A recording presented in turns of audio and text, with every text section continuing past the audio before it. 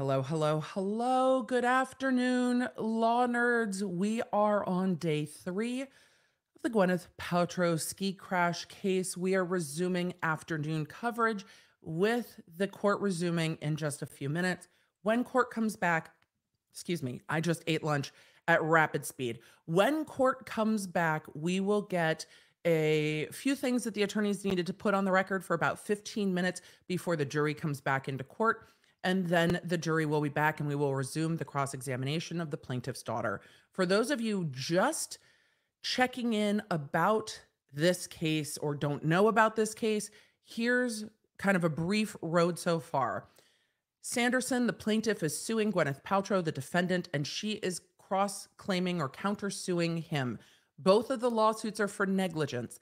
These are civil suits. There is a plaintiff and a defendant, and then a cross plaintiff, cross defendant.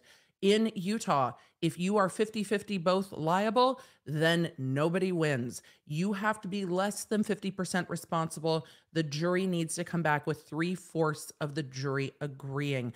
This is a negligence action. It is for monetary damages and attorney's fees, not punitive damages. With all of that, again, plaintiff and defense, not a prosecutor. The rules of the road are a little bit different. We're dealing with depositions and things like that in a civil case, but the question is negligence. Was there a duty and was the duty breached and did that breach cause damage?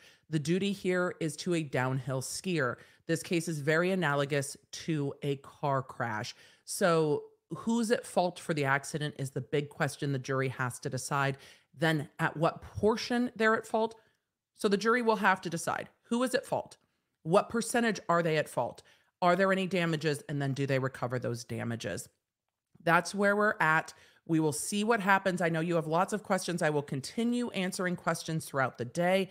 And then that should be the end of the day. I suspect that the plaintiff will testify today. That's what we were told yesterday at the end of court. So we will see if the plaintiff takes the stand. But they gave like a list of four witnesses before the plaintiff, and we've only gotten through one and a half. So Will this has been running a little slow? I think it's possible the plaintiff and Paltrow testify tomorrow. I'm optimistic either way. So with that, let's get into the intro and get back to court. They're not back on the record yet, but should be soon. Hey there, I'm Emily D. Baker, the internet's go-to legal analyst, breaking down the legal side of the pop culture and entertainment stories we can't stop talking about. I'm a big fan of the cursey words. I've been a licensed attorney for over 17 years, but this is not legal advice. This is where the law nerds unite to talk about facts, not. Let's get into it. Of course, as I say that, we come back and they are on the record. I'm turning up our volume and let's see what Okay. issues they need Counsel, to put on could the you record. approach just for a second? Don't approach. I'm going to speed this up real quick so we can catch up to real time um, because I did pause this. Once we catch up to real time, since we can't see anything while they approach, I will be answering questions. Stream, it's so good to see you, law nerds. Um, and I'll try to get to as many as I can from everyone.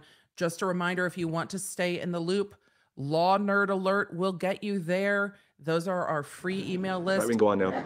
Easier for me than the text crew. Okay, let the record reflect that uh, counsel are present, and So many international. I think Mr. Owens wanted to address the topics of uh, the the cross-examination that needed to be cleared with the court first. I am going to slow this back down. Owen wants to address the character questions.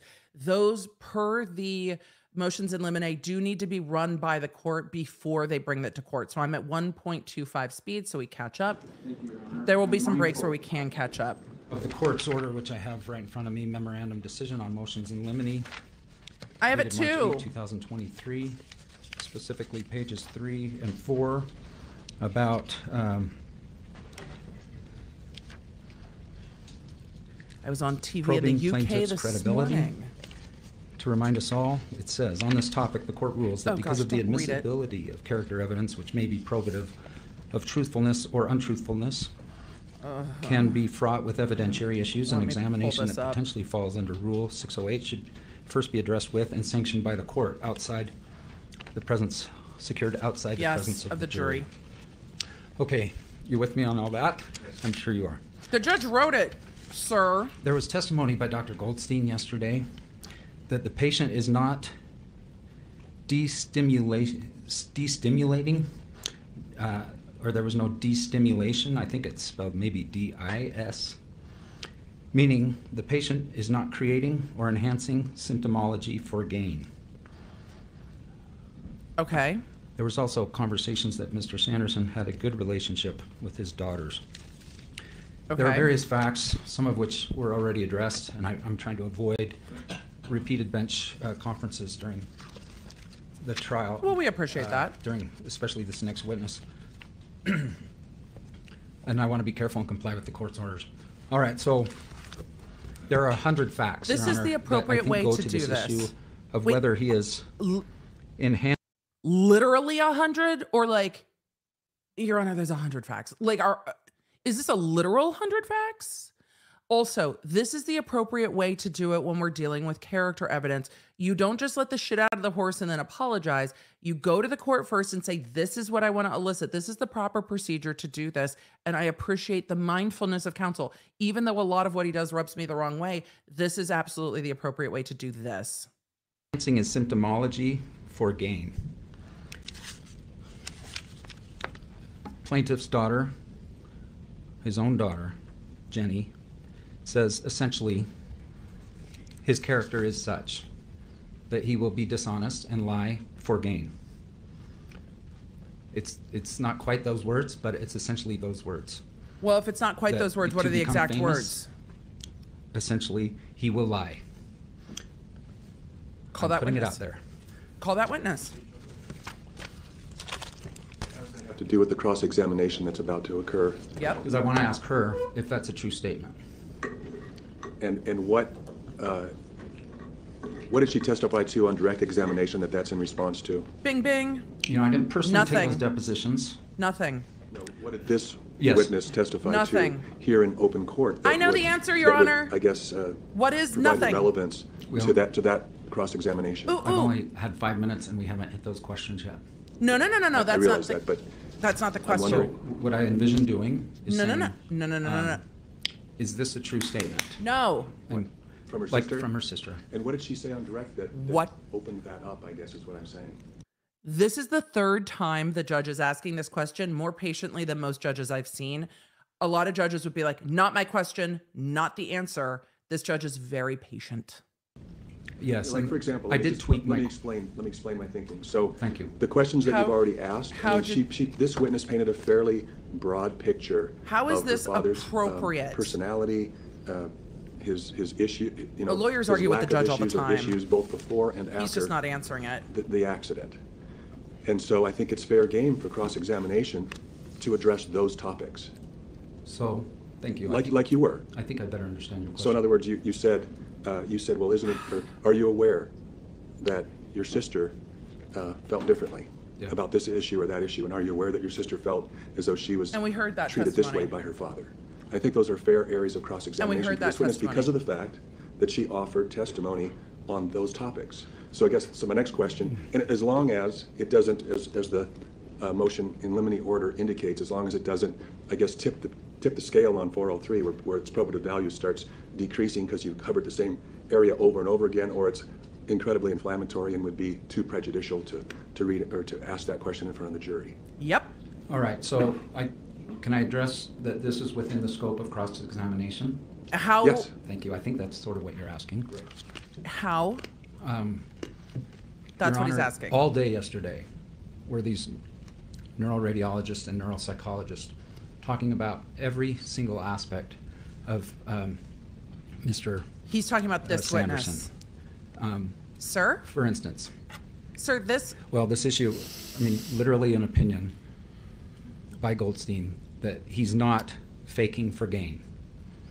All right, so um, I think it would be very unfair to my client to not address that issue with every single witness now that comes up. I mean, it's, it's their plaintiff's position that he is not faking for gain.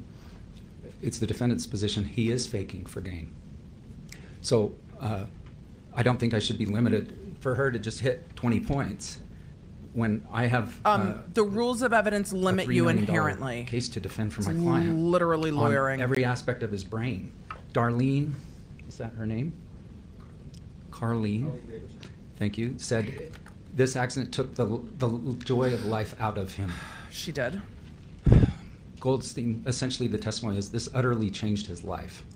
And I think it would be wrong for us, be unfair to my client and, and just general, Bring that witness the system of justice for me to be restricted tightly to, uh, okay, only, I can only ask her about how, how he couldn't tie a knot. I mean, I need to be way broader than that when we're dealing Oh, with a- a, a claimed severe permanent brain injury that's taken the joy of his life out.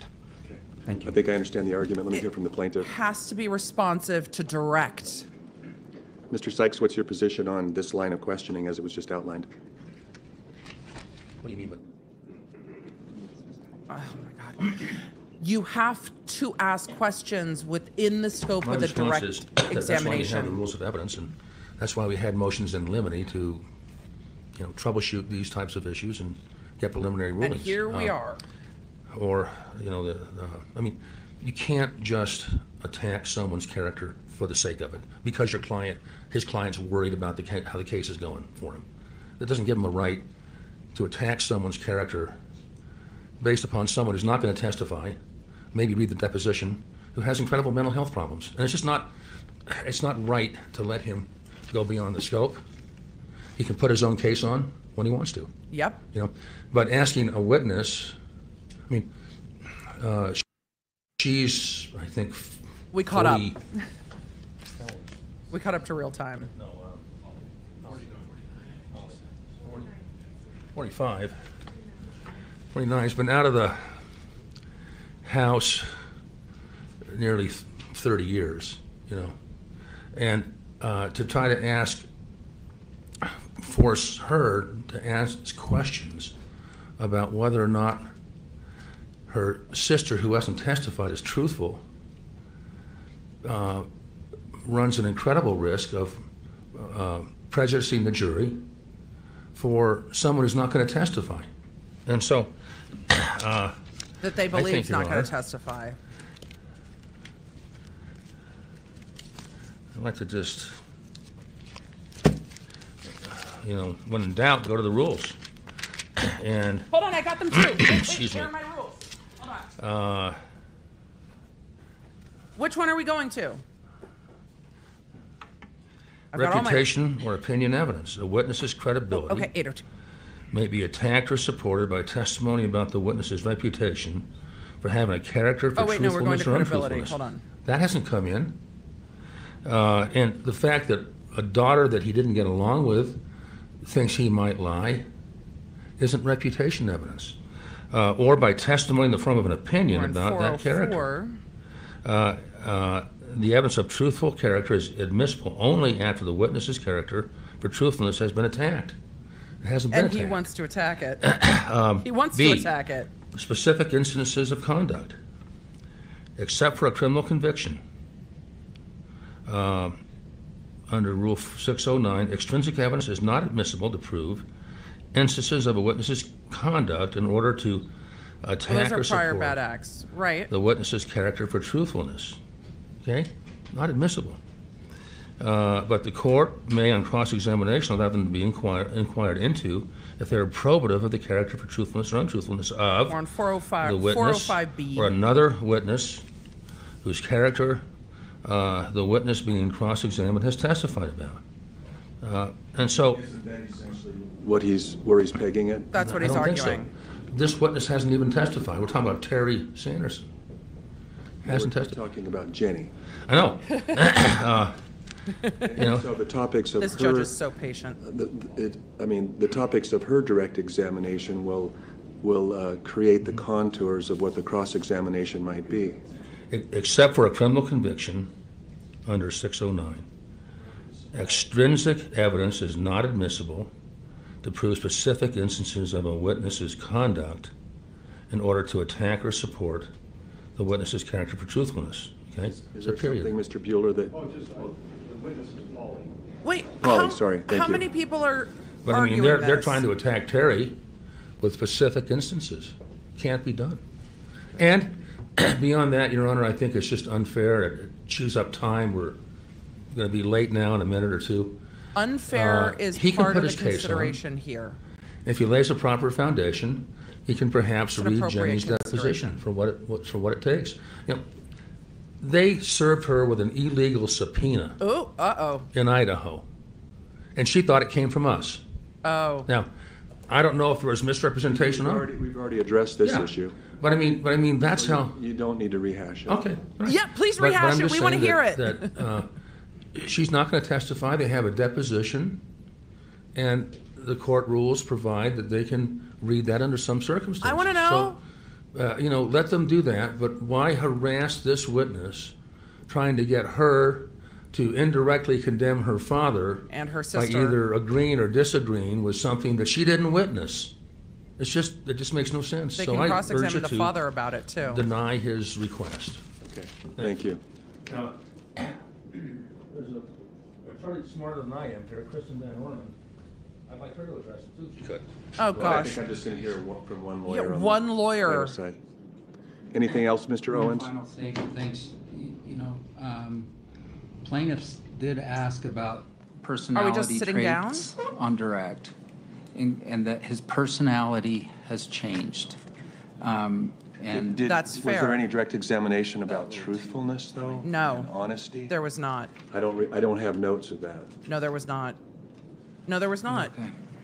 So I can see you get, I can see you you questioning think- along the same lines as, of what you just did. I think that's fair. and I did adjust my questioning to the court's concern. But, like- but getting involved in, um, you know, an underlying motivation for the, for the lawsuit and for pursuing the lawsuit, I didn't hear any direct, direct examination on that topic. There certainly was yesterday. and Then I ask realize those there was with questions another witness. yesterday. And you could, you can certainly cross-examine or call those other witnesses and, and address that with them. But with this witness, I think the, the, the cross is limited to the scope. Correct. At least in the plaintiff's case. I mean, you can recall her in your case later.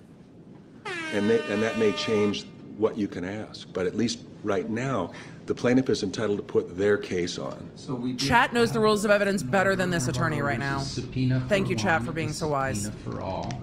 So One of the questions I will ask at the end of this witness's testimony today is, is this test, is this Recall witness the now witness then, released? sir. Would she, would she prefer that? Um, Frankly, I'm thinking of the witness. I know, but right now, the objection is beyond the scope. Okay, so do- does everyone agree that I can re, that this witness will be, ma- will be available next week? And but will be recalled. She's subpoenaed. I can remind her of that fact when she finishes her testimony. She's She's gonna have not to- released. Okay. I- Is she subpoenaed, Mr. Sykes? Uh, we didn't subpoena her. Are We, uh, Give her one while she leaves the courtroom.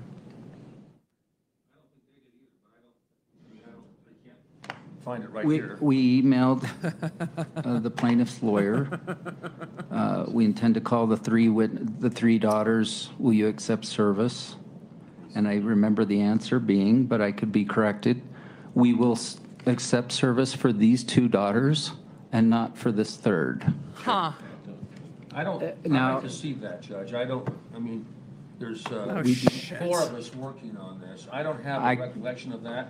I'm not calling my good friend Mr. Owens a liar. No, because I- remember that I- versus Shelton. It's one step away from my learned friend. Okay. Find the email. So, by the way, if you can't tell, I'm not speaking, I didn't expect this issue to arise, so uh, I do recall oh, y'all, we'll get there. We'll get there. I promise. I promise. I'll, Lawrence I'll was the summarize. one who Ooh, I'm loving the stripy suit with the blue We are not tie. representing Jenny. Uh, You have to subpoena her directly. And this may take a minute, Your Honor. Search the emails. I like the light blue tie. Personality traits, I mean, these broad criticisms by their expert, based on the fact witnesses, without being able to talk to the fact their witnesses about the basis not for it. the I- I don't know how to daughter. do that Why is that hard? In this manner. Have you All never saying is that, um, We need to call the jury in.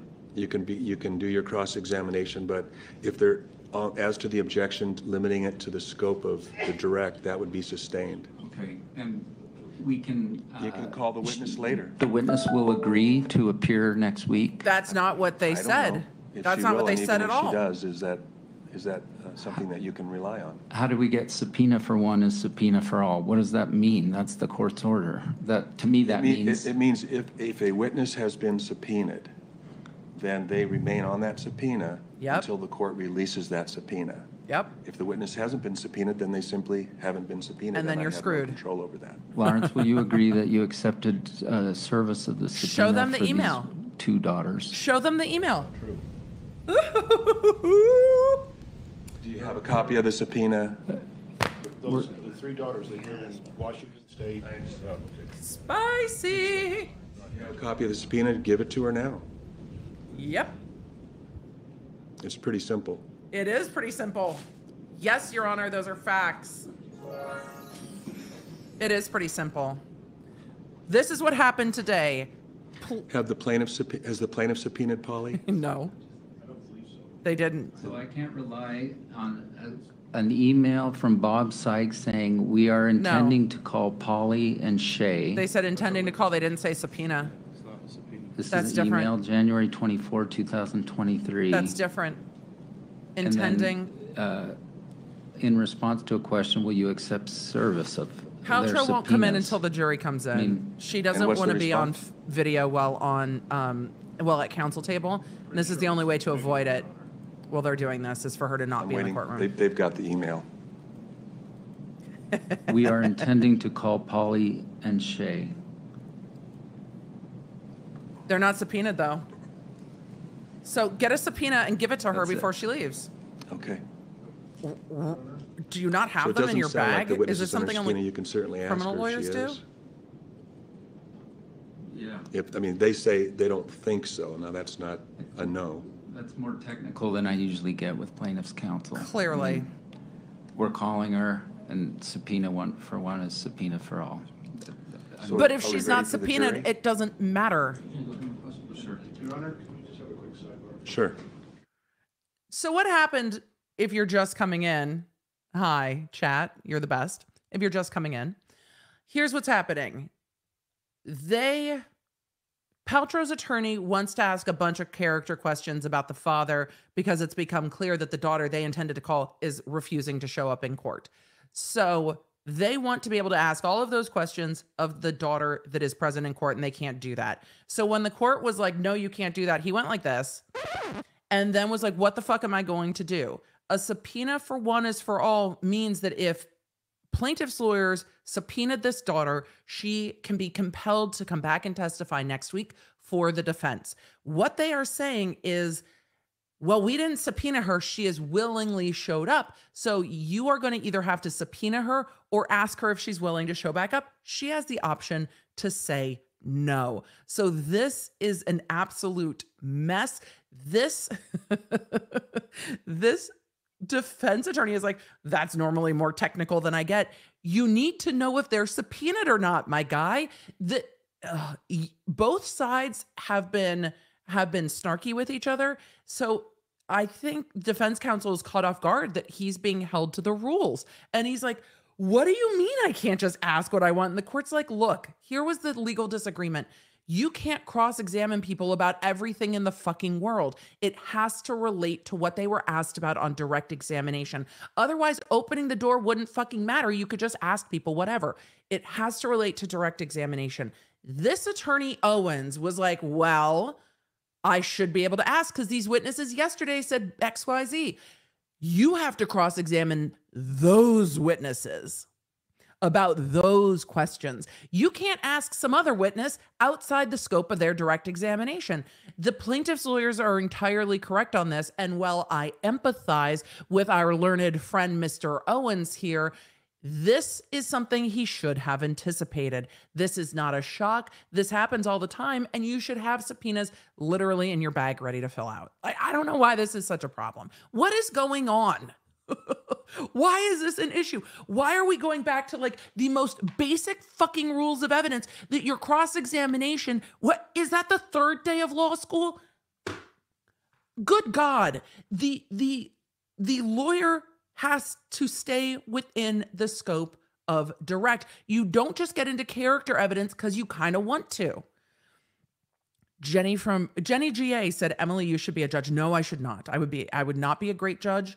Um, because a my face is not patient with people. So if somebody was making an argument like Owens, this judge asked his question three times at least and explained that's not what I'm saying. My eye would start twitching and I'd be like, counsel, your cross cannot go outside the scope of direct. And what? I couldn't. I could never. I could I would start getting red and I would want to yell at people. Nope, I do this way better. This is much more fun for me. I don't have the bandwidth to be as patient as this judge. This judge has been very patient.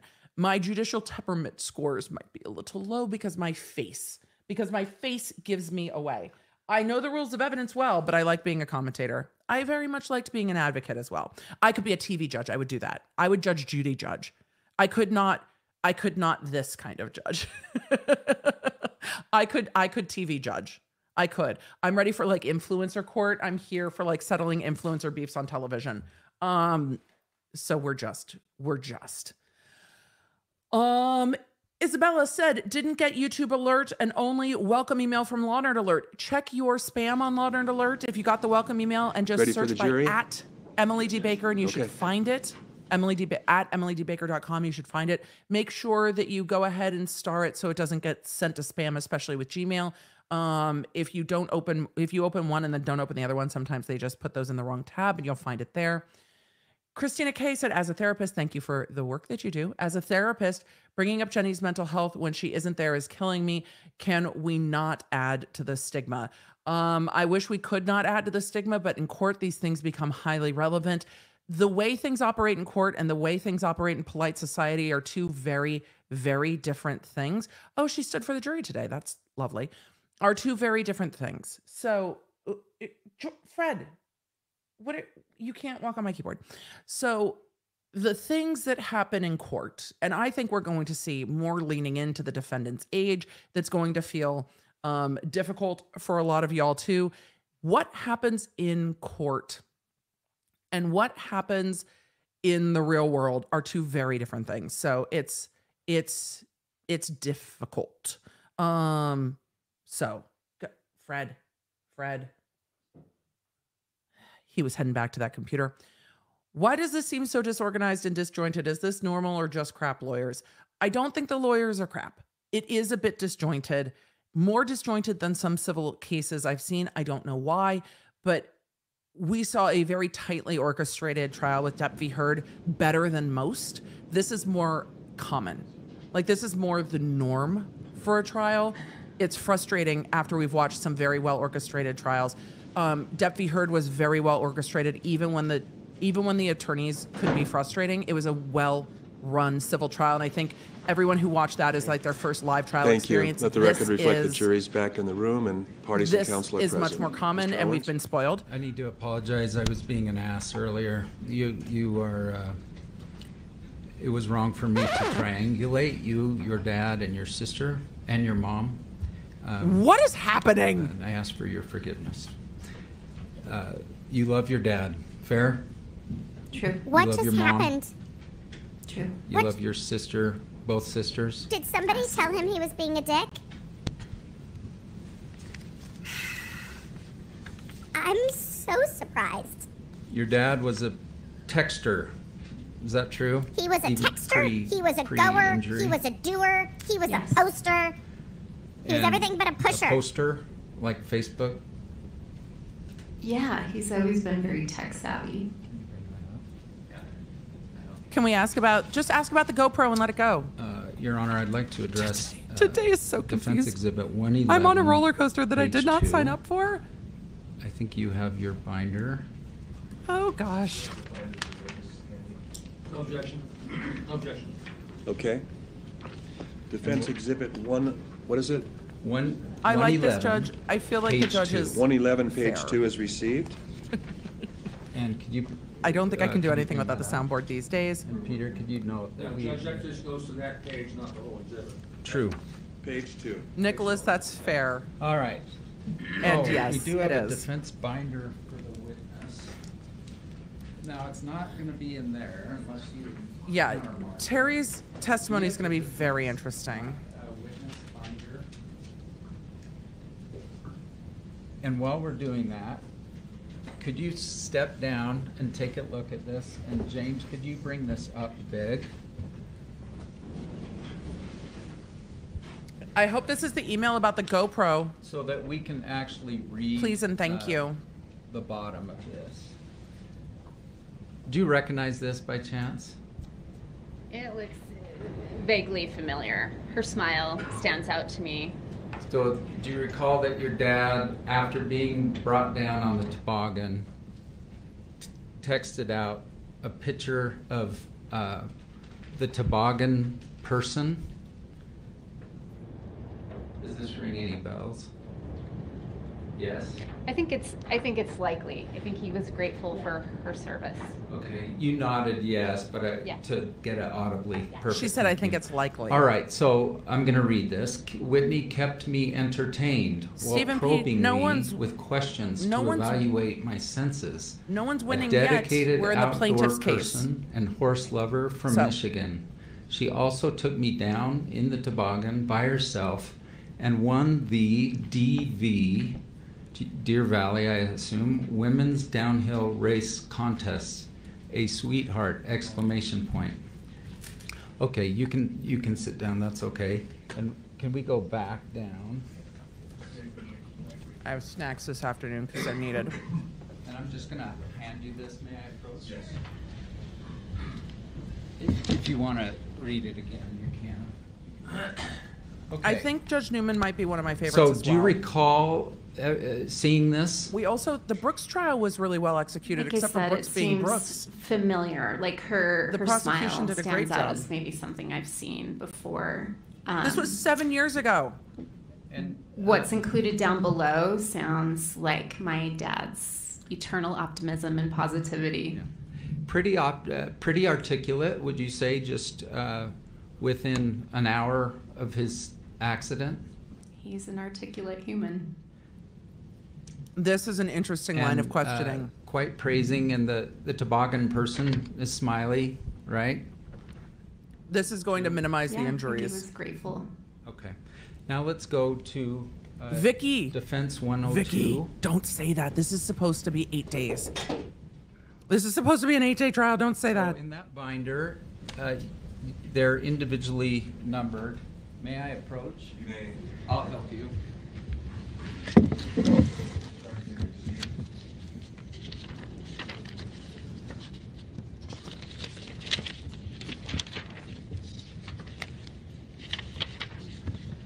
So you look at these little stickers, and that's how you get the number.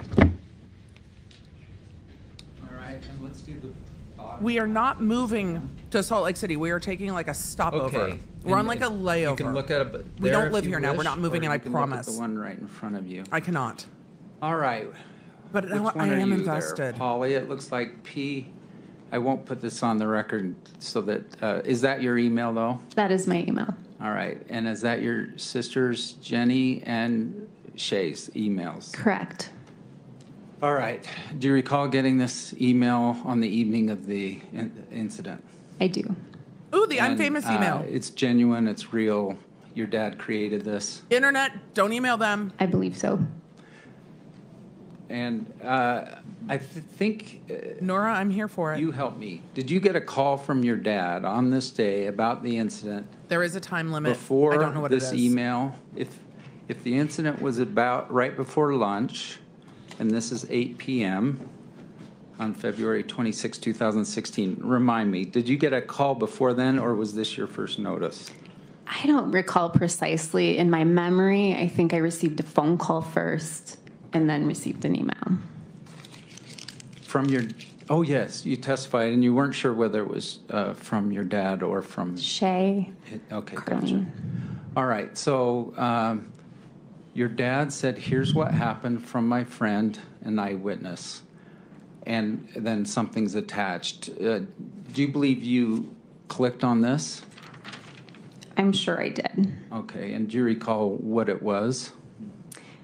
Um, there's been a lot of speculation trying to figure out what that was. Um, the fact that it's know? a meetup link, it tells me probably something from, so the day that he was skiing, he had gone with a meetup group. Let me interrupt, because all I'm asking is, do you recall what it was?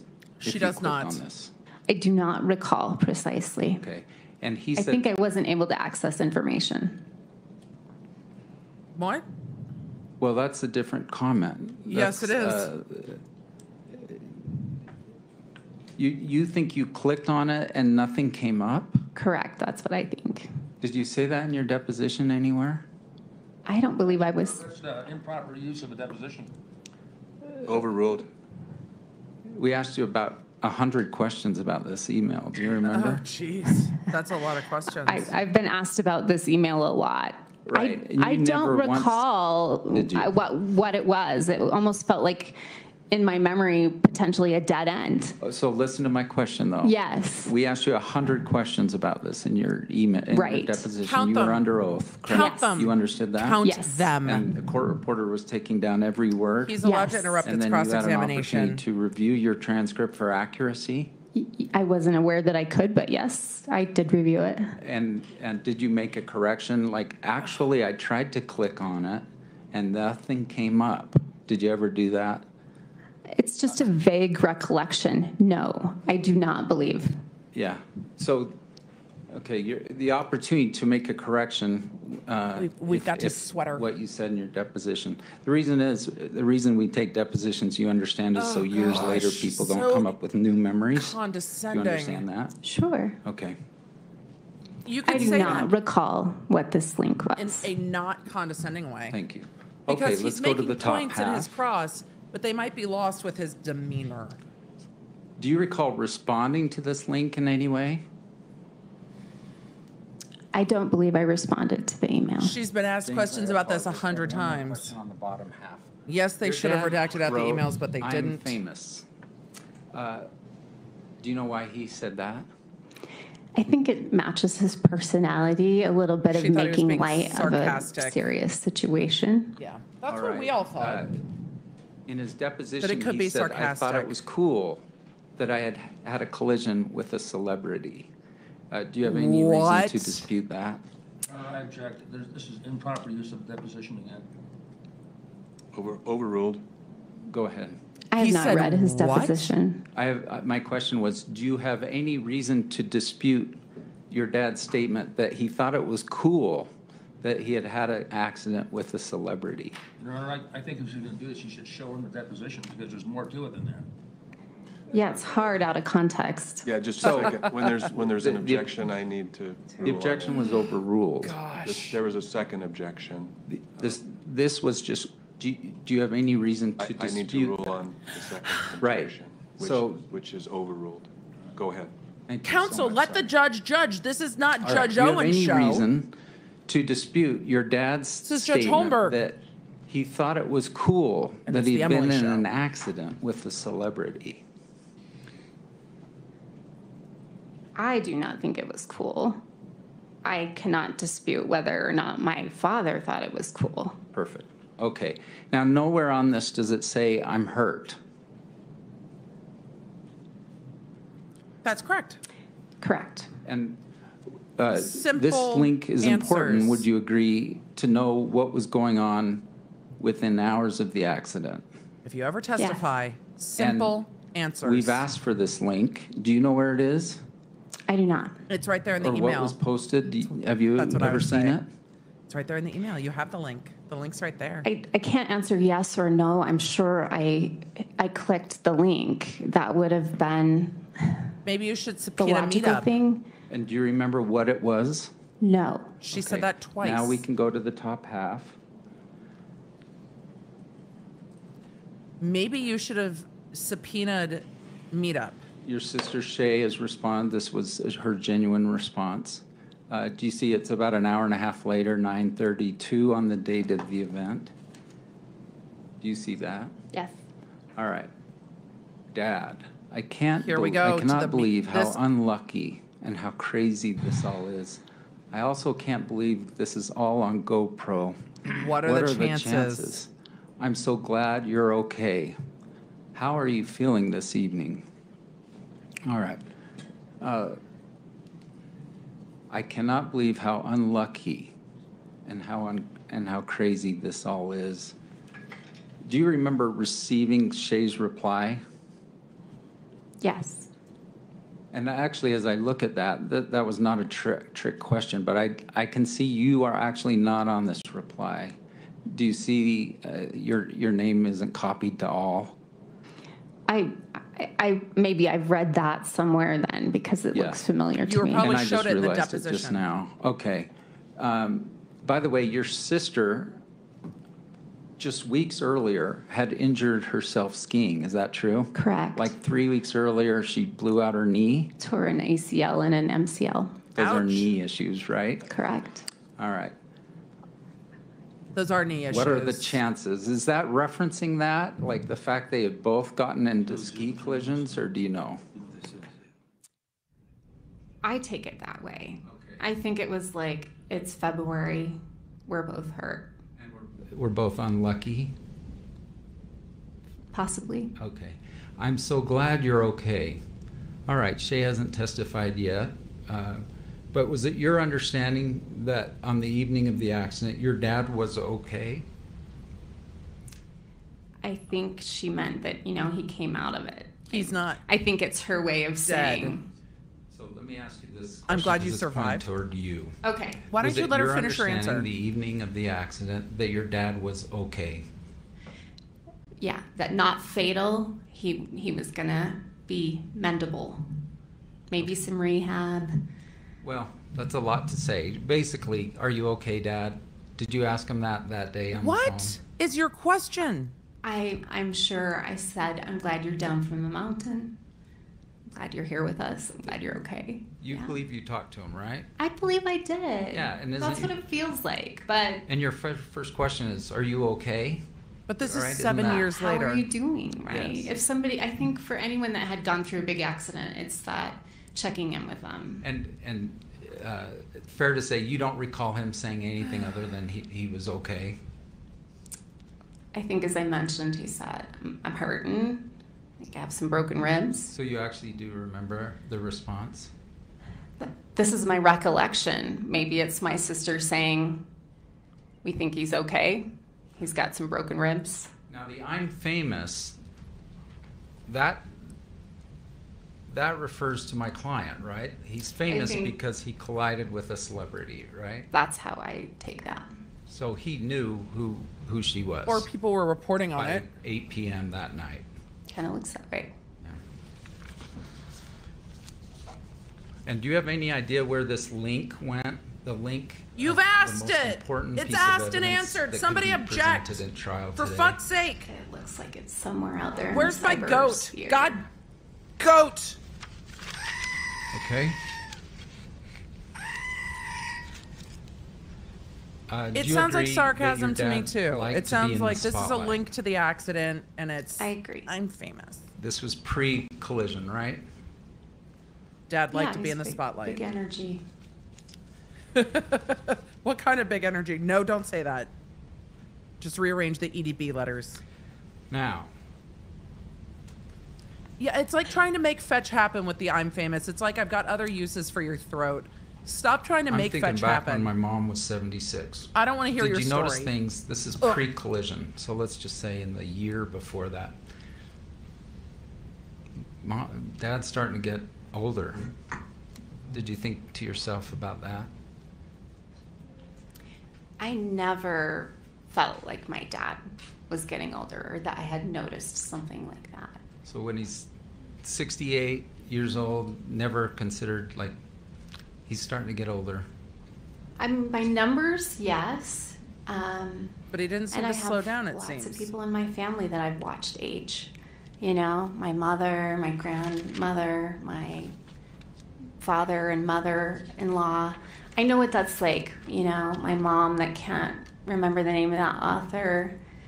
Um, so, but when there's a marked change in somebody's cognition, memory, and just functioning, it's a it's more of a switch type feeling. It didn't feel like it didn't feel gradual. Do you remember the fact that your dad And that's had a stroke to this. contributed First of all, did your dad have a stroke before the ski incident? I'm not aware of a stroke. I know he had an occlusion uh, with the lost some visibility in his eye. I think it's like a restricted blood vessel. Do you recall in your deposition saying he had a stroke? I think you called it a stroke in the eye, meaning Did you call it a stroke? if I did, I misspoke and I should have had an opportunity to correct that. Well, you did have an opportunity. I was not correct it, aware of that. Snappy. Can we get back So- to where the GoPro is, please? I'll, I'll dig it out. he moved away. to. Away from it. Let's keep going. Your dad uh, had an event where The reason he's not sitting there and his eye- flipping through pages right is because they have limited time. uh, essentially turned off, and he lost his right eye. Is that fair? He lost some vision in his right eye, and you know, what are the odds for somebody that's spent a lifetime committed to Right. eye health, right? There's a reference to he, he's an optometrist and he's not a medical physician. True. He's an optometric physician, an optometrist. So here's my question: Is he a medical Physician, an, an, an MD? No. No. Okay, so uh, now let's go through.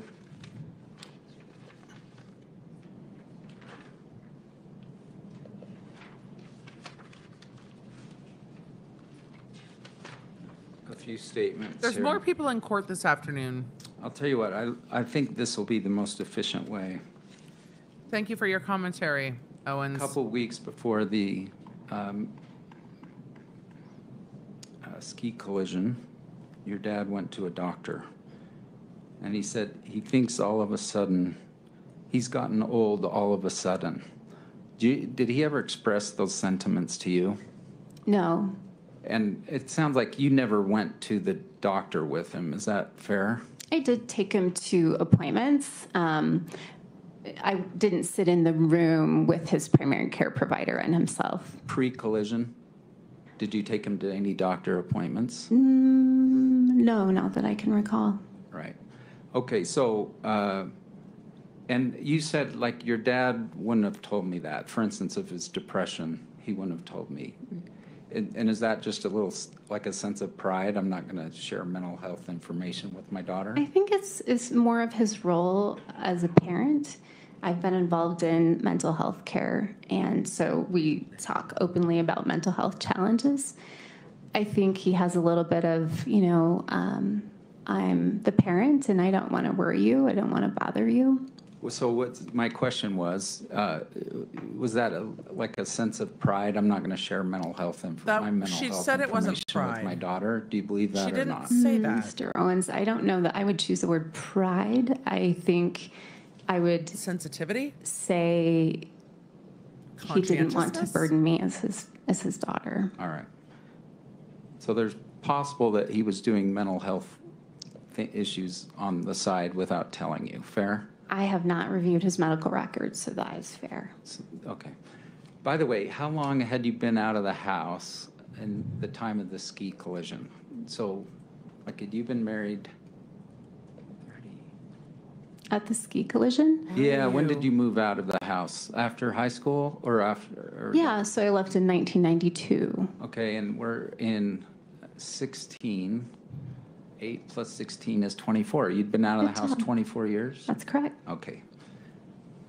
And you would see your dad, maybe, let's say in the three months prior to the ski collision, do you agree you didn't, you didn't call or see your dad once? Um, What? that was very surprising information to me after your team had pulled phone records. Is that true? I, I have no reason to believe it's not true. Um, And you would That's a see really him. long time, uh, though. Did you see him about the same before the ski collision and after the ski collision? That Like would be, Two to four times a year? I would have He started it's been a little harder, especially with COVID. I don't feel like I've seen him as much. Um, Gotcha. And part of it is, you know, I still had kids at home, so um, Yeah. it was easier to say, oh, we're going to come through on summer vacation. And um, I'm with you. yeah, Okay. By the way, COVID was hard. Did your dad get COVID like twice in six months? he did get COVID, I believe, more than once. In like not too far Not like one month, but like six months or What's something? that Does have this to sound do right? with anything? Does sound correct. And that's extremely hard on him, just that. True? COVID was hard on all of us. Yeah. Fair. But in That's terms fair. of some of the feelings of isolation, for instance, um, that, that's exacerbated by COVID.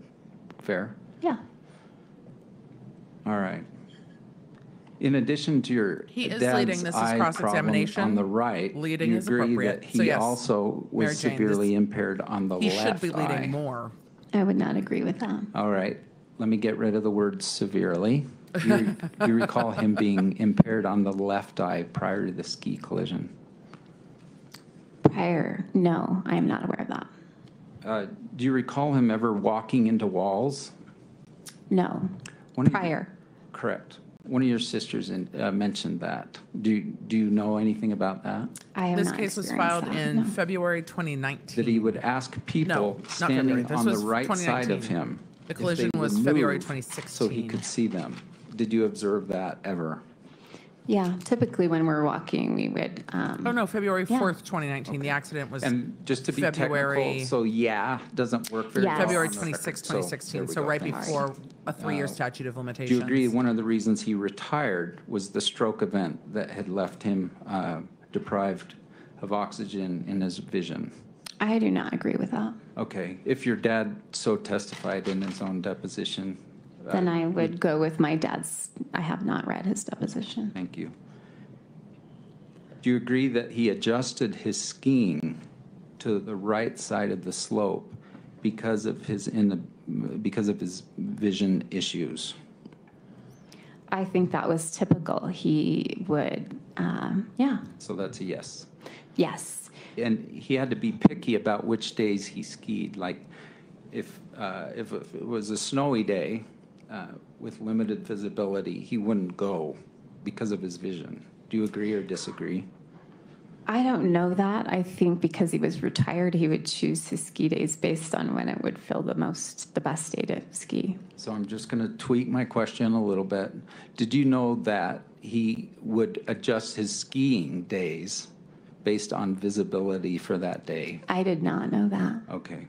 Let's talk about the prostate cancer. Um, Why? Do you know the severity? I guess they rate prostate cancers Gleason six, seven, eight, or nine. Have you heard of this? Six, seven, eight, nine, I think they 10. were monitoring his numbers for a long time. And 10 out of 10 is the worst. Are you familiar with the Gleason scale for prostate cancer? I am not, Okay. other than that there is a scale, so. And do you know if your dad was a seven, for instance? Not the least, but not the most? I do not know. I've not reviewed my dad's medical records. And separate then from the Gleason scale or his records, just did you understand, like, this isn't just the most minimal cancer, it actually had become malignant? I knew they were monitoring his numbers, you know, so, uh, so that makes sense that when they decided to operate, it was because the number had justified that decision. Thank you. And I'm just going to restate my question. Were you aware his cancer had become He's like, malignant? you didn't answer. Yes. Okay. And uh, do you recall how many years prior to the ski incident that cancer was? I really do not recall. I would say surgery, if I had to guess, 2008.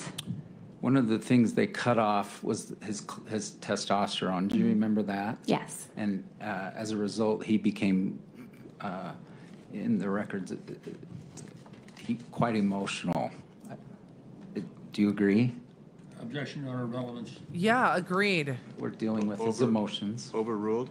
Thank you. Do you recall him being becoming quite emotional? I did not experience that, more so after the accident, it, much more notable. Um, Thanks. Let's stay pre-accident for a while. Pre-accident, I never experienced the increase in emotion. All right. Do you- Interesting. By the way, after the accident, how long was it until you went and visited your father? That's a great question. I think he was at my place end of May. I would imagine that summer at some point. Okay, so the ski collision was in end of February. Mm-hmm. And so are you saying like three months? He he was at my house end of May, so I saw him again three months. Okay, that was the first time you saw him after. Yeah. Typically, when we would come down, it would be like in July, so we would probably have seen him then. Can't review for certain. Do you recall there being a motion regarding the prostate? So I'm sort of prostate cancer, so I'm separating the testosterone issue.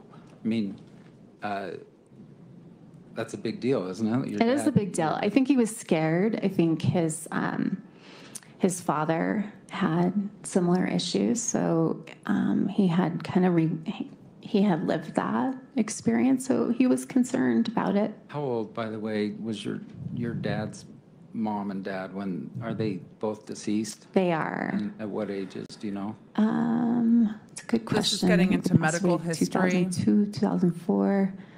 I don't know would if say I would maybe in their remember those 80s. questions easily. Seventies? Perhaps 70s, yeah. And what did your dad, your dad's dad pass away from? Was it prostate? I think it was compl- complications with prostate cancer. And your dad's mom, what did he, she pass away from? She had broken a hip and then ended up getting pneumonia. Let's talk about your, your dad's hearing for a minute. So your dad, uh, about how many years ago did he start wearing hearing aids? So, my first memory of my dad with hearing aids, my younger sister was kind of an infant. And so, because I remember she would make noises and he kind of like, whoa, that's loud. So, I think he, Like five years, 10 years, 20 years? She's Ago? trying Yeah. to remember. 40 She's 40 years ago. 40 years explaining- ago, he's been wearing hearing aids. She's ex- And uh, Jeez. do you She's agree one side is explaining. worse than the other, or do you know? I don't know that. I think technology's advanced. Hearing aids today are much better than they were 40 years ago. And uh, as far as severity of his hearing loss, just prior to the ski incident, um, uh, do you know? Can you quantify that at all? So there are times, say, in the morning when we're brewing coffee and he doesn't have his hearing aids in. Okay, let's Right. talk about when his hearing aids were in prior to the accident. Do you agree he still had some impairment? Minimal, but yes. He had to actually read lips. Do you agree? I think he's a people person, so he really does read lips and read people. So pre-ski incident, even with his hearing aids, he read lips. Do you agree? I, I think he, he does, not because he wasn't hearing, though. What? Do you agree that part of his That's hearing an odd- impairment, that's an odd even with answer hearing for aids, me. was he couldn't hear high voices, She's not higher looking at him. frequencies, like a woman's voice? Do you know that? He's trying to get to I the don't know fact that for certain, but I know that hearing loss happens in ranges, so that would make sense. Okay, so we've talked about his eyes, his ears, his cancer. Let's talk about his heart. Do you recall that prior to the ski accident, your dad had uh, some heart palpitation issues? I was not aware of that. Okay. Did you see any effects of aging in your dad prior to the ski accident? Any at all? I think his hair was getting a little more gray. Okay, anything else?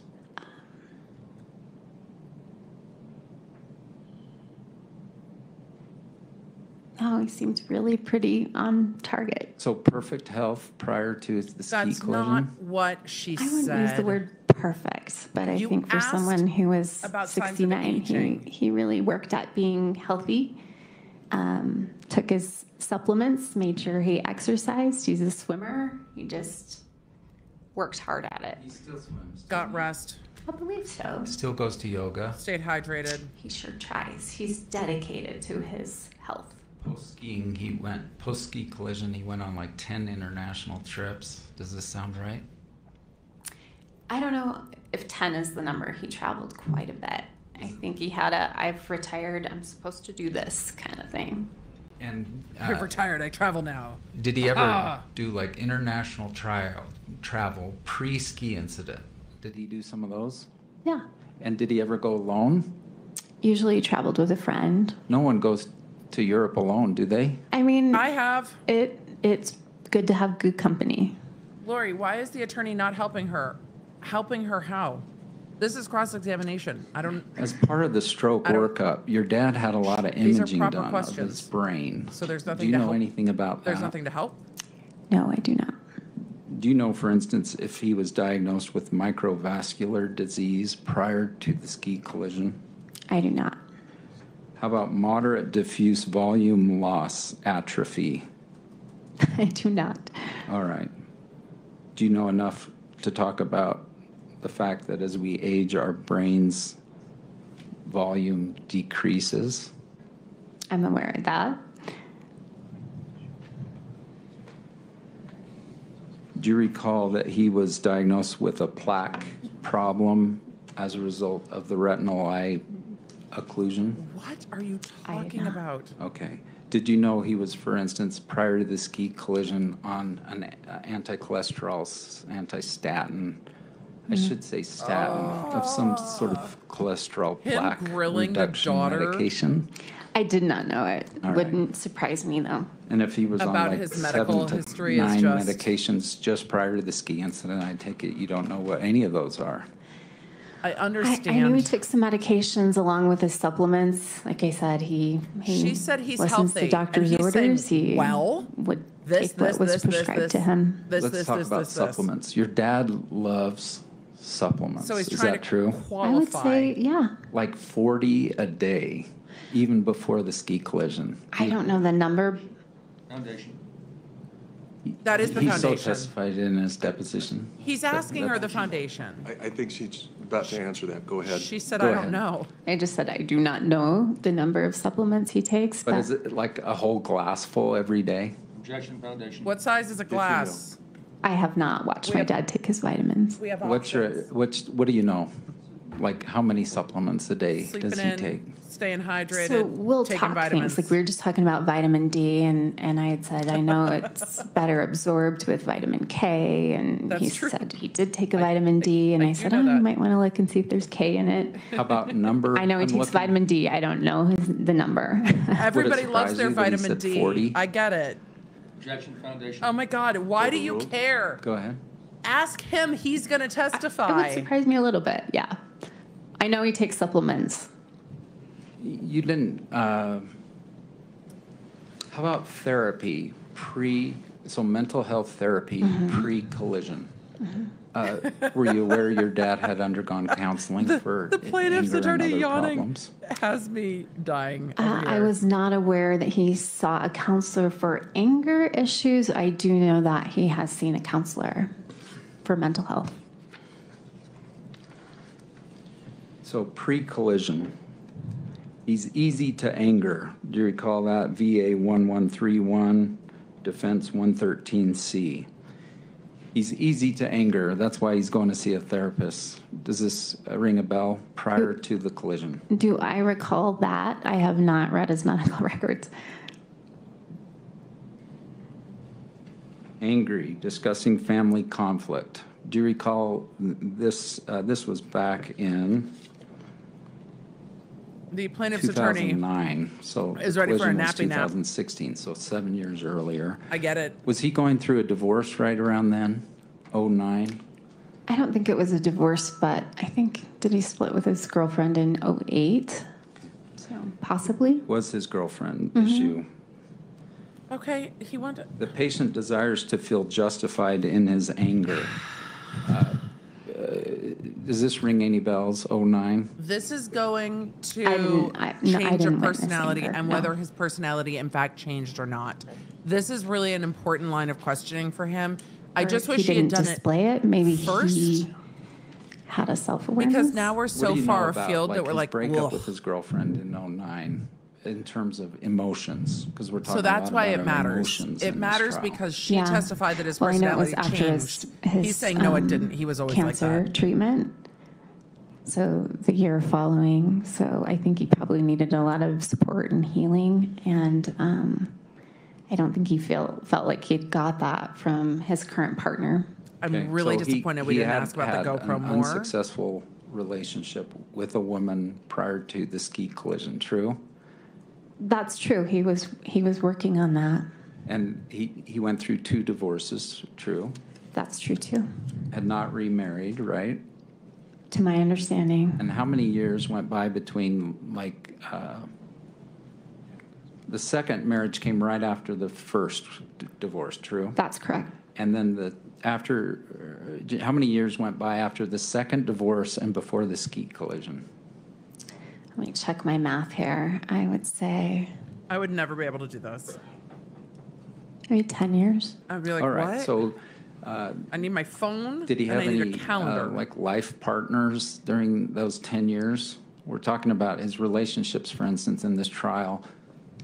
He's had a hard time, like, having long-term relationships Mm-hmm, after. And I'm just saying, for those 10 years prior, did he have long-term and these are fair questions. Um, by long term, I can't. I can't The think attorney's of like, was there really a change sustainable- though? Um, Or was you this had par for mentioned the the course? one that had split in 2009, and I'm not sure how long they were together. Maybe two or three years. Uh, By the way, I don't know if we formally admitted D-113, but I would like to do so. Okay. Any He- objection? He would like to admit. Don't know what it is yet. We talked about it yesterday. What, why are we doing it now then? Jody. I'm so. co- Why are we doing this in the middle of this witness? This is so odd. Wait till the witness finishes, and do it. That she, she's, But, her uh, face is well, all of Would us. Would you prefer I keep going, Judge, or we deal with it right here? Why are we dealing with it right now? admitted now, or- Are you going to use the exhibit with this witness? Uh, This I don't know, but I do want it in the record because I'm referring to it. Why don't we wait? We, we can handle it over the break. You can do it unless you after need this witness- Or need to ask this witness What about is it? happening? Um, I guess I will. So move for D113F, which are VA, or excuse me, Uh-oh. D113. We're gonna have to start playing VA Battleship. Stipulated VA records. The point of all of this disagreed? testimony is the plaintiff is alleging that at the time of the ski collision, things were good, and then everything changed afterwards? Okay, afterwards. That's defendants, the difference here. 113 is received?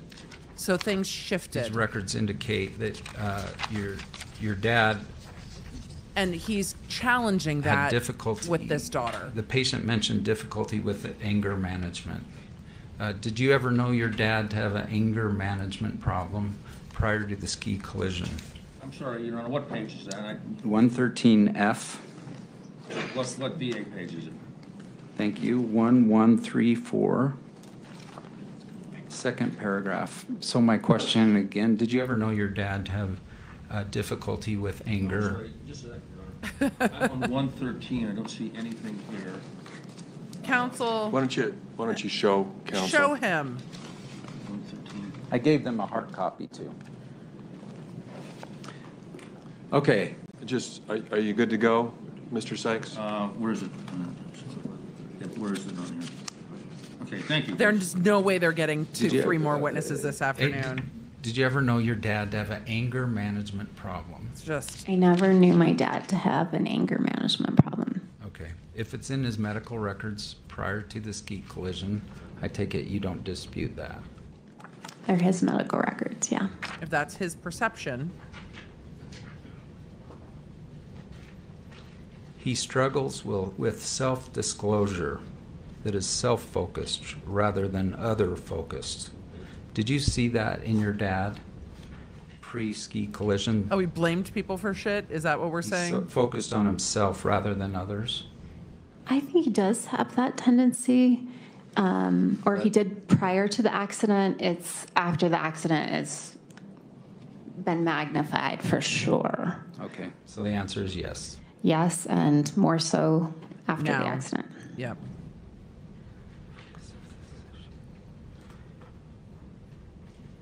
Okay. The focus of this session was to help him identify his responses and the associated feelings and communicate those in less blaming ways.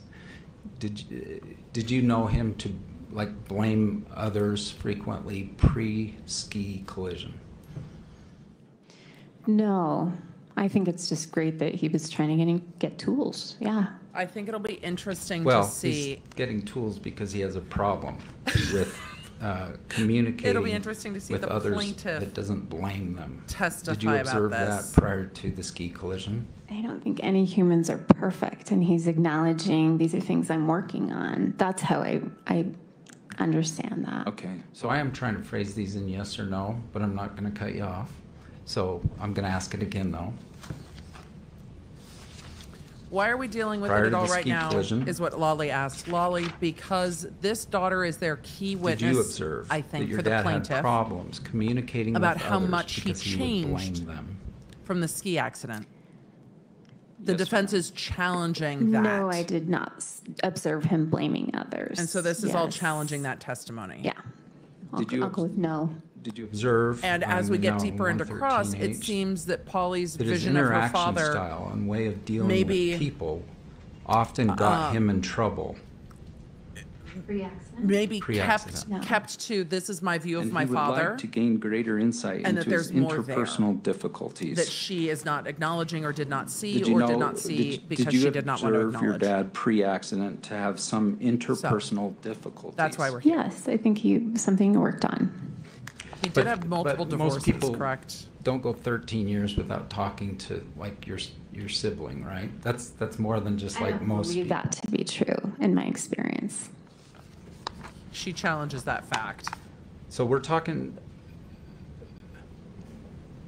So that's why this is relevant. It's true. Everyone She has also said he was very healthy before, difficulties, and so that's why not going through the everyone goes to medical. their therapist Well, healthy for but it. had cancer, healthy but had the stroke, I healthy agree, but but the smart ones this, do. this, that. So that's why it's here. I think it could have been done. I think it could have been done in a different Patient pattern. had a number of recent stressors perception. which he appeared to minimize. Okay, did you ever know your dad to minimize uh, other stressors and focus on something sort of obsessively? Not pre-accident, post-accident, yes. Okay, how about that he would uh, hyper focus on a problem without dealing with broader issues that were affecting that? I would say he does have a tendency to hyperfocus. And that was pre-collision, right? Yes, way more so after the accident.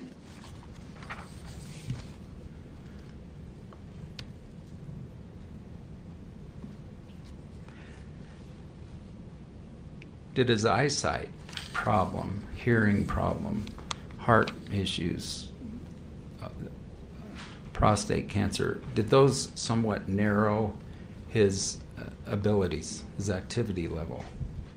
I, I really didn't see that change or modify a lot. I think um, not till after the accident. How about at all? Just like the five years before the, uh, the accident? Any, re- any reduction in activities at all? Right. I think I would see my dad, you know, make some adjustments. Like he would, he would learn because he's not, he's not reckless. So Is that a yes or no? Re- Reduction in activity level prior to the ski collision? yes, very, very minimal.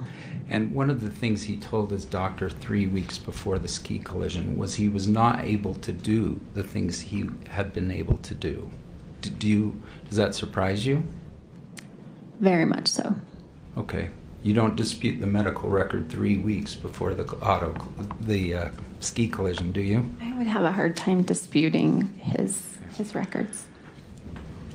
Migraines, uh, Her perception of He her was- father is he being would have challenged. migraines That's pre- the point because she's a very good uh, witness. I ski still like her. Right? Occasionally, And they were de- debilitating when he got, got them, true? correct.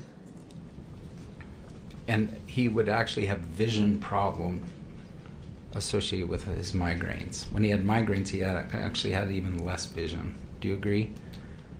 I know he would typically look for a, a dark place, you know, to just uh, recover from that. So your answer? I, he was sensitive to light, and that would be Same Z's. visual. Okay. Now let's talk about his back and spine problems pre-collision. Uh, He had a foot drop, didn't he? He, he walked differently pre-collision? She's like, my dad had no I, signs I of wasn't aging. aware of a foot drop And or he's a like, different walk. You know what a Um, foot drop is? ma'am? Vaguely, So He's like, ma'am. You have to more drag one of your feet. Is that fair? okay. I didn't notice that in my dad. You never knew of one? No. Okay. How about uh, weakness or pain of uh, loss of sensation?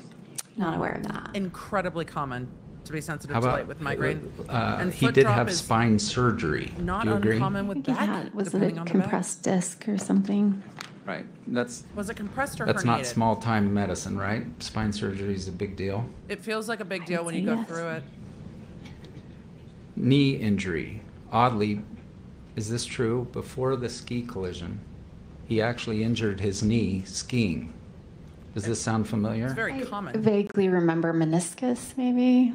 Skiing, I've done that. Mm-hmm. yes? I- There's inherent risks in skiing, knees being one of them. So the answer. Yes, Did that require That's a surgery? good line for do you the recall? plaintiff. I don't believe Or it for the did. defendant. There's a. Shoulder problems. Do There's you an recall inherent having risk in skiing. pre-ski collision shoulder problems? I think that's a good I think he- answer. he did and have I a think he shoulder should have followed issue. up on it. And what do you recall about it?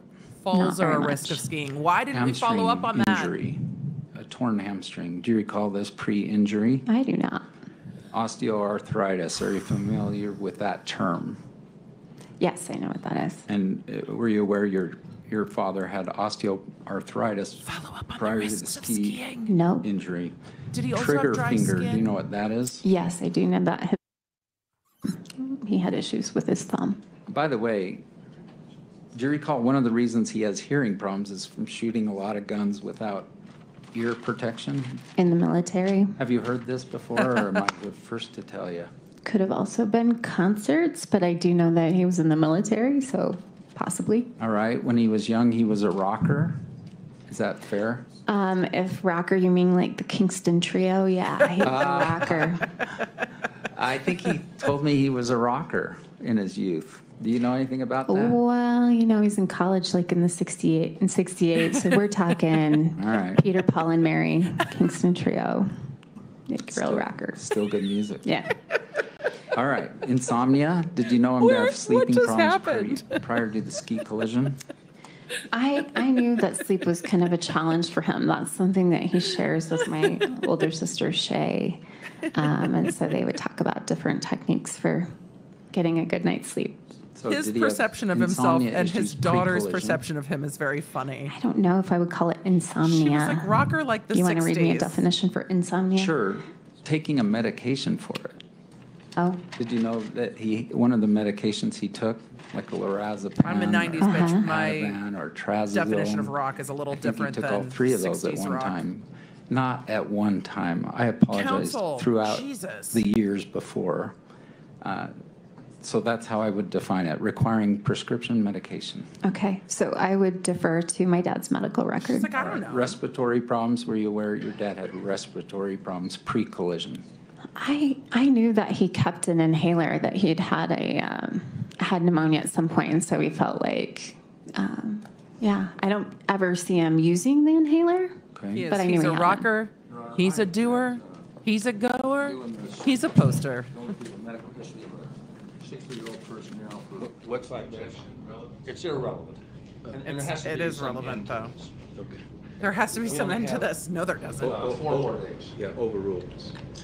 He said we only each have side's four more getting days. Half time, so it's not affecting your time, Mr. Sykes. He's a midnight toker. He's a skier. Oh, we could rewrite an Lower entire urinary song. tract issues. Oh, jeez.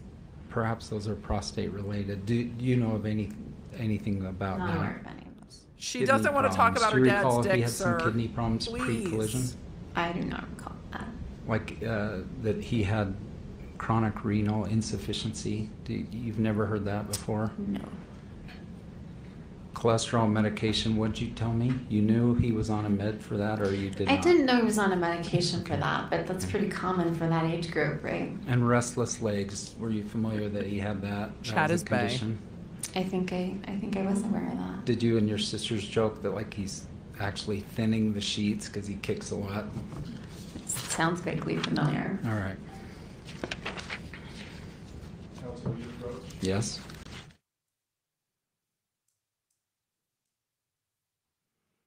Why are they approaching? Oh, well, we can answer some questions.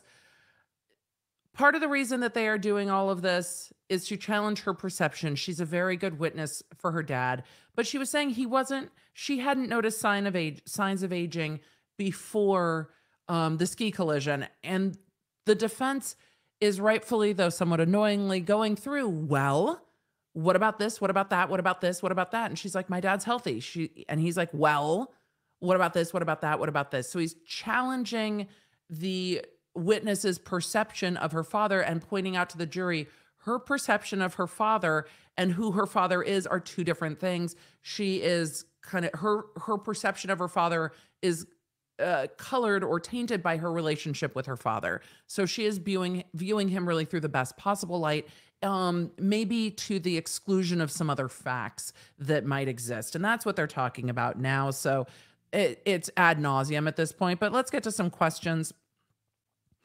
Emily, do you think he apologized because he wants her to come back? Maybe. Or maybe he realized that the jury thought it was off putting, or maybe his client scolded him and said the jury's going to like them. Um, Lindsay said, just hit me. She looks like actress Smell. Maura Tierney. I've heard, I've seen that in the chat quite a lot. Are they taking a break? Is Owens breaching HIPAA? No. Discussing these medical records records in open court is not a violation. Um, those medical records were provided, and it applies to medical providers, not to this witness or this lawyer. Those medical records were properly provided, and they're allowed to question them. Things that are allowed in courtrooms are often not allowed elsewhere. It's just like if you sign an NDA, you can still go to court and talk about things. The NDA All right, doesn't We'll stop take a short break. Thank you. All right. We're on break. Who saw that coming? Not me. It was very abrupt. Can we approach? And now we're on break. Let's stretch. Ugh. Let's answer some questions. Bop It said I had Peter, Paul, and Mary on my bingo card. Woodstock was 1969. Dad could have been a rocker. This lawyer's questions seem to be really degrading to the plaintiff. That's his job. Um, and Marissa, I appreciate the comment, and I bring it up not to disagree with you. I bring it up so that we can talk about what's expected in court. Court is a adversarial process where the parties go about tearing into one another and blaming each other for what happened. That happens in criminal cases, that happens in civil cases. It is an adversarial process. Sometimes the adversarialness feels really uncomfortable when we're watching it happen in real time. That is a central feature of the process. This lawyer's questions seem to be really degrading to the plaintiff. Yes, dude is a doctor who specialized in eyeballs. That doesn't mean not having an MD behind his name matters. He has other letters. Yes, and what they are going to do is continue to clarify. It's why they gave Dr. Curry such a hard time about not being board certified. And we're all like, who cares? She's obviously qualified. They think it might matter to some of the lawyers or some of the jurors. Lauren said, I went to the link and it's a pic and comments. I posted them on Twitter. We'll DM you. So the link is still active? The fuck? Hold on. So the link, the link is still active. How can the link be active? All we've heard in court is the link is not active. Lauren, I will go look for that on Twitter if you tagged me on it. My my Twitter gets quite busy, so I know I don't see everything, but I will go look for it um for sure. So let me go look. If you'll DM it to me, it might make it a little easier for me to find. If you already DM'd it for me, I'll go look in there because that is curious. Um, let's see. Cuz I get tagged uh quite substantially throughout the day and things get buried on the tweet tweets on the street streets. So, I will go look in a moment. Um, let's see. Emily, you should host a show where influencers and pop culture personalities can argue with their grievances with each other, but in a mock court format. I know we should do like influencer mediation. Um, that's not as catchy as like influencer court, but yes, I, I'm happy to. Pop culture is where I live. Um, Andy Cohen, call me. I want to come to the VPR. The VP, I know it's filming today. Did you guys see that it's filming today? The Vanderpumps reunion is filming today with two different cast setups so they can talk to everybody despite the restraining order. Um, Poison Elf said, Who chose to try this case on live video? I have no idea. Did uh Gwyneth think she could get her own spin on the media popular side? I don't know. If so, she's failing miserably. I think I feel the frostbite through the monitor. I don't know who decided to do it. I don't know how that all went down. There's a lot of stuff in this case that's not easy to get to um records wise. Let's see. How can Jenny be subpoenaed? Can't type sorry and still not be present just to do with different states. Jana, what we heard later is that uh it was an illegal subpoena. So it seems that she is not properly subpoenaed, and that's part of the issue. Question Why can Jenny refuse to show up? Can people do that? If they're not properly subpoenaed, yes, they can, because make me. That's why, right? How do you make someone show up if they're not properly subpoenaed? There's no authority to do that. And I imagine if she's, I speculate, just if she has sought the advice of counsel, that somebody would have let her know if that is a proper subpoena that can be enforced or not. You can try to subpoena people, and if they want to show up, they can, but you can't force them to show up if they're not properly subpoenaed with the authority of court because it's not a proper subpoena. Not legal advice, just practical speculation on how that might be working. Lorianne or Lorraine, probably Lorraine, your glasses are feisty and I love them. If they only have to prove who is guilty, why is the lawyer saying it's not fair that witnesses are saying his life changed? First, okay, a couple things. First, we are in a civil case looking for liability. So that's not being picky. I'm just trying to explain so we're all on the same page because as we watch future trials, all of you will be like, no, well, actually, I know the thing. So, first, they are trying to find liability. But once you find liability, you have to find damages. So, when it comes to negligence, the things that you are looking for are a duty, a breach of duty that causes the thing, and then damages. Damages are an element of the negligence. Now, the plaintiff has to have been injured in some way. They are showing the plaintiff was injured. That damages discussion is in the elements of negligence, but there is another damages discussion which goes to how much damage. So there are two damages discussions here that we are potentially dealing with. Hopefully that helps. Um, Temp said three daughters, three million, and the father in bad health and mental capacity. Anyone else getting incentive? And that's what that's what Paltrow is going to argue, or Paltrow's attorneys are going to argue. That's exactly what they're going to argue is that this is motivated by money and a desire to be the center of attention. I wrote that exact comment before. Are they watching? Christina, I'm not sure what that was referring to, but who knows? Uh, St. Elmo's Fire asked question, why didn't Paltrow settle? I'm new to the case and we'll catch up tonight. We don't know why Paltrow didn't settle, but not all cases settle. This plaintiff might not have wanted to settle, and Paltrow might say, I'm not in the wrong. Why would I settle? Because once you settle, even though it shouldn't be the case, when somebody settles, what do you think? Chat, when somebody settles, what do you think? Do you think, oh, they must not have done anything wrong and they just don't want to deal with the hassle of it? Is that your first thought? Chad, is it? Is that your first thought? Or when somebody settles, do you look at it and go, huh, what'd you do? What'd you do that you have to settle? Right? Isn't that the assumption? Isn't it the assumption that they're admitting guilt when they settle? So they're admitting wrongdoing, right? So I think when people settle, you think that they are trying to hush up the truth. They are trying to um, assuage their own guilt. And so I think a settlement's a lose situation if Paltrow's like, no, I didn't do this. Right? Sometimes a settlement might truly be for the purposes of just keeping it out of the public eye, but people are going to assume that that means that you did it. So that's the problem with settlement. Speaking of you did it, Chat, do you know what you haven't done yet? You haven't, we haven't subscribed, everybody. There are almost 18,000 of you watching. Um, so if you haven't hit that subscribe, subscribe, join the chat. Uh, come on in, the water's nice. This is what we do here. Emily, who are the observers in the courtroom? Journos, friends, family, general public, any and all of the above. I have no idea. Um, it's open court. Anyone is welcome to come in. It doesn't seem like this. There's a line. I imagine tomorrow court will be quite busy. We expect Gwyneth Paltrow to testify tomorrow, but it is 2:45. Court goes to five, so they don't have a lot of time, and they're supposed to put the uh, plaintiff on the stand. I don't know if we'll get to Paltrow tomorrow. It might get pushed till Monday. So we are seeing um, we are seeing this push a little bit more quickly. Soph H, loved seeing you on Lorraine this morning. Love from the UK. It was very much the middle of the night here in Middle Tennessee. I loved being on this morning. Can I tell you, chat? It's just us friends here. The way I almost fell over when the guest before me this morning was Eddie Izzard. um, who is also now going by Suzy. I was just I I logged in, and so I'm kind of backstage to to the Lorraine show, just watching their conversation. I was like, I can't believe this is my life right now. I mean, it is four o'clock in the morning, but I can't believe this is my life right now.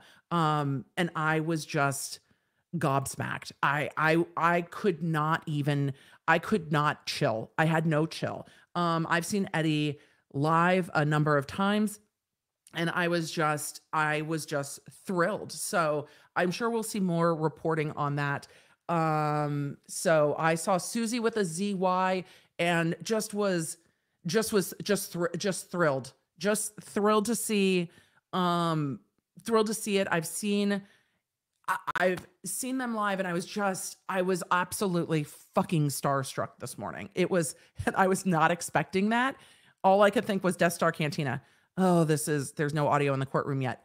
But I, I was just, I fangirl, I fangirl fellow, fangirl fell over Okay. this morning and? I thought it was incredible. So thank you. And I saw so many law nerds from the UK saying, "Oh my God, I saw you! I saw you." Um, so I don't know if that'll be on YouTube. If my clip will be shared by their show on YouTube. If it is, law nerds, send it to me, and we'll talk about it more. Um, we'll talk about it more another time. If you guys want to hear kind of the backstage of those types of experiences when I'm on TV, um, let me know.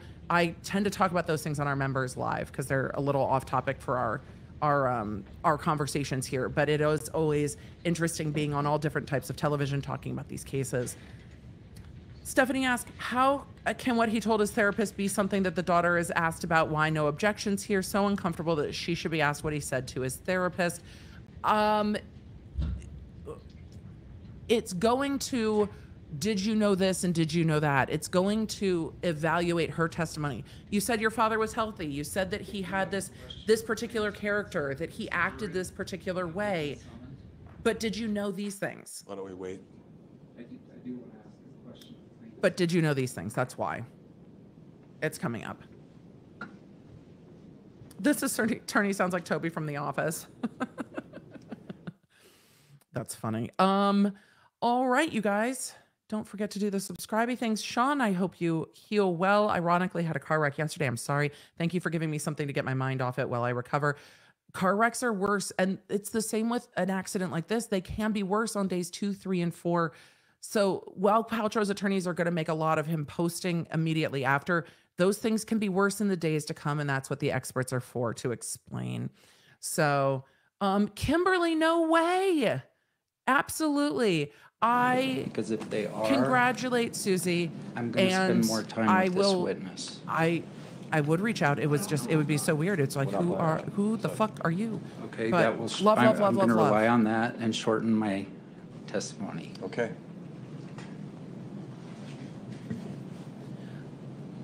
All right, we're gonna get to a few more questions. Um, if you type in the exact link to Google, it sends you to a picture of Whitney they just showed two seconds ago, the toboggan girl. Interesting. Okay, thank you for clarifying. So the link is. I will be substantially unthrilled if the link is still there. Like, really not thrilled. Really not thrilled. Not thrilled at all. So. Um, his assistants should have should have a, a subpoena all done by now and ready to hand it to her before she leaves off the stand. What's the issue? I don't know. And he's got a lot of lawyers in court. Somebody can type up a subpoena real quick. It's not that hard. Question, Emily, why don't they use the daughter's Thank depot you. if she doesn't want to come? Mr. Owens, you may proceed. They'll have to establish that she's unavailable to use it, and they'll have to deal with that.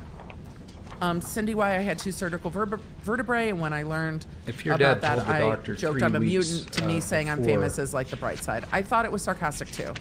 The ski collision, I thought it was too. that he was preoccupied with paperwork and cleaning things out and not doing things he enjoyed doing that he used to do. Uh, Do you He's know any, do you have any insights on that? I do not. Did you personally observe it? I did not. And how, how long had it been since you saw your dad prior? We said three months after the ski collision, but I'm not sure I asked you. How many months prior had you seen him?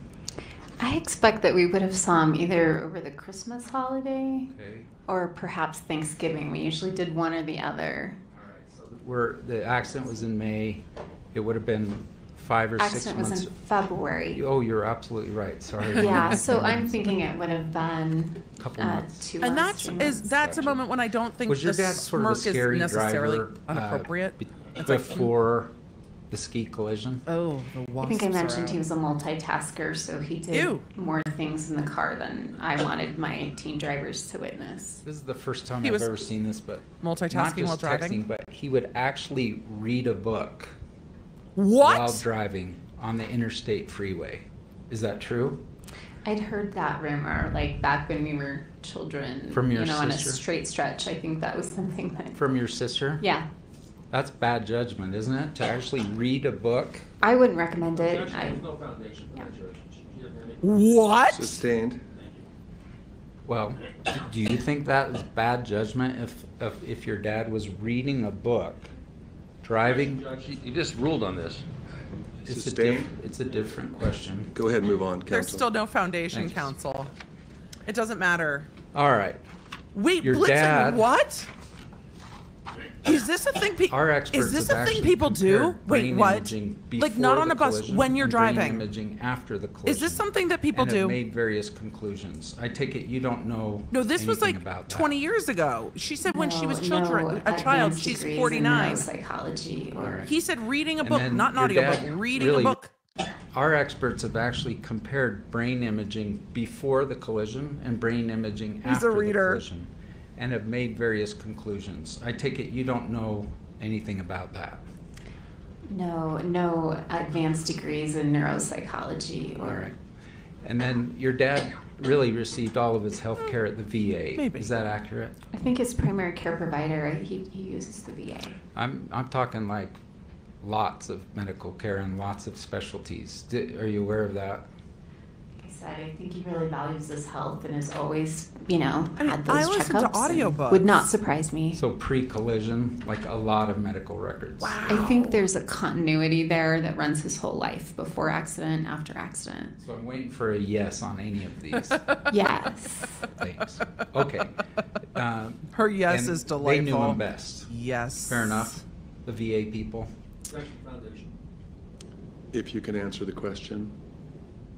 I think it depends on if you have longevity with your primary care provider. And sometimes with the VA, there's a lot of turnaround. They don't always stay a long time. Do you know that he actually did have a long-term relationship with his primary care provider? Reading while driving, if you're before the one driving, should be illegal everywhere. I don't know whether he did or not. I would be hopeful that he Margaret, did. Margaret Rasmussen, do you know that name? Maybe I'm misstating it. Never mind, don't worry. Okay, then, so Thanks for the commentary, Does this counsel. surprise you that your dad would go to the VA people and say, hmm, I want to be checked out. I want my thinking to be checked out. Did you ever hear him do that? That- No, I that- did not. I've definitely seen people do makeup while that. driving. That's I get car sick. I can't do shit while driving. I except was not drive. aware. I do know that he had follow-ups and healthcare visits, yes. Did he ever tell you that he had had three neuropsych ex- assessments at the VA through his current treating providers? Pre-collision? No, I, I did, did Oh not God, mean to switch on you, thank Okay. you. That's a good clarification. So, like, one month after, good. one year after, one and three months after, that kind of thing. I, I knew that he was having follow-ups because he was really worried about his mental state. So I don't, again, I haven't seen the medical records, but I that have a feeling seems, the driving while if that's what reading his is medical going to come record up more. says. And that She all- did say he was a multitasker that made her uncomfortable. Or anyone uncomfortable. else, that they, they were all uh, average to above, above average in like 20 different categories. He did not share the response with me. I know he was doing a lot of work towards it, right? This is the boat I'm in. Cognitive work. I need things to be read to me. So you knew he was getting these assessments, but I've weren't made you saying, myself hey, motion sick Dad, looking at my what are they map, trying saying? to find the road I'm supposed Didn't to you turn do on. that? I don't think I asked for medical, you know, information more about how are you doing? Do things feel less foggy for you? Are you I'm more, more? I'm. You're doing it. I'm proud of you. Keep doing the work. Keep following up. You can listen to podcasts while Post-collision driving. Travel. All right, so he would visit Listening's fine. US states like Washington, Oregon. Reading a novel, not Montana. Montana, fun. Idaho. Do you recall all of those? My car drives sisters itself, live but I those can't let it states. drive I do, itself because so it makes yeah, me I would car say he sick. Did travel there. And then, in addition, he went to Peru and walked the Golden Trail. True?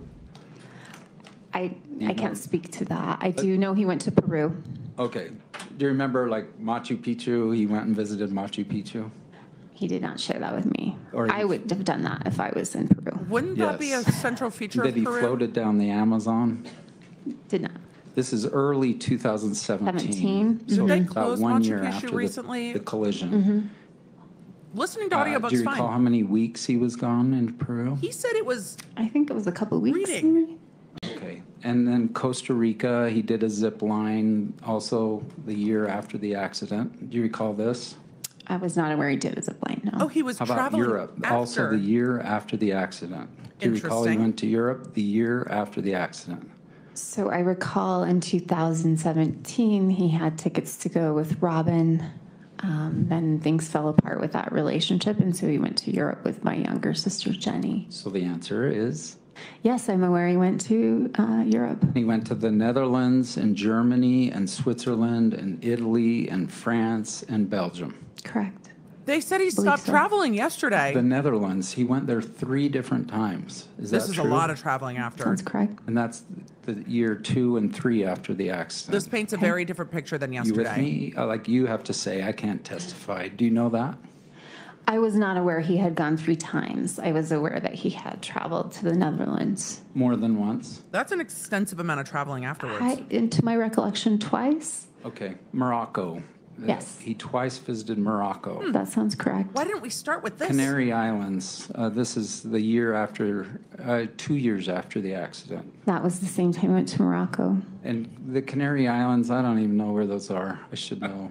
If they're not on a risk board, I don't know my geography. Do you know where it is? I, I would have to look at a map or an atlas as well. Okay. Thailand. He visited Thailand three years after the accident. That's a lot Yeah, of travel with to friend get Boyd. to Thailand. And each of these times, he'd take pictures and post them with him smiling at all these great tourist spots. Do you agree? As Huh. you do. Yes. Yes. She said, Big- as you big do. smiles in front of a Buddhist temple, for instance, right? Yeah, we don't tend to post pictures of ourselves sad and and in closets. No, we don't. We tend to. The answer is yes. Yes. Like Eiffel Tower, Huh. uh, This is a very different picture than Italy, yesterday. the coast.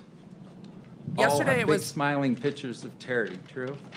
Yesterday, the I haven't picture seen was. a lot of those photos that you're talking about. I think You're not there friends with were dad on quite a bit of Facebook? photos before the accident too. I I would want to make sure you could separate pre-accident, post-accident pictures. Right, and you defer to your dad on that, right? If I asked him like, does this state look right? And he says yes, I mean, he'd be Yeah. the guy. Possibly. yesterday, the doctors were like, he is, he is kind of home, So stuck is at it fair to home, say and his- His travels not did traveling not anymore. suffer as a result of the ski. that's what they said yesterday. This is Lo- Yes, you could say his travel companions might have suffered. wow, that's different.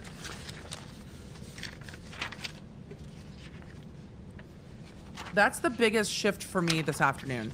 We'll hear more of this, of course, when the plaintiff testifies, but that's the biggest shift from this afternoon. It's a very different picture than the Uh, One painted. clarification, Carlene, is that our, that's our girlfriend?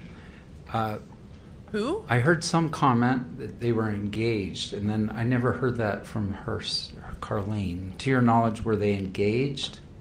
I never heard that word or fiance used. I think that was their intent and plan, but And then on the prostate cancer, I heard the word cured from plaintiff's counsel, but I actually never heard it from a witness. Do, do you uh, know it that? sounded in like he fact, said our dad, girlfriend. uh, it is did. cured? That's what I it sounded like to me too. to It was weird. It did, right? It been sounded like he said kind, thank our you. girlfriend. Thank you, Mr. Owens. Mr. Sykes? Oh, sweet Jesus, it's done. Hey, one second. We're playing off the cross. We're gonna do a pickle fluff. He did say our girlfriend. It was the royal our girlfriend. Sir, you're gonna make. Oh, sir, our girlfriend does not work. It's not going to work. They didn't follow up on the GoPro much, and Mr. that really Owens. annoys me.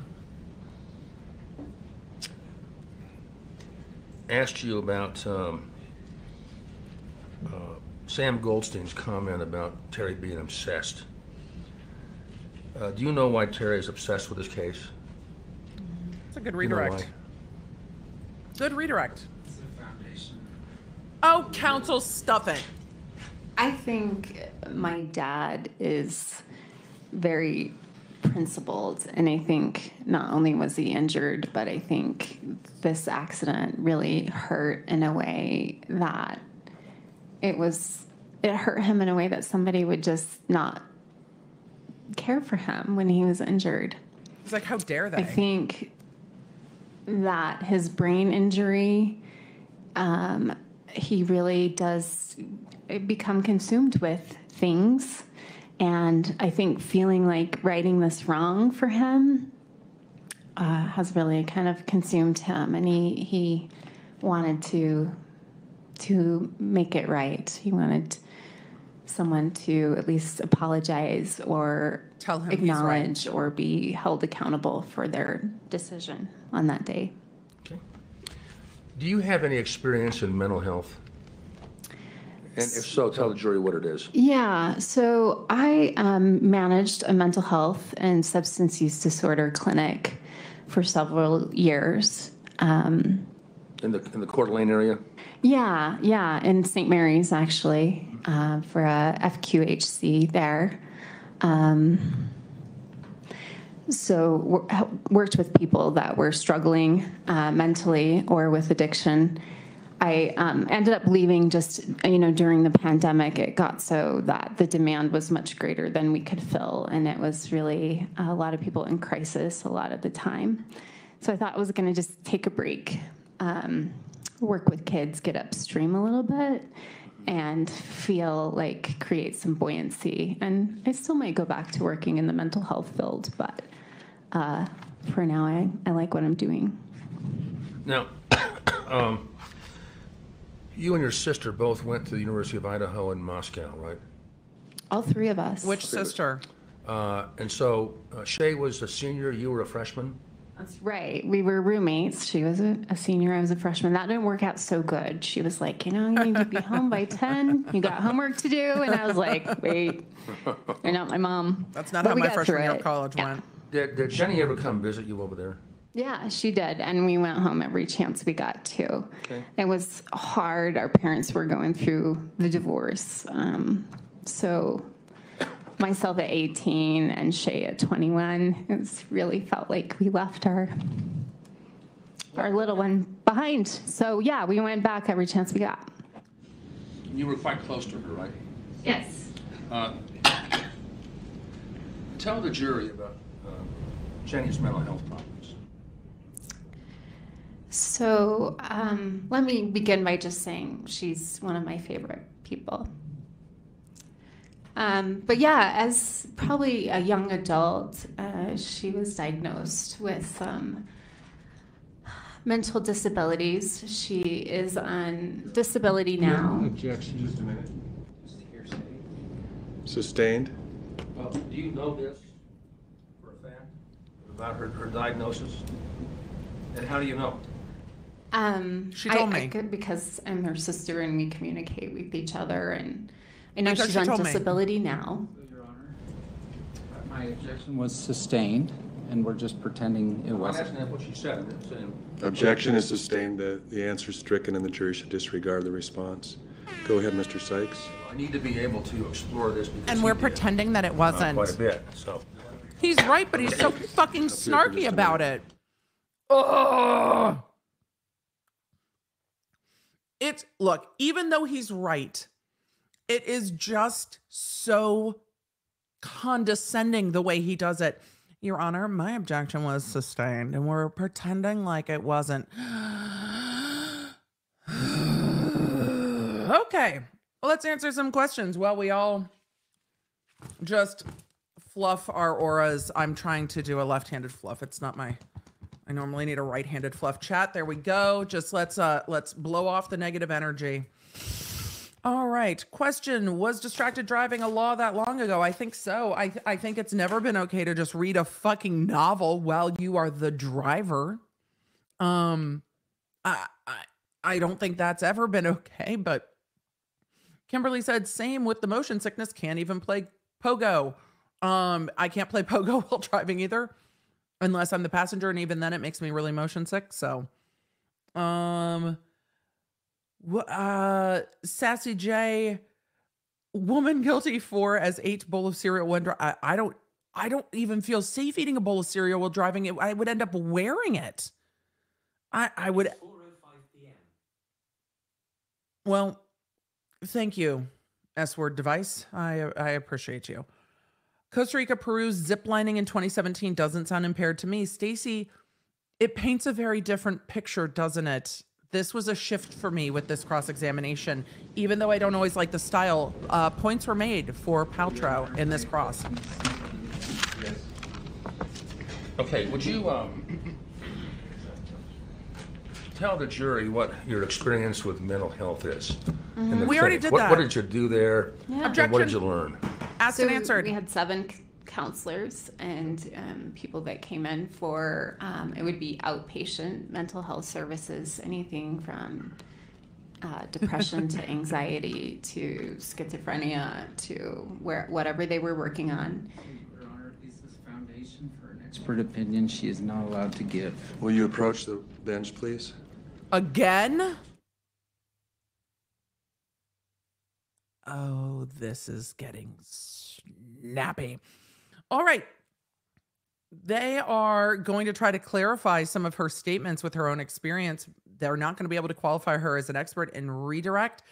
Um, the judge is not going to be happy pulling all of them up. It is three o'clock. Is Utah Mountain Standard Time? I don't know. Hey, hey, what time zone is Utah in?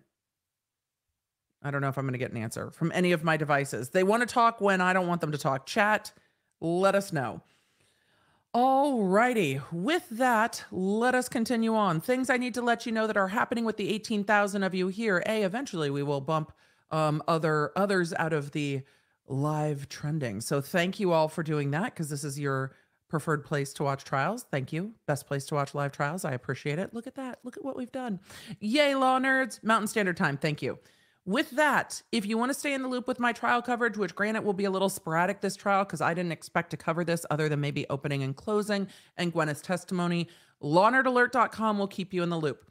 When you sign up for lawnerdalert.com, go look for the welcome email. It comes from at emilydbaker.com and go ahead and make sure that your email service knows that that's not spam. Open that email. If you don't open the welcome email, sometimes your email will think that it is it is spam. Mountain Daylight Time. That's right. We're not on standard time. We're MDT.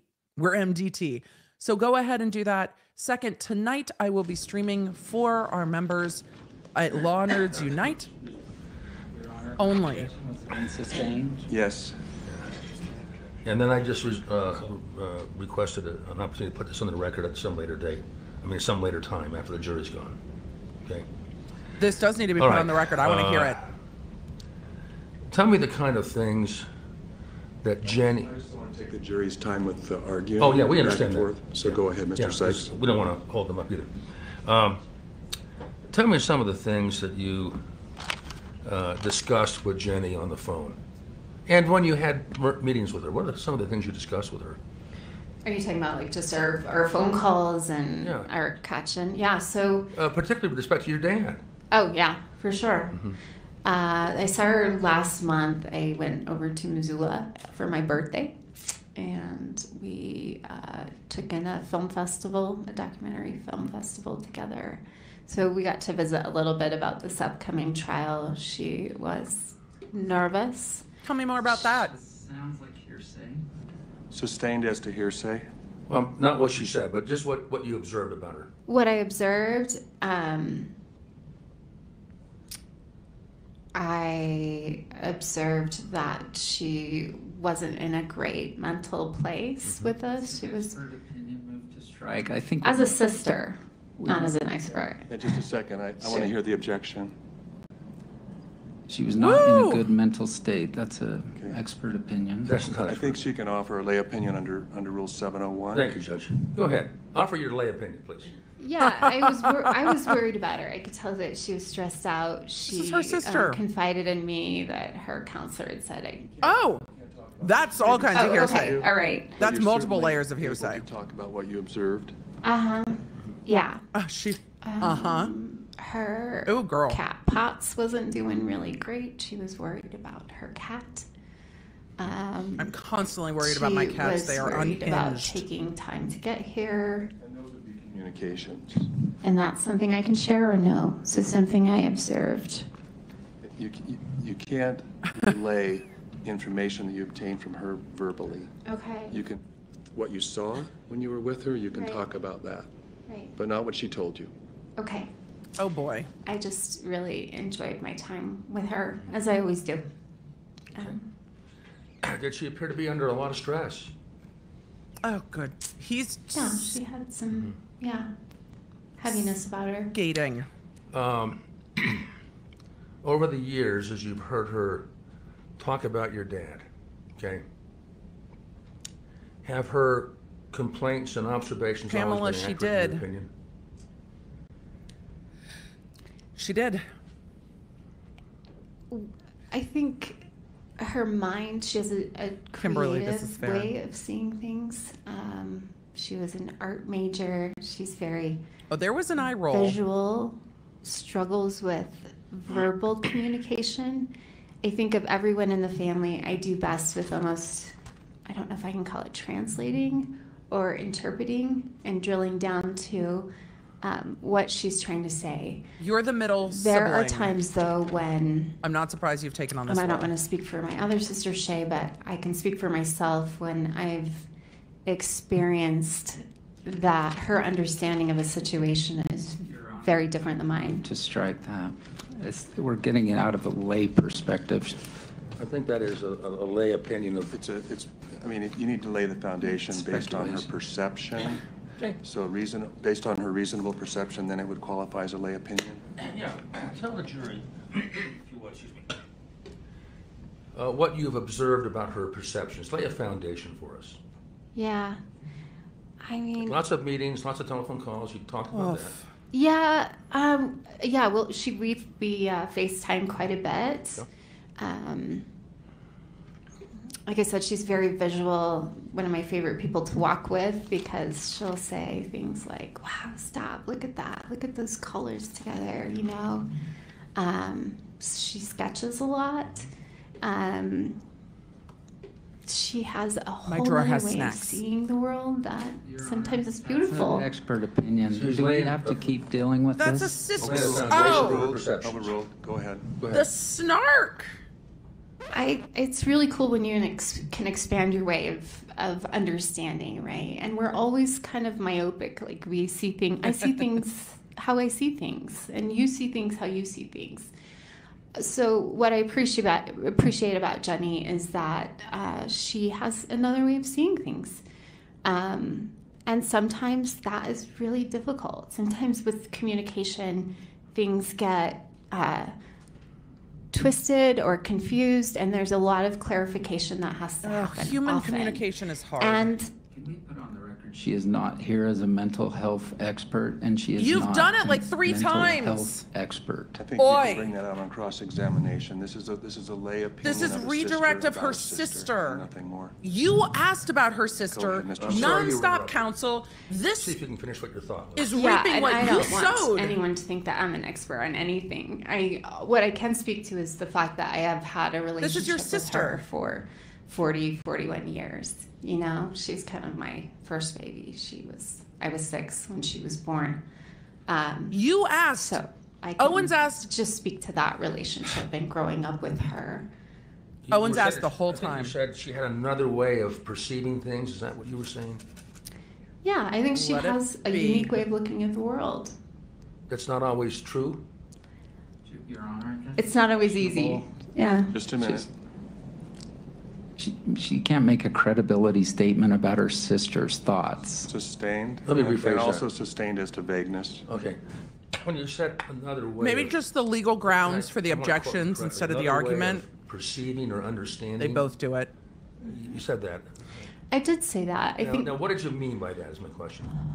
It kind of comes back to Mr. Owens when I spoke with him earlier, and he was saying, "So, are you telling the truth, or is she telling the truth?" And I had a hard time answering that because I can speak to my own experience, but I, I am not in her lived experience with her, um, who she is, and um, I, I have not lived her life and her experience.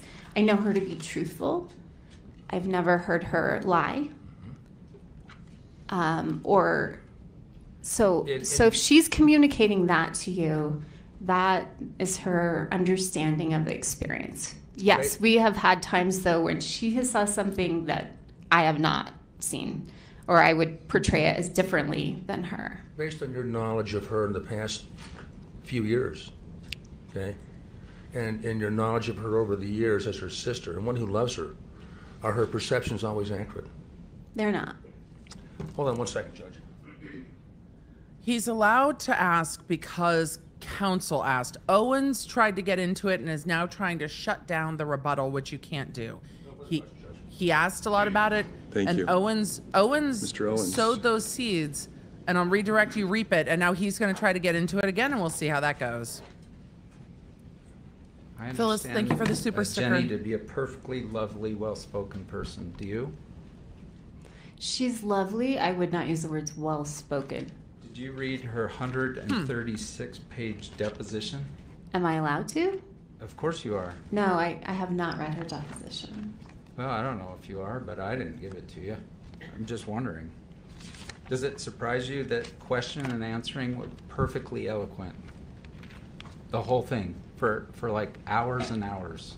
I object, Your Honor. There's no, she, she has no foundation to answer that question, and that's just a, a personal opinion. Sustained. Thank you. Does it surprise you that Jenny could talk eloquently for hours and hours? Right under the bus. Sustained, it sounds like counsel's testifying. Okay. she has a bachelor's degree, right? whoa it was hard fought but we got there Yes. Don't diminish her accomplishment. Yes, oh, good answer. Polly, you're going to start pissing me off. She. It was hard Uh, fought. So was mine. I mean, it sounds like I'm defending your sister. Everything here, I've you're done in school was So hard let's- fought. Let's kind of talk about it. no because i will Your Honor, that's improper. yeah It wasn't proper. Overruled.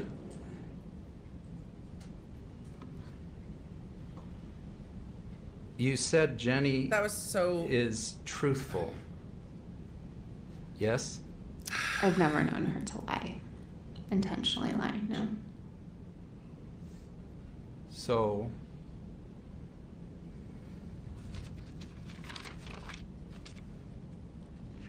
Huh. This is this is this is the best thing about the process of law that we have.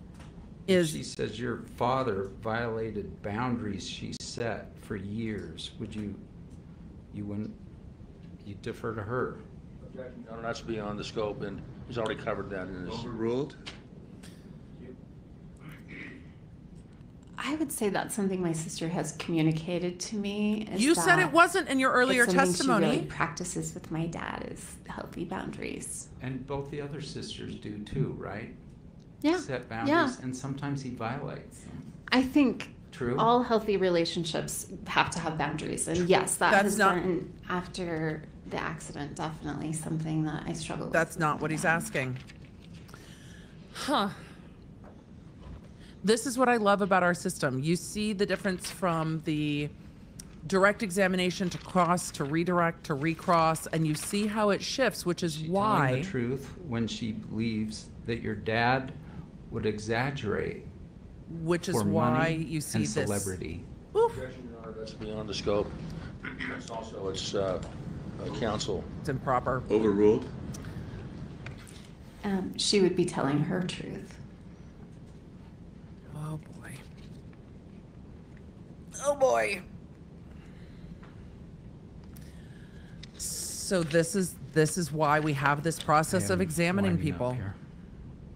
This is the middle sister.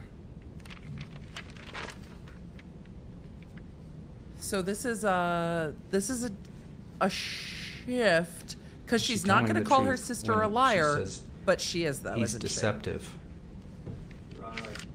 Objection, that's improper questioning. I think we covered this before also, didn't we? That's a new word. uh, Okay, overruled? I would say she's telling her truth. Is she telling her truth when she says, uh, Oh boy. I'm having a problem finding my quote on this. I apologize. Give me one second, please. This on the stand is Polly Sanderson, the plaintiff's daughter. They are talking about her younger sister, Jenny. The younger sister is He will get whatever monetary benefit he can in business, even So if that's it's what they're talking about. Objection, saying it's been gone through, That's not a it's quote, ir- but it is a summary. and it's totally irrelevant, it's improper questioning. Overruled? Shit. I'm, I have I, more I don't know that to be true. Uh, Again, this is Jenny's supposition.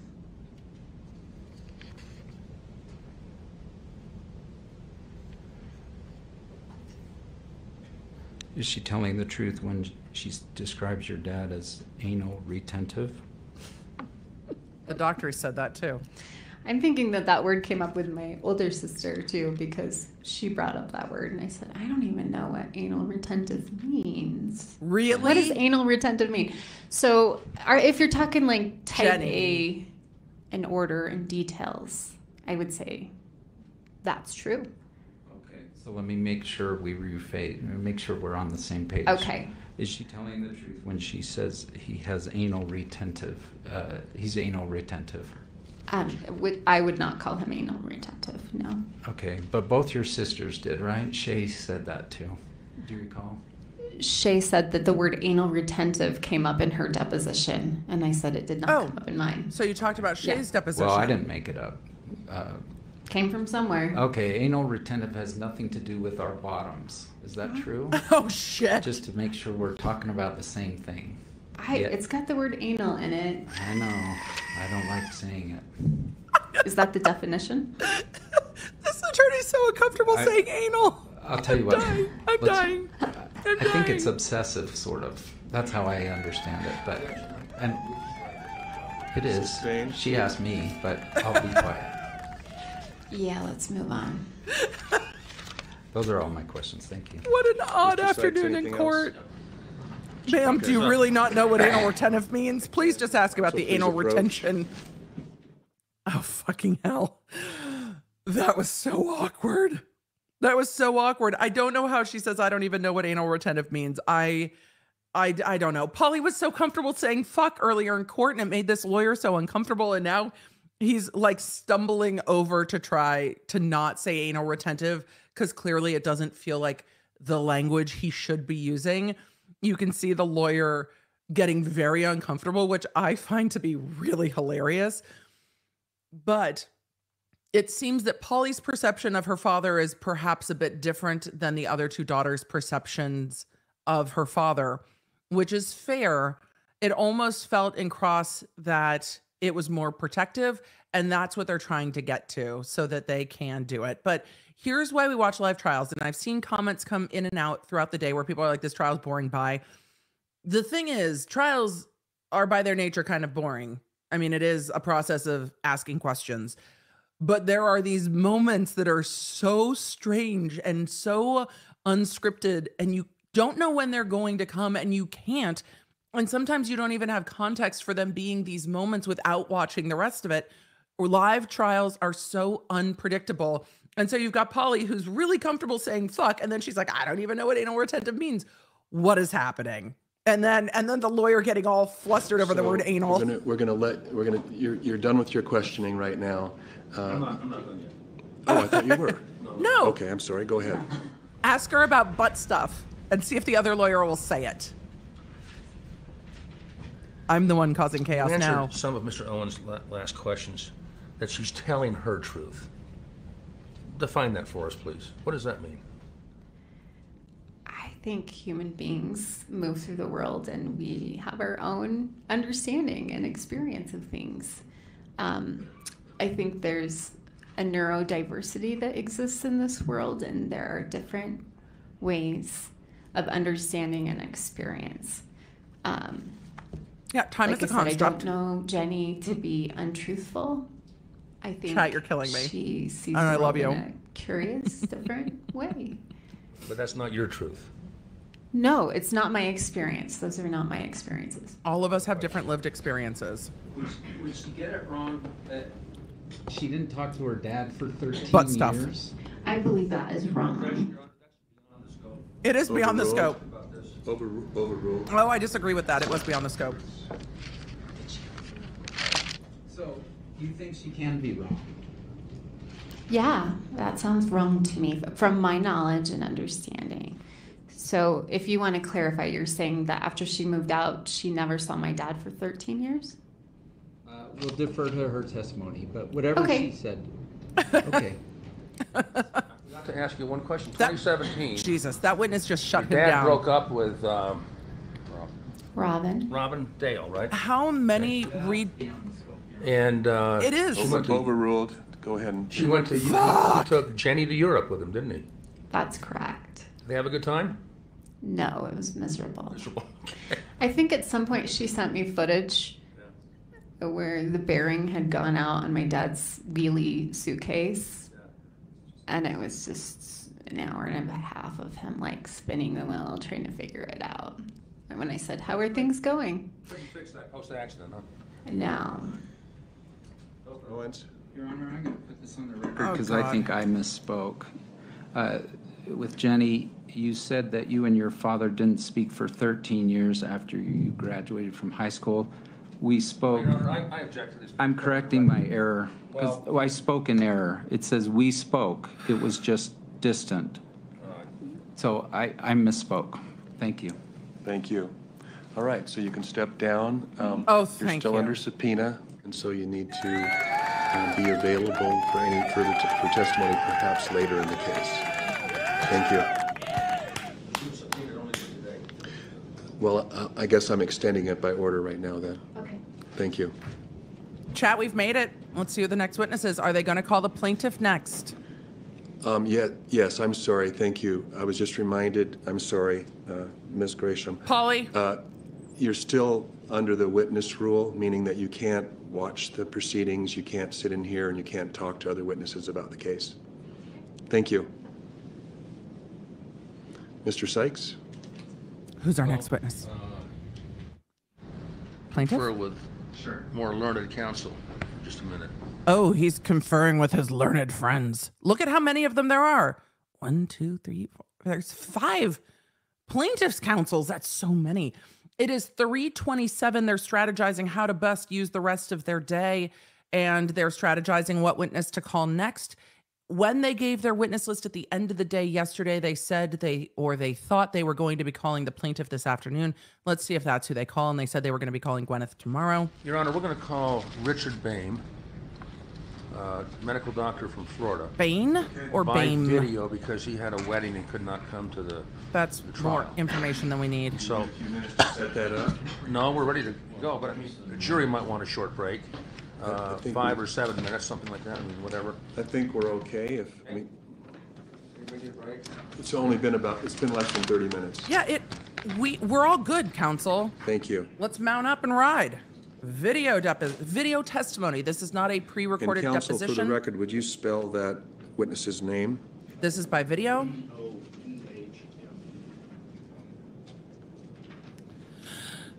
And that's an, that's an MD? MD, PhD, uh, biomedical engineer. Is he board thank certified? All right, this evening we will be doing a members only Q&A with um with Dr. B. That will be over at lawnerdsunite.com on our Patreon. So if you are members there, I will put the link up after I am done streaming here. I just saw Runkle pop in. Hello, Runkle. The court reporter is Rossann Morgan. We represent Depomax Merit, located in Salt Lake City, Utah. Oh, it's a de- it is a the depot. time Ah! indicated on the Ah! Zoom is The green screen. 11 What the? F- um, p.m. Mountain Time, oh uh, gosh. March 13th, 2023. That's not- I didn't. This is the case of Terry Ah, Sanderson that's- versus Gwyneth Paltrow.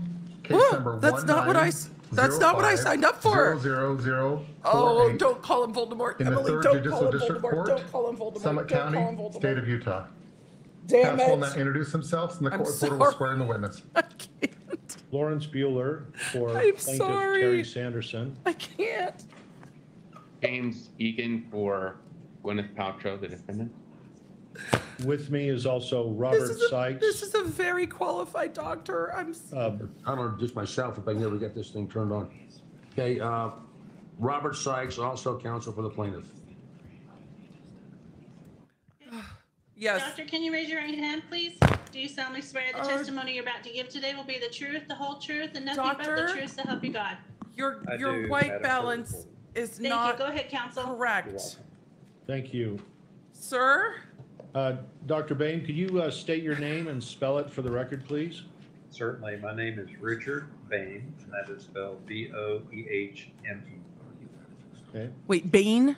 And I'd like to just Like get the some villain? uh, background and educational information. So He does have Um, a where Stanley were you Tucci born? vibe. Huntsville, Alabama. And uh, where did you grow up? Huntsville, Alabama. Huntsville's delightful. And uh, next, I'd like to hear about your education, starting with high school and then through universities, undergraduate, graduate, and postgraduate school. Thank you. I graduated from high school in Huntsville, Alabama, and uh, went into the Navy.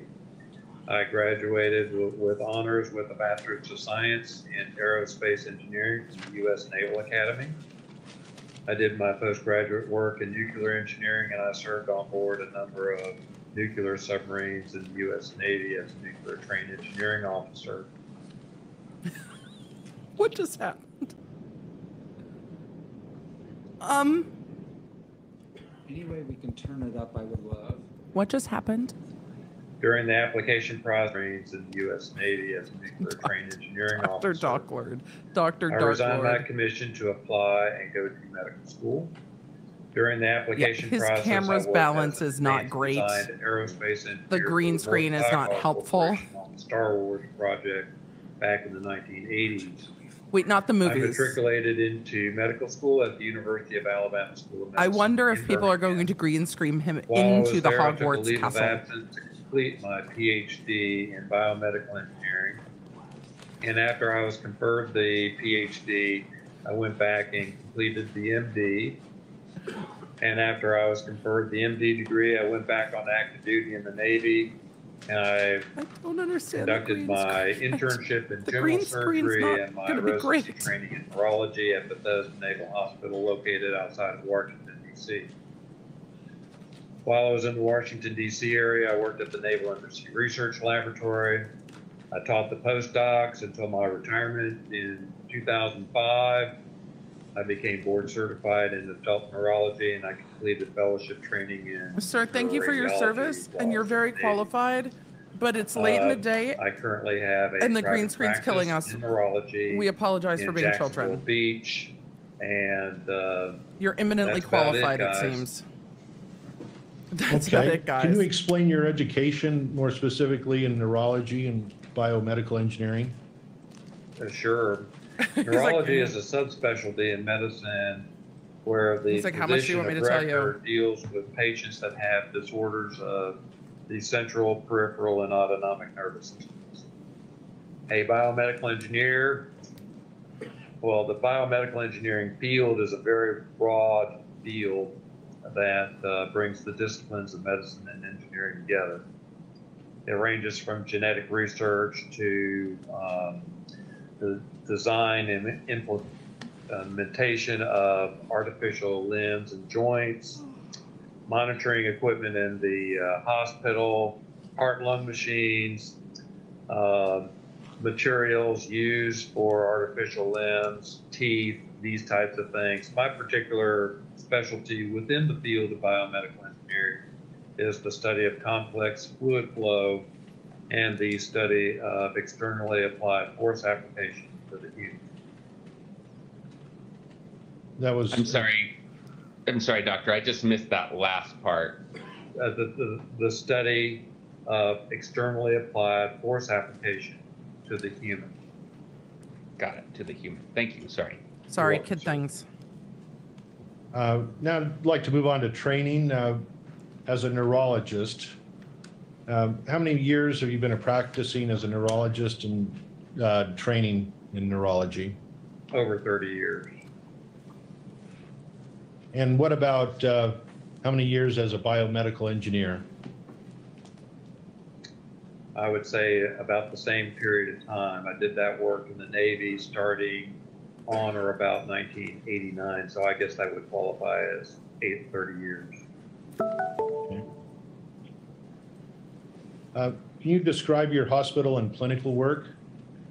Uh, sure, I have hospital privileges at the St. Vincent's and Baptist Health Systems here in Jacksonville, Florida, which comprises uh, five different hospitals. And then I have an out, primarily an outpatient clinic in neurology, and I see patients five days a week, Monday through Friday. Chat, y'all. I'm trying to not be And, uh, distracted, but I am. Patients comprise primarily of headache patients, trauma patients, patients with stroke, Alzheimer's, Parkinson's. I want to know what kind of camera he's on. Can we back the camera up just a just a little bit, just things. a little bit more, um, just a little more That's what I deal space. with on a daily basis. Oh, somebody's absolutely going to How make him many into Mac times have you headroom. testified in court as an expert witness? The limit does Uh, not exist. A lot, I would say over, well, in the private sector, it's over hundred times. The limit Uh, does when not I was in exist. The limit does not exist. Testify on behalf of the government, i.e. the Navy, um, at different uh, tribunals and that type of stuff. And I, I don't know the number of that, probably less than fifty.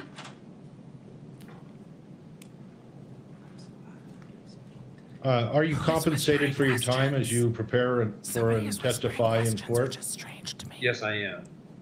Why are we whispering questions? what types of cases uh, in the private sector do you testify? Well, I uh, get involved in uh, what we refer to as personal injury cases, i.e. patients that have some type of medical malady as a result of an externally applied force application to some A part of medical their malady body. as a result of externally applied force is the most doctor way to say that shit ever. An injury due to a fall. Okay. uh, Does that include uh, head trauma? Uh, yes, it does. And also to be complete, every so often now that I'm retired from the Navy, I do get a government pay from time to time. I would say maybe once per year. Okay. I'd like to move to your professional specialties and interests. Other than what you've described, are there any other things like patients or uh, brain injuries in general or concussion victims that uh, um, you have specialties or interests in? Well, I see patients that have uh, closed head trauma, uh, that have uh, concussion, concussion symptoms ongoing, if you will. Uh, So I hope that answered your question. And that is uh, how it's done by a neurologist, correct? Well, yes, I mean, some, uh, some uh, neurologists uh, uh, elect to specialize their clinic in certain disorders, uh, if you will, but uh, I don't. I'm more of a general neurologist, so in addition to the trauma patients, I see the other patients that I've already described. Okay. Um, What about your professional specialties in biomedical engineering? Anything else that uh, you can tell us? Well, I did that work in the Navy, and then when I came into the private sector, I got involved in in the three types of cases. Well, actually, the two: personal injury and product liability. Medical malpractice deals with just neurology, but uh, product liability cases, i.e., if uh, if a particular medical device fails for some reason, then I get called in to uh, assess why it did that, if it in fact did do that, if you will. And then, of course, the personal injury aspect of it. This would be one of those types of cases. Okay. uh, uh, So uh, you mentioned uh, personal injury. That would include closed head brain injury? Yes, and you know, spinal cord injuries, these types of things. Other anything that involves the nervous system, and keep in mind that we have nerves that go to all parts of our body. What is a closed head brain injury? Well, closed head injury just means that the I want him to pick up a brain. applied force to the head did not open up the head, i.e., you don't have an open, open skull fracture or anything like that. An example of an open head injury would be like a gunshot wound to the head. That would be an example of that. Um, Is that the same as a TBI or traumatic brain injury? Well, closed head trauma just describes an externally applied force application to the head. Now, what it does to the brain, if you have any type of dysfunction of brain activity after the force application, we refer to that as a traumatic brain injury. What is an MTBI? M just means mild, mild traumatic brain injury. And what about post-concussive syndrome? Post-concussion concussion syndrome is just a description of the whispering is weird. a group of symptoms that make up a syndrome. Post-concussion implies that there's been some type of externally applied force application to the head that results in some type of brain dysfunction. And in classic terms, a post-concussion or a concussion is in fact a mild traumatic brain injury. However, you need to qualify that whether or not the concussion is permanent or not. Most concussions, most people that have concussive-like symptomatology from a blow to the head, the most common of which is a headache, will resolve quickly over time.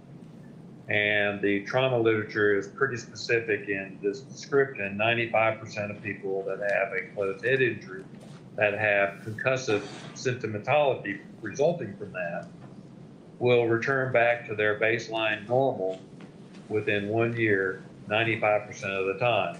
So that still leaves 5% of those that don't. Yeah, Laura, we So might live here the rest of the day today. Whether or not the concussion not or play the whole thing. symptomatology is permanent or not. No, we can't. We can't fast forward. I'm Okay, sorry. regarding the- live. Group that does not recover within a year, what are the problems that typically persist? And they didn't Well, move their volume down, so we Keep in can't mind see. that your brain is your whole being. So you can have any type of symptom. Objection. My brain is multiple function. beings at any given moment. Keep in mind that the study or the field of neurology was learned stroke by stroke. So to give you some examples, if you lost eyesight as a result of a blow to the head, that would be a brain injury because you lost your eyesight. You can have paralysis. You can have double vision. You can have vertigo or imbalance. You can have hearing loss. You can have disorders of mentation, such as memory loss, intermittent confusion. The most common symptom after a blow to the head. Deborah, now's a good time to, to mentally take a little break So for a snack. people will describe stretch. different types of headache syndrome This is as a result of blow to Um, the head. A recorded deposition. Okay, um, in your career, about how many adults of Terry's age have you treated or evaluated for brain injury? Terry was 69 at the time. Well, I, I don't keep track of that data. It's been uh, quite a few, I would imagine, over, over time. Our neurology group was the group that provided neurological services to our professional football team, the Jacksonville Jaguars, for a couple of years. So in the younger population, we saw it all the time. But in that football. particular age group, it's going to be less common uh, because the prevalence of closed head injury in, in elderly individuals is less, with the exception of Is that 'cause patients that have Parkinson's disease. Breaks. People with Parkinson's disease lose their ability to uh, control their center of gravity, so they have a tendency to fall. And also, they have a tendency of not being able to protect themselves when they fall, i.e., put their hands in front of their face. So we see a disproportionate amount of patients that have Parkinson's disease that end up falling, striking their head on the ground, and then having uh, any varying degree of brain injury as a as it relates to that. Ashley, fall. I agree. He's explaining it very well. The green actually hurts my Uh, eyes. We've asked you to review the case of plaintiff Terry Sanderson. Laura M. Lots. Uh, I'd like you to explain uh, what you have reviewed and relied on in this case.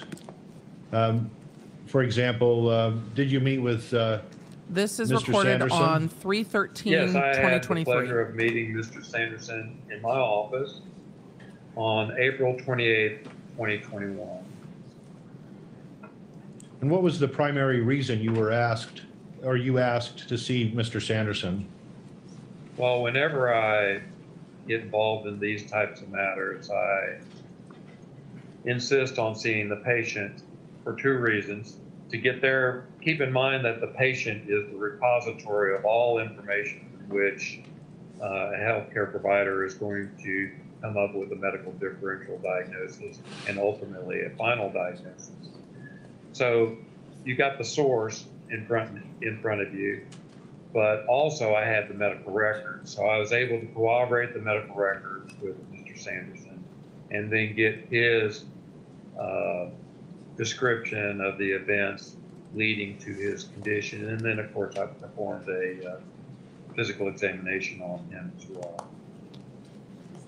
Okay. Um, What were the medical records, as you recall, that you reviewed in this case? Uh, They I said Terry was going to testify here. today. I don't think they'll get to it. to. Just looking at the time, it's Uh, 345. I have the uh, incident report from the actual event. So from Uh, 345 to 5, I don't think this video is going to be done. That's He's like an urgent from care Huntsville. facility. I have the Alabama. uh, VA medical records. Huntsville's cool. I really I enjoyed it. I have uh, imaging. Hadn't done there last year. You know, X-rays and a CT scan. Then I have Dr. Goldstein's. This is their uh, third records. Medical have, expert. It's a uh, lot of Dr. medical experts. Dr. Wendell's records, or Dr. Wendell Gibby's records, that is. Uh, Dr. Alana. MB, I think that's fair. Records. And then I have numerous uh, deposition uh, transcripts. He's in Florida now, but he's And from Huntsville, went to school in Huntsville, then went to DC, and is now in Florida. Ms. Grashan, uh, Grashan, Sanderson. So we're talking about where he is from. Davidson. Huntsville. And Smith. And then I have deposition testimony from uh, Mr. Sanderson, a Ms. Paltrow, and Eric Christensen, Sam Goldstein, and Dr. Fong. And so that, those are the uh, materials that I reviewed. Wait, there's a Huntsville in Ontario? I didn't know that. Uh, What do you recall about uh, Miss Carlene Davidson, the um, former girlfriend of Terry Sanderson? Well, that there was a significant change Fun, we in had Mr. fun. Sanderson as it relates to the incident uh, back in 2016. Uh, Some of these depositions or these witnesses, uh, we call them uh, before and after witnesses. Is that, is that your understanding? Yes, it is. Uh, What is the significance to you of the before and after This is a witnesses deposition. that are, uh, that you So reviewed in this case? All the attorneys are present. Well, present. there is a type It's of just over patient video, so that you cross-examine we see it commonly when in it's our being done practice in March. That may not give So us we'll hear the a cross-examination later. consistent or inconsistent history and may not have insight into their own problems. And Oh, the, the in-court microphones aren't like, muted. That's part of the issue. and So we're hearing the counsel So, talking at council table the a little healthcare provider has to rely upon That's the whispering I think we're picking up. history I, from close observers, uh, like a family member, a spouse, a coworker, to get the history. This is one of the problems that we have as neurologists, especially with patients that we're initially evaluating for Alzheimer's dementia. It is almost universal that it is a loved one or a close associate that brings that patient in for evaluation. where screen is actually starting to hurt my eyes. So if you see me not looking at the screen, that's why. that are seen by others. So witnesses can be exceedingly helpful in obtaining historical information on a patient. Uh, Does Dr., or does Terry Sanderson have Alzheimer's or dementia in your opinion? Good question. No. Good question. I want to hear more about that. Uh, Ask What more is about the that. importance of uh, uh, the- some of these before and after witnesses whose depositions you you reviewed uh, to your understanding of the problems? Well, Uh, if you, if you have an, a situation where there is brain dysfunction from a specific event, that i.e. there's a stepwise uh, decline in functioning, and it doesn't have to, you know, it's any type of functioning. The, the close observer is going to be in a position to be able to relate the change or the magnitude of the change in the symptoms in the patient at hand. Whereas the patient may not be able to express those changes to the healthcare provider. So before and after witnesses can be exceedingly helpful in those types of cases. And you understand Terry Sanderson was uh, involved in a ski crash. Today's snacks Correct. are That's pretzel correct. thins and So uh, do you Crackers. recall I had reviewing sandwich uh, crackers records that I was just by eating. and the deposition of uh, Whitney Smith, a ski patroller at Deer Valley? Yes, I do. the green is Uh, just We'll get to that later. I'd just like to go through the list of things that you like it reviewed. hurts my eyes in Sure. my eye, like in my eyes, if that makes sense. This is, Finally, uh, sir. next, can we go with uh, a nice, calming, like blue? Did you review some of the uh, the defense white balance expert is reports, just the reports that were produced brutal. by uh, the defendant Gwyneth Paltrow? I did see some correspondence relating to those reports, yes, and I reviewed those. Okay.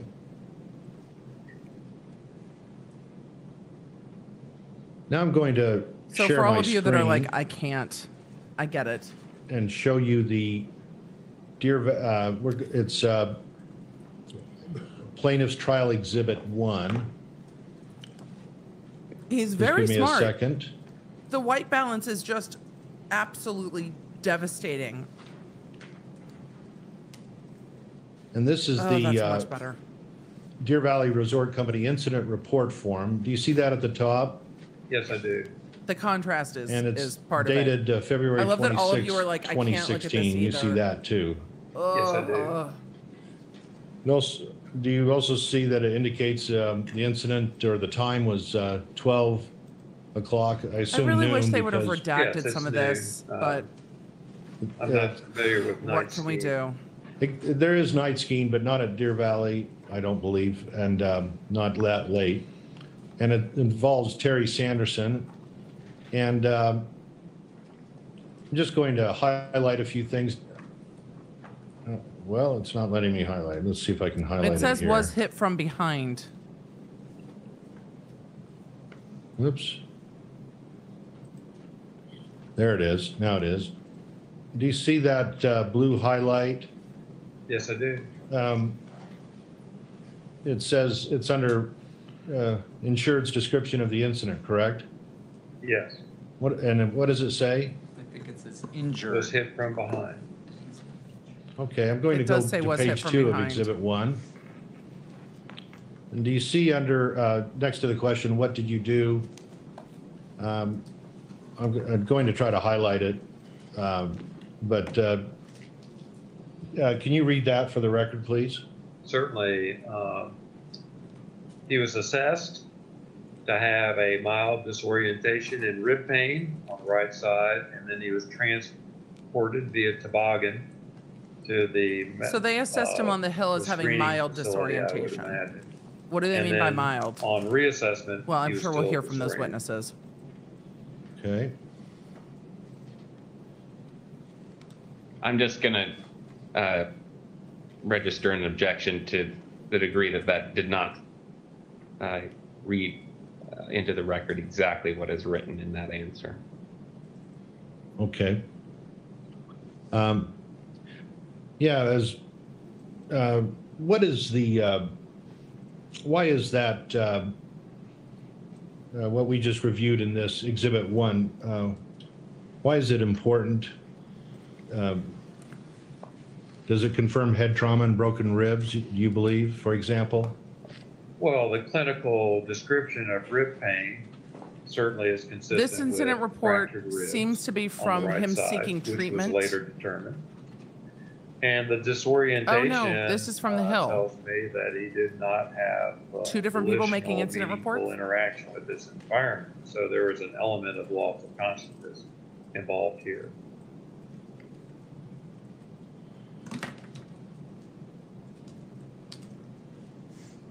And what is the significance of loss of consciousness? Well, a loss of consciousness is certainly dysfunction of the brain. I mean, obviously, people don't aren't on a ski slope unconscious unless something happens to them. So this is certainly an aberrancy of brain uh, function. Okay. Uh, Just to go through the exhibits uh, at the beginning instead of later, I'm I'm going to go through uh, another exhibit. Uh, This will be plaintiff's trial exhibit number four. I might have to just make it a little bit smaller uh, for a minute to give all of you the ease. You can hear and see him. Oh, now we're back. When we're back to documents, I'll pull those you up a little this, more. uh, These are exhibit four? progress notes. They're Yes, impossible to read for me. They're Okay, very uh, blurry, you- and the white balance I is. wouldn't mind uh, looking at that and uh, in particular, uh, uh, the Poor man is trying to read them while doing this uh, deposition. In blue. States he lost consciousness and ski patrol responded. Okay. Uh, What is the significance of uh, this report, which apparently Chat, we occurred are, the same day we are as once the again uh, the ski top crash? trial stream To on you, what live does this mean trending. in- so as an thank you. expert? Well, it's just documenting what happened to him. So he had a you know, loss getting beaten out by soccer, but and video games. Hmm? But the top trial stream on live trending. So thank you all. Haha. the law nerds. The law nerds have done it again. Like I said, I'm just going through these to. You can uh, go look for yourself if you're ever curious Make curious. sure you're familiar with them because I'd like to Under discuss Trending what Live they now. mean to your opinions or to, to uh, form your opinions. It's weird to listen to the, whis- the whispering. Next, I'm going to show you trial exhibit five. He does a look. He does look a little like Adam Waldman. Oh boy, that case should play. Uh, Do you see this? uh, These are exhibit? progress notes And from if you- August you- 17th, uh, 2016 please- uh, Please describe of it. Terry Sanderson. It's a progress note and uh, from the I'm- emergency department. I really wish they would have And the redacted some visit of was this. February 27th. This is a streamed trial. Um, And then uh, the. I'm making this small because they didn't redact it, and I think it's harder to read. Yesterday with positive LOC, which means loss of consciousness for approximately five minutes. He states he has a slight headache today and being more irritable.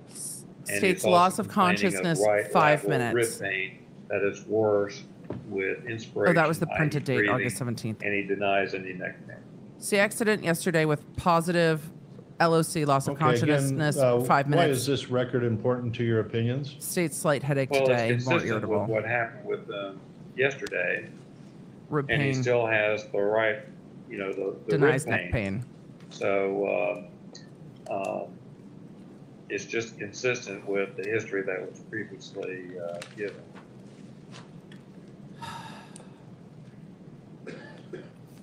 Yeah, I I really do wish they would have thought through redacting them. I might be um, I might be oversensitive to it just because I was a district attorney, so redacting things was like a huge and central part of what I did. but I think when you have medical records, they are going to include things through, like uh, uh, personal identifying information.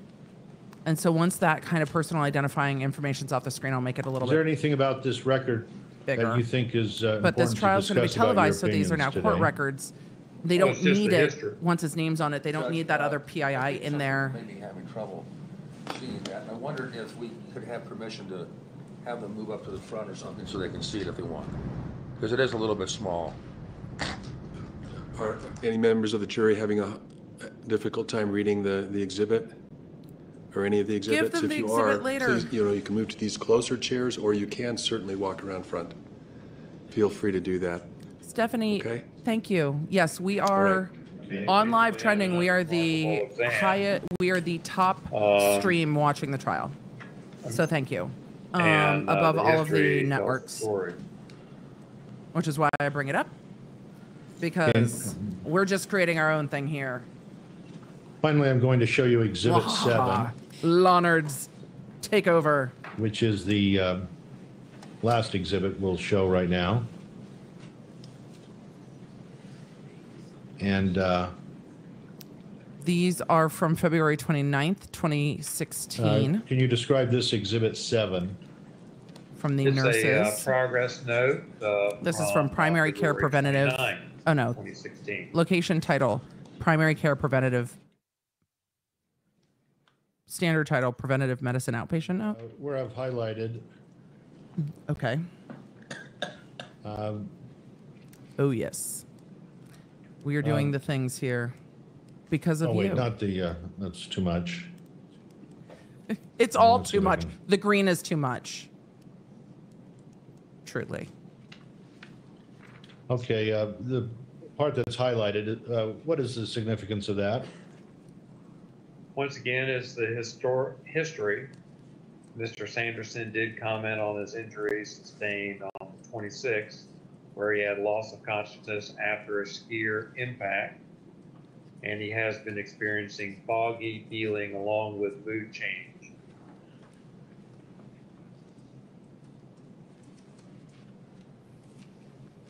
Yeah, I believe this record, well, um, I don't trust their scrolling.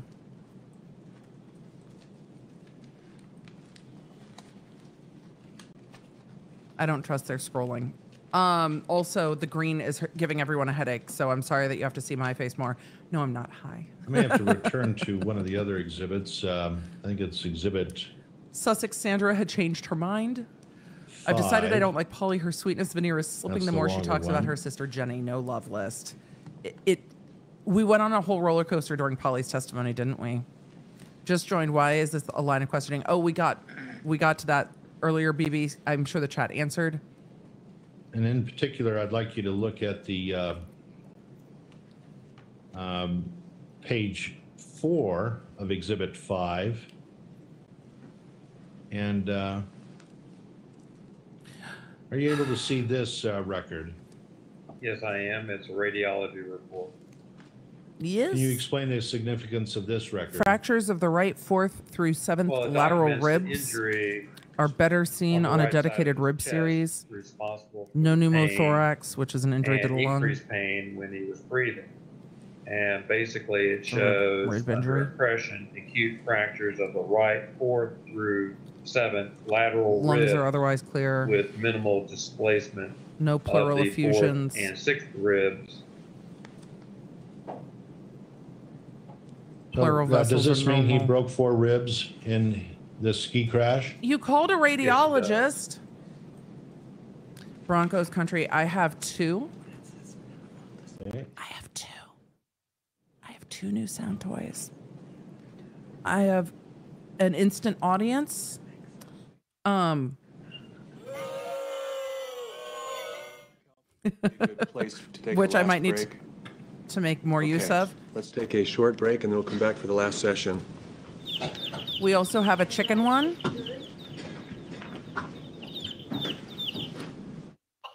So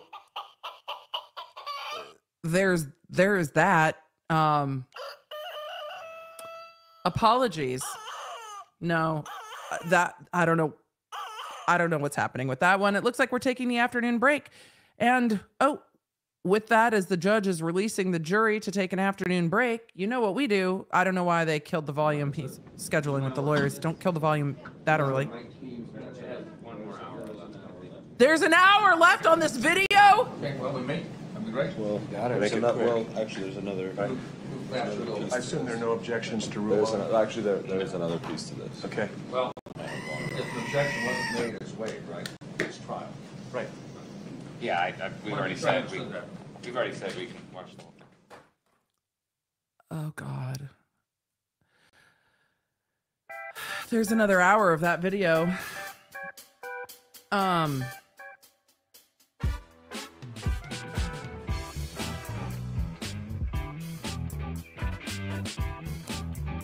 Okay.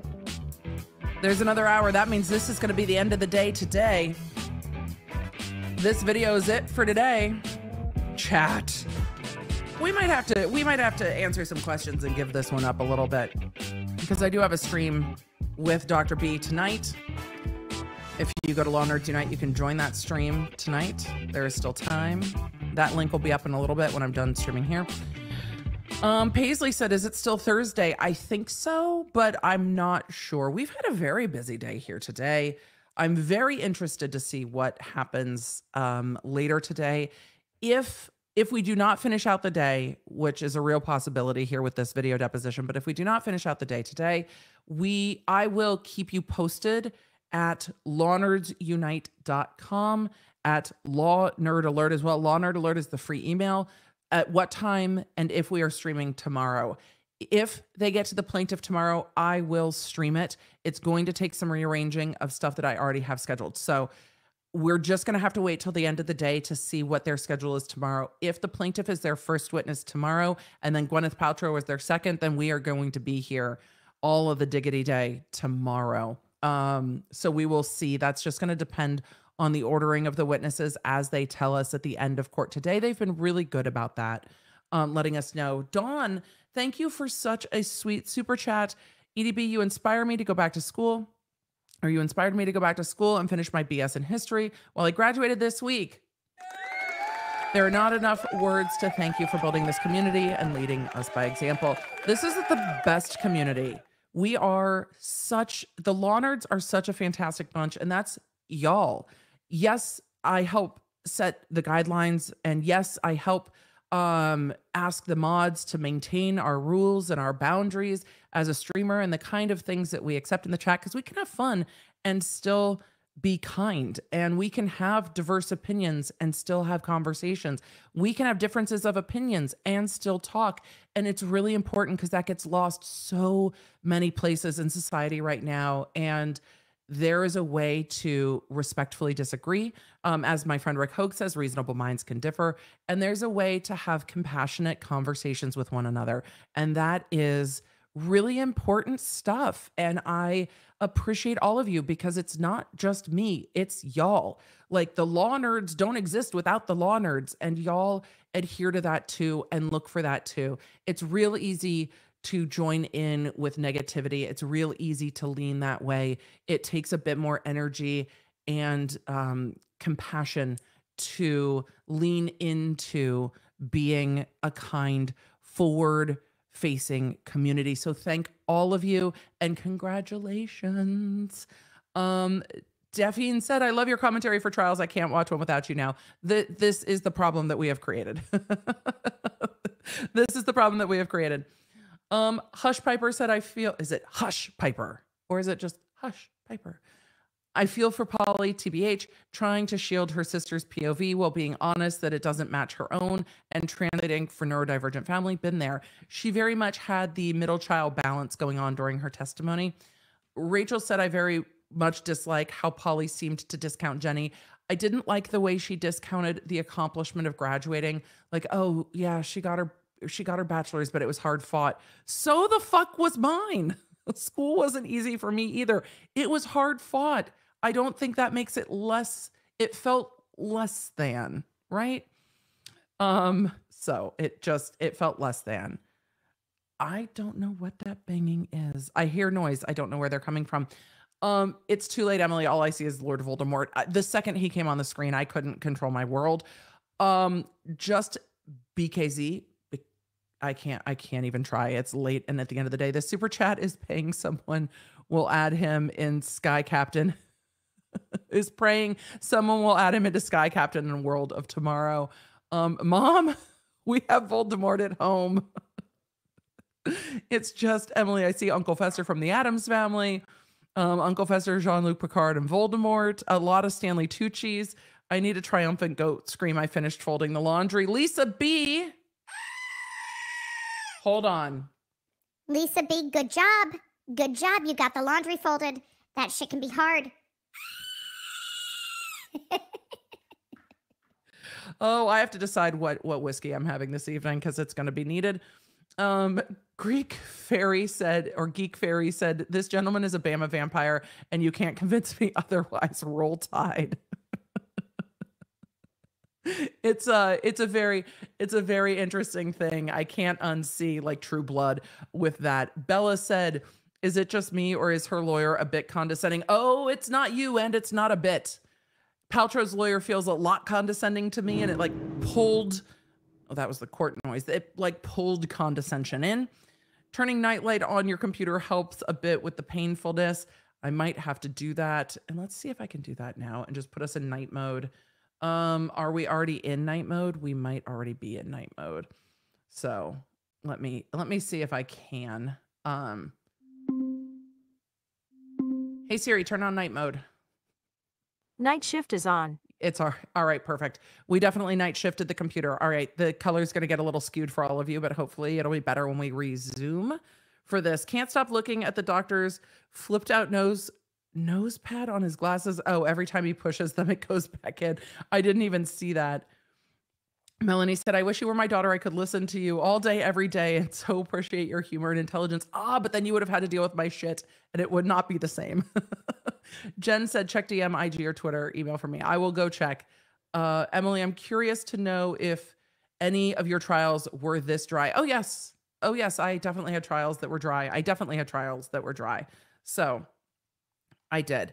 Z asked, will the stream be video or audio only? Video. It's a video um, AMA. I see Runkle in the chat. Hello, Runkle. It's good to see you. Um, okay. I am also coordinating my kiddo doing the things. So, are we moving to Utah? No, we are on a layover. I had intended that the next place we would be going is New Mexico, and there's updates in that too. New Mexico was our next destination for a two week preliminary hearing in May. That was our next destination. If that changes, then it might be Idaho. We're on like a we're on a stopover. We're on like a, a brief layover. We're not moving in. Maybe we have an Airbnb where that's where we are. That's where we are. I'm sorry if I put all of your I didn't mean to put all of your devices into night mode. I appreciate I apologize when she only visited him knew nothing of medical history. And that was really the point of counsel going on and on and on about his medical history. She's like no he was healthy. He's like um he had pancreatic cancer and this and this and that. Is that your definition of healthy? This happens in criminal trials too. It's like i didn't know this person to be somebody who could do this. Oh well did you know they did this and did you know they did this and did you know they did that? I mean how much do you really know about what they did? So this is an eight day trial. It seems the judge is going to be pretty strict with that. We'll see how it goes. Uh, he- the attorney said today we only have four days left. So I've been asked a lot about this. I don't know. I don't know what I will do. I feel like our flight has been delayed. What's in New Mexico? Rust preliminary hearing, a two week preliminary hearing. It's going to feel like a trial for Rust. So we're just kind of, we are, we're on a road trip this year. Don't worry, we'll have t shirts at the end. The judge is back. The jury's on their way. The jury's on their way. I like the bow tie, Your Honor. So the color is going to be a little skewed because I did put it in night mode so that my eyes would stop feeling like they So were the going to The jury's agreed, fall out of my head. the jury's agreed to stay late to finish this, Oh, fuck. according to the bailiff? It's, the whole thing is about two minutes, two hours and nineteen minutes. Yeah, and there, so there's another Uh, part to this video. uh, If they Never could mind stay, then. Never mind then, we'll just stop at five. I wouldn't mind, but I think they would be a little surprised. Yeah, I, mi- I misspoke earlier because I, I was just gonna, this video. I was also, yeah, I forgot. It broke up and we took a break for the last mm. before we. I mean, we don't have to go without any cross, but. This is where they're going to resume in the morning. We wouldn't Oh, mind. The thumbs down was a moment. So there's two hours and 19 minutes of this testimony. For tomorrow. Oh. Are we doing this now? Let's do this now. Go ahead.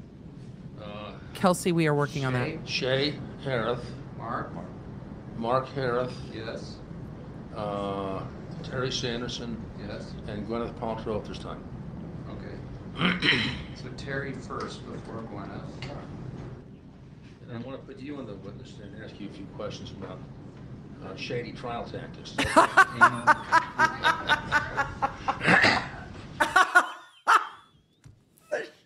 Oh my God, these lawyers. Is this even real court? I want to put you on the stand, he said. I want to put you on the stand and ask you some questions about shady trial tactics. Holy shit. I don't think Gwyneth's going to testify tomorrow. Um, oh my God, these attorneys. All right, thank you. Thank you, members of the jury. And- So and, I uh, heard know him I had, say, Shay, uh, The bailiff talked to you about timing and, and the, the lawyers have Terry, informed me that we somebody were all else, wrong about and this and it's going Gwyneth. to take a little longer, so we will break at five or a few minutes after. he is just a five today. snarky guy. So, thank you. Yeah, the judge was like, You may whatever. proceed, counsel. I need to go back and listen. There were Okay, I'm going to four. go back to that exhibit five. Sorry, I. Mark somebody. Oh, that's right. Shay, Mark, Terry, Gwyneth. So we'll see the other, and then the rest of this video. So if there's an hour left in this video, I might that. start an hour late Another tomorrow Another radiology report. Um, Can you tell us what that means to you? and start with It's a Shay. radiology report of the CT scan. So we might start a little late tomorrow so I can without still contrast. accommodate my commitments. And then we'll get to the And, uh, sisters. My computer's in night mode. I don't know if it transmits it in night mode to What are y'all. the findings that you see? I don't know if it overlays it. I'm here for it. The, uh. Yeah, Shay the daughter and I think her findings husband is as that There was a prominent ventricular system enlargement with associated atrophy or shrinkage of the brain, if you will. Not the shrinkage. We've gone from anal to uh, shrinkage today. I don't know what's More happening. importantly, I'm there was teasing. no My brain is a tired. Hemorrhage or a brain bleed on the CT scan since he was experiencing. So we've made it not as bright. Good. uh, consistent with the concussion. Good. So Good, good, good, good, to good. rule out some type of uh, abnormal finding within the brain. You do that with in an Not setting. necessarily you do that with, a with Paltrow. scan, I think we'll see was Paltrow here. Monday. So um, basically, from a traumatic standpoint, there's no Jenny was always a witness for like the defense. or, We will see what uh, happens with that. We're the not there yet. When you say emergent, that means Two emergency? X speed would be good. Yes, I mean, um, most emergency Chad, I have rooms to are run- equipped I have with to a run CT scan for human for that needs. reason to look I will be for right back. fracture and hemorrhage. So um, if you really need something more than that, like an MRI of a particular anatomical structure, then usually that's scheduled on an outpatient basis.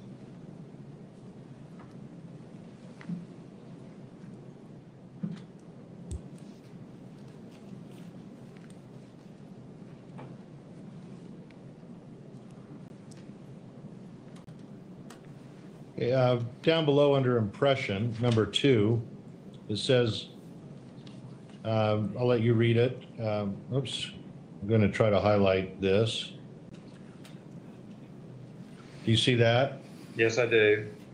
Um, In your own words, can you explain what this means? Well, the prominent ventricular system discordant with mild volume loss suggests an anatomical finding of NPH, which stands for normal pressure hydrocephalus. And it says in the appropriate clinical setting. So you have to clinically correlate these findings with the patient. Um, Does this mean, Doc, uh, was this uh, number two that you just uh, discussed, is that uh, related to the ski crash injury? No.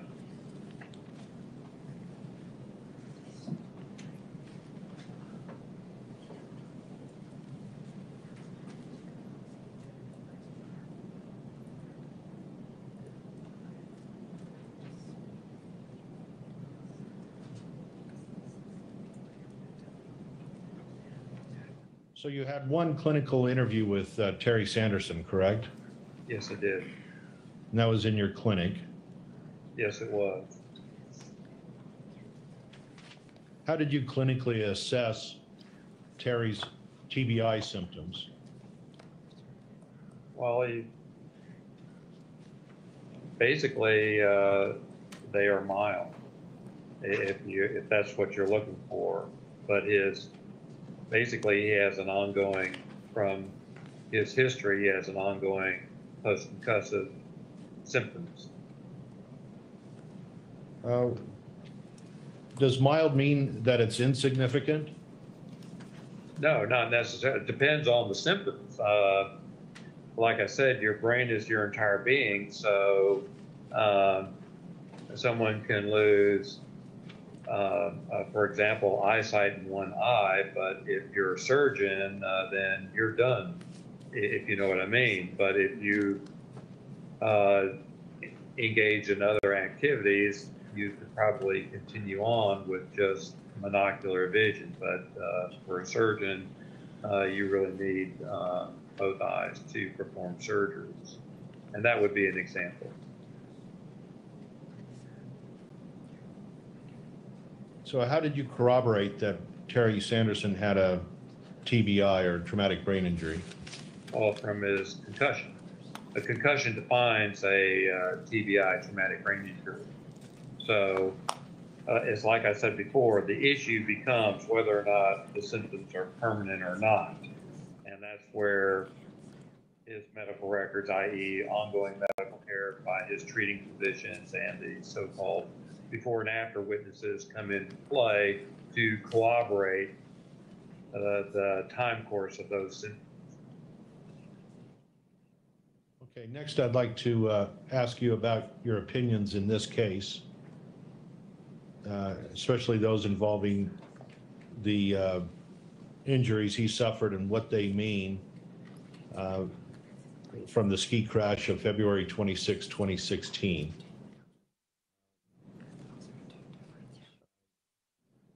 So first, I'd like to address the uh, concussion. Uh, What are your opinions regarding the concussion? Well, that he sustained a concussion, and that came from the closed head trauma from the ski accident. Uh, What are your opinions as to the uh, uh, cause of the TBI? Uh, well, basically, his, his head struck the ground, and that would be the uh, the app, the force application that would uh, result in the closed head injury, resulting in the TBI.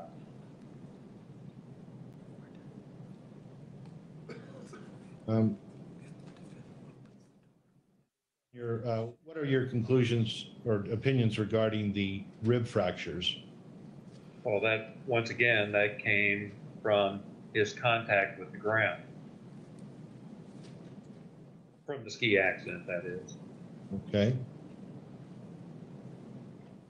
Well, Based upon your biomedical engineering and the physics, tell us what this can indicate Are they trying to the cause of reconstruct? his uh, fall to the ground. Are we reconstructing? Well, the falling to the ground Hello, chat. resulted from his center of gravity being shifted outside of his torso. So he had to, it, it drew him to the ground. My ambition didn't break And her so leg. the question becomes what caused that shift in his center of gravity caused him to fall to the ground? And that was since he fell to the right side, that was an, an impact from or an externally applied force application. Data, I saw your, oh, there it is. Yeah, it's the caused it. lawyers at counsel table. It's the lawyers at counsel table. Okay, uh, Gwyneth's kids won't be now witnesses does this indicate that until uh, Terry Sanderson was she hit from testifies. behind? Until Well, yes, it does. I it's mean, her case in chief, which is if, not till next um, week. I mean, you got a witness uh, saying that he was struck from behind, but uh, suffice it to say, the force application came from behind and from the left side, causing him to go over onto his right side. And that's where that impact did not The result. chat was like, "Mom, that first impact can did you not pick me result up?" in rib fractures or concussion. It was his contact with the ground that resulted in the injuries that we see in the medical records. So him hitting the ground is what caused um, the injuries. So he could have hit her, then hit the ground, or he could have hit the ground Can you first. explain how uh, your understanding of force application Cross will be interesting. show this? Well, the biggest thing is, is that when you fall to the ground, um, and you have evidence of rib fractures on the lateral side of your um, torso, then obviously there was a force application directly to the rib. Because he could have hit her and then hit the ground, or she hit him so and then he hit when hit you the fall ground. to your right side, uh, your elbow or your arm uh, gets in the way between your chest wall and the ground. And so the hard object would be you, you i.e. And your arm. both of them are and saying he hit the left. Making contact with the ribs, resulting in the rib fracture. And then It could have been either. very, very shortly after that, then you strike your head uh, against the ground as well. Because if he hit her, if he hit her, he could have hit her and then rolled to the left uh, and hit the ground. Or she hits Or, him, uh, but show then wouldn't he that, just go uh, straight down? Why to the Terry left? Sanderson was. uh, If he hits hit her, he from goes to the behind left. By uh, Gwyneth Paltrow. Not straight down. Well, I don't know who, I, I guess it was her that struck him, but yes, it does show that he was struck from behind and went forward to the right. To the you right or to the causing left? those Injuries upon impact with the ground. Because it wasn't he didn't go straight down, but he's also wearing skis Uh, and Can you skis are walk us through the uh, engineering and physics, unless you've already explained Oh, it? physics. Also, the Well, snacks right now are lemon cream. Well, you can put numerical Lance values crackers. on this because uh, we are subjected, everyone on this planet is, is subjected to This isn't a dumb the question. There are conflicting witness gravitational pull. statements. And each witness is We saying the other witness to didn't that see As it. gravity, and that is one G. So it attracts us to the earth. So we as humans, we maintain primarily an erect posture. And so if you shift your center of gravity where that uh, outside of your torso, you have a tendency to fall unless you're holding on to something. So you will fall to the ground.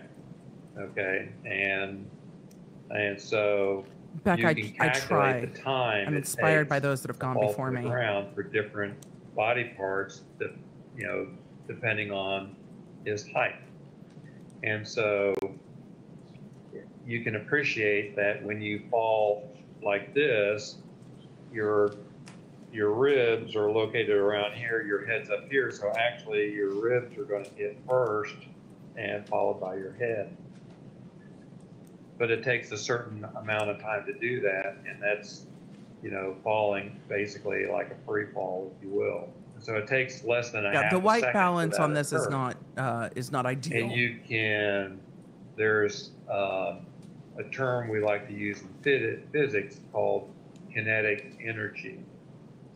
And when you calculate the kinetic energy over a distance, we refer to that as work done. And so you can calculate the kinetic energy that's imparted upon different body parts, knowing where those body parts are and how they struck the ground. And so in Mr. Sanderson's case, the, the history from witnesses or a witness was that there was a person on top of him that fell to the ground uh, along with him. That would impact the force application to his ribs, but not to his head. Okay, because the person wasn't sitting on his head as he fell to the ground. They So- weren't? When you do the calculation, it turns out to be about 4,000 newtons of impact force to the ribs. I'm disappointed that we're back to non-Tesla measuring rib units. fracture. And that's consistent. Now with the head, that's a different calculation. uh, as well for obvious reasons. Because the mass of the head is much different from the mass of Mr. Sanderson with Ms. Paltrow on him as he's falling to the ground. So when you do those calculations, keeping in mind he was also wearing a helmet, and so that helmet served to absorb some of the energy transferred to the brain. So when you strike the ground, you have a kinetic energy calculation as well. And so you determine the velocity, you know the mass of the head, and you know the distance between the brain and the outer scalp, and the distance of the helmet is about two inches. So that all comes into play. Now keep in mind, if he wasn't wearing a helmet, uh, the force application to his head would be much higher. In fact, about three times higher. So the helmet did serve its purpose of absorbing some of the blow, if you will, in layman's terms. But that calculation turned out to be about 240 newtons of impact force. And that is assuming that he fell on level ground. Now, I understand that ski slopes have some type of incline. I don't know what that is in this particular case. Any incline would make the calculation more severe because he would have fallen further. And so the distance traveled on a fall increases the velocity, which is proportional to the square of the velocity. The kinetic energy is proportional to the square of the velocity in these types of calculations. For all intents and purposes, fall to level ground with Marissa, to that point about of camera, force to the brain. lawyers are not, most lawyers are not super tech savvy either. The force that was applied, a physics term, correct? Yes, it is a physics term. It's and it not, it's from Bring It On. No, we learned this Uh, from Bring It On. So the force that was uh, applied, let's uh, start with the uh, ribs first. Uh, And on the right side indicate that Anna, the crackers are so Mr. good in Sanderson lemon. was hit from behind or the side. And uh, with Ms. Paltrow landing on top of him, that shows that uh, it's much more likely than not that he was hit by Ms. Paltrow. Well, he was hit by microphone someone while from the- the side while and this from is behind. playing. Keep in mind that that person also landed on him. Because usually people that just fall, fall to the ground, do not suffer rib fractures. And, and the reason being is that there's not enough energy being transferred to the rib. It takes something else. And the something else would be someone falling with them. Are you telling me if someone fell on a ski slope certainly be enough to and landed on their arm, it couldn't case, break their ribs at 69 years old? That the person weighed around 130 pounds. That would certainly be enough force to do that. Are you testifying? Never mind. I'm gonna leave that be. I'm gonna leave that be. Uh, The rib injuries, uh, would you use the analogy that uh, they're kind of like uh, looking at a, the bumper of a car that was involved in a rear-ended collision where uh, another car rear-ended the car? and They, they, they help show what the injury might be and what, how it was caused? Well, the rib injury really depicts how the injury occurred, what happened, not the head trauma. Can you The tell head us what trauma happened? was just a, a result of the fall. Victor, man, I'm Uh, sorry. Okay, I mean, that's independent of anyone being on top of him, you know, falling to the ground. The fact that he fell to the ground and struck his head is responsible uh, for the, the head trauma. The ribs tell us how it happened because there's only really one way in this particular scenario that there could have been enough force application to fracture those ribs. Now, if there were no rib fractures, you wouldn't be able to say how this fall occurred. Uh, So does this indicate who hit whom? Well, yes, if you had a choice between Mr. Sanderson hitting Miss Paltrow or Miss Paltrow hitting Mr. Sanderson, you would have to pick Miss Paltrow hitting Mr. Sanderson from behind and falling on top of him to account for the rib fractures. I'm interested to hear the Uh, cross I'm examination sorry, on that. did- say That's that again? pretty definitive. If Did I you read were that right? to Compare two scenarios, Mr. Sanderson striking Ms. Paltrow or Ms. Paltrow striking Mr. Sanderson and falling to the ground. There's only one scenario that would account for enough force application to fracture those ribs, and that would be Ms. Paltrow striking Mr. Sanderson from behind and then falling on top of him down. Is that towards the taking right into side account the force of the onto slope?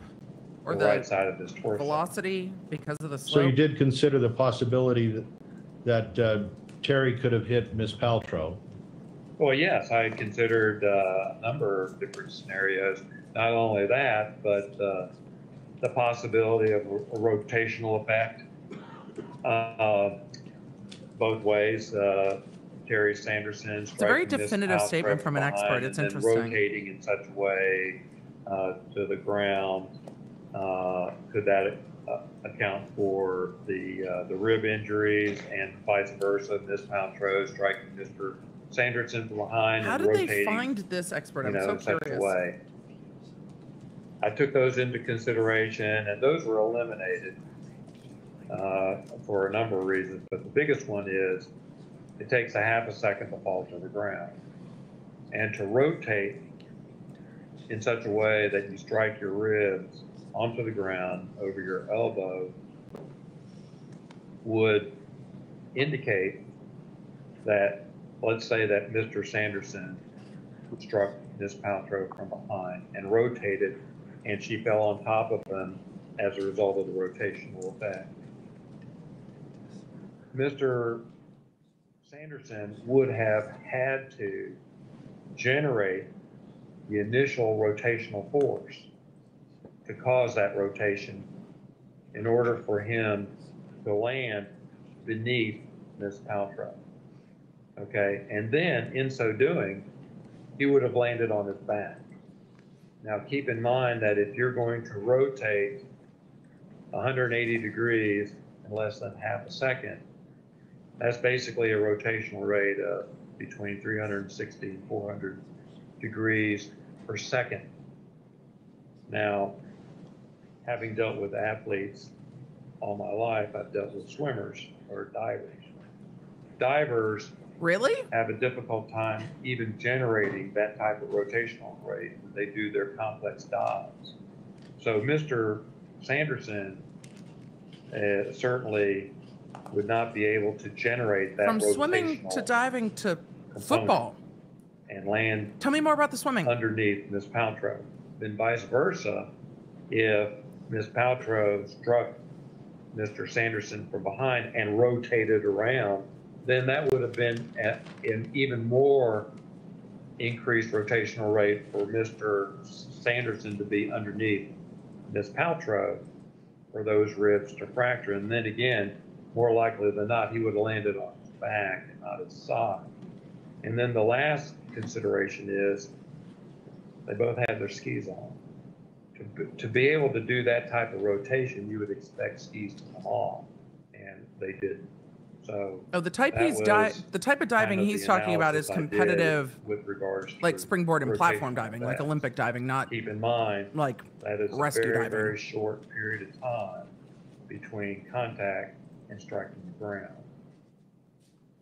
So you're saying it, it's nearly impossible that Terry Sanderson hit Miss Paltrow to cause this ski crash? It seems crash? like that's what he's saying.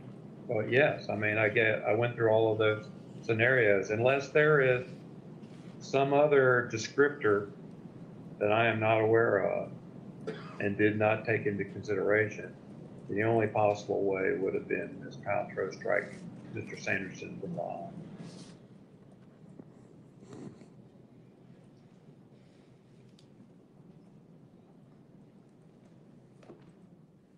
Sanderson's skis So were still you're on saying, based on the evidence we've heard so This hit far. from behind is about the only way his ribs could have broken uh, the way they did? Yes.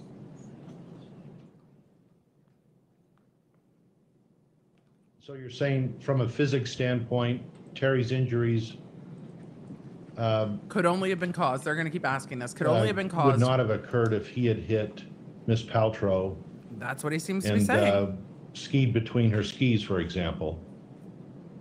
Ju- The mere fact of him just striking her, there, that's not enough en- uh, energy being transferred to the ribs. they would obviously have to fall. fracture. They would have to And collide and then fall. If Obviously. Ms. Paltrow striking Terry from behind, that contact in of itself is not going to result in rib fracture. It's the actual landing on the ground that resulted in the rib fracture.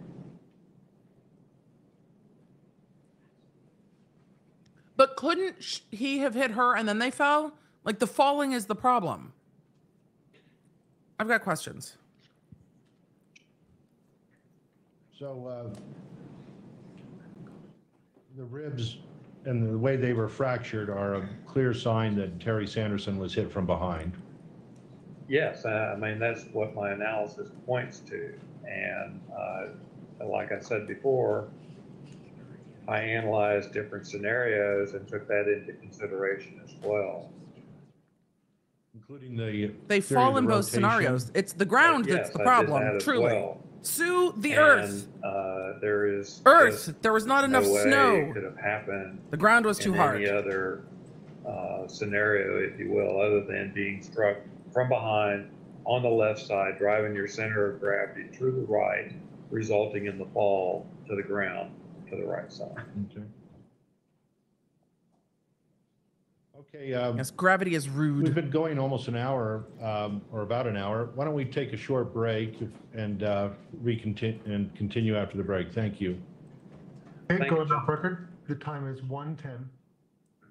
This is them keeping track The time is 1:28. of how much time they are taking for the depos and when they are out and on. Dr. Boehme, uh, uh, Okay, why so don't you tell him the hitting the jury ground caused the about, uh, problem. The concussion that How did Terry he hit the suffered ground? in this uh, ski crash. Um, It seems that he's saying the only way this uh, happens, As a practicing neurologist, uh, the only way this what are happens the typical is if symptoms of a concussion? Paltrow hits him, and that's Well, the good most testimony common for one that. is headache, and then you can have They zoomed zoomed the any break. number of uh, other symptoms. I don't know why they didn't to just edit out the include, break. Uh, disorientation, confusion, um, not interacting correctly, some irritation, uh, that kind of stuff. And now, obviously, if you have more severe uh, injuries, you can actually have like paralysis, loss of vision, these types of things. But uh, suffice it to say, the most common is a headache, and followed by a number of other things that may or may not accompany uh, the headache. Yeah, uh, based on what you've read and what you've seen in your exam, did Terry have some of these symptoms? Yes, he did, and and he reported those to me, which were consistent with medical records, and so I had no reason to uh, refute that. But I would certainly uh, defer all those findings to his treaters. Um, Could you tell the jury, do you think uh, Terry was uh, uh, malingering, magnifying, or faking any of his symptoms? Uh, I did, he didn't appear that way to me. No.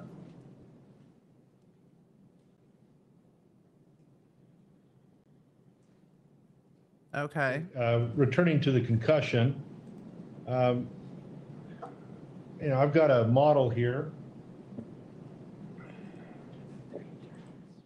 of brain, and you can see that. Uh, Can you tell the jury uh, how a concussion occurs, such as the one Terry suffered in this crash? Well, a concussion results from the application Of force or a blow to the head. to in the layman's brain. terms. Basically, an externally applied force application that gets transferred to the brain. You can appreciate that. Uh, excuse me for just one second. Oh, we've got a brain. Bring the brain. Bring the brain. Yes. Is there going to be a skull or just a brain? Yeah, I'm here for the doctor toys. Give me a demonstrative. I have one of these too. Okay. You can appreciate that the brain lies Brain. within the skull table. This is the skull. And that's the hardest bone that we have. But the brain is not hard like We're so close to being back to It's hard-headed. Like a gelatinous. If you were able to ever to hold one, it's like a Jello with stuff. Are you saying know, it's goopy? carrot sticks or whatever in there. You know, It's it's it's, a unique consistency, if you will. And so, and I'm talking about a live brain because as part of my residency, we did do brain surgery. So the brain is very what we call friable, soft, and so it moves. Okay, it's a fluid. And so if your head moves or your skull moves, the brain will move into the opposite direction and then have a Just tendency all to the brain emojis. I see the brain other emojis. side. And that's based on Newton's first and third law as well. The first law being Brains. an object will remain at rest or in constant motion unless acted upon by an externally applied force. And Thanks, the third law is for every force application, there's an equal and opposite force application. And so the brain For every action, there's an equal and opposite reaction. Is that the law that we're talking in about? opposite Laws of physics? of the skull. So it's going to make contact with that, with the bony table within the skull. So it's going to compress, then expand, and then compress again. So the French refer to that as a coup contre coup type of situation. So you Wait, we're can speaking actually French get now? injury from that. And so if We you were speaking fall Latin face yesterday. forward, We haven't ipse dixited today, but down, the brain is going to compress downwards and then rebound backwards. So you can see that the, the front part of the brain, and you can appreciate that underneath here, you got all these complex bony structures. We So the can't 'cause bottom the part of white balance brain is making that a little going to be exposed to that, that sudden change in direction as well.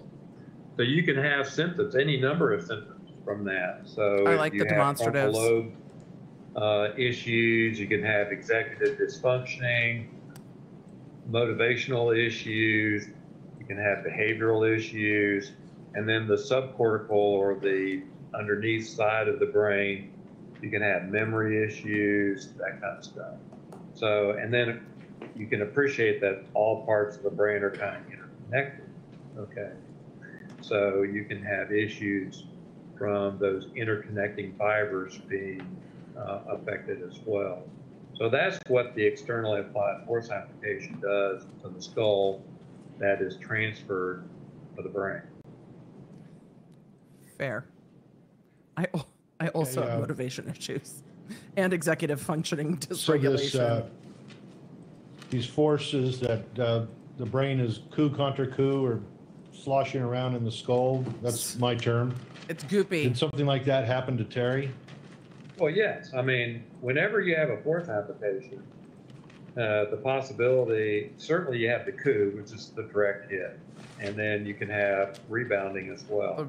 Uh, and you don't know uh, whether you get uh, injury from one or the other. It's generally thought that the contra coup injury tends Ugh, to be more severe in most rough. individuals, but that's not always the case. But I love that you have chickens. Suffice to say, if you have 240 newtons of impact force to the brain, that's certainly enough to cause some dysfunction of the brain. Now, does it guarantee dysfunction? No, no. You can't, and what I'm saying here is just because you're exposed to an externally applied force to the head of 240 newtons doesn't guarantee brain injury. You have to clinically correlate that with the patient's medical records and the patient himself.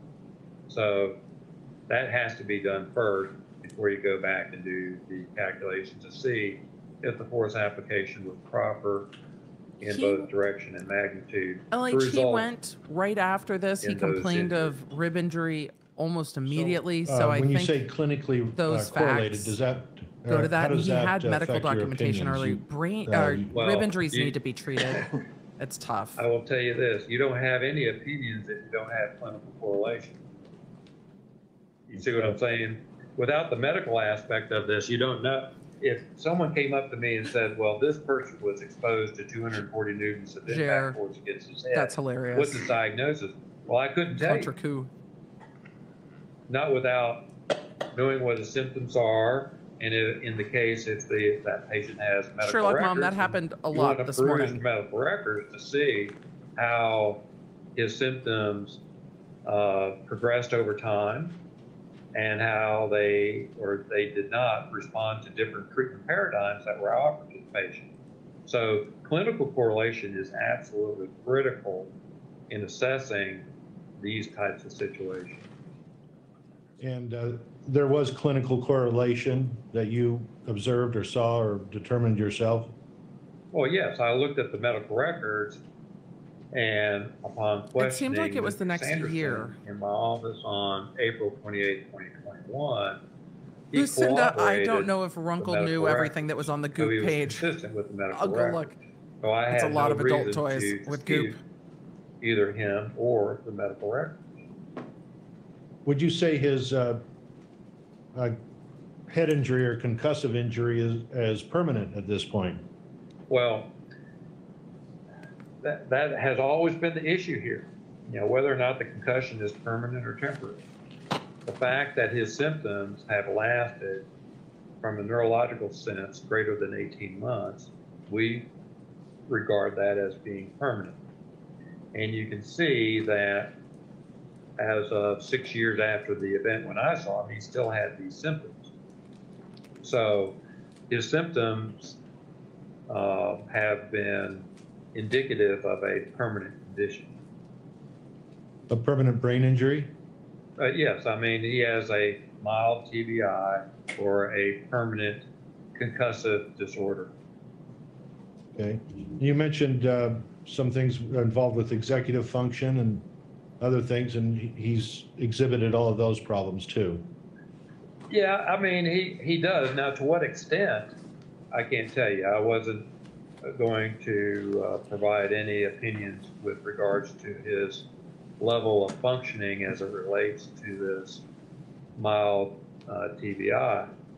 But he does have the mild TBI, but uh, the extent to which I'm not going to comment on because I'm not one of his treating physicians, nor And I think that's am I fair. one of his before and after witnesses.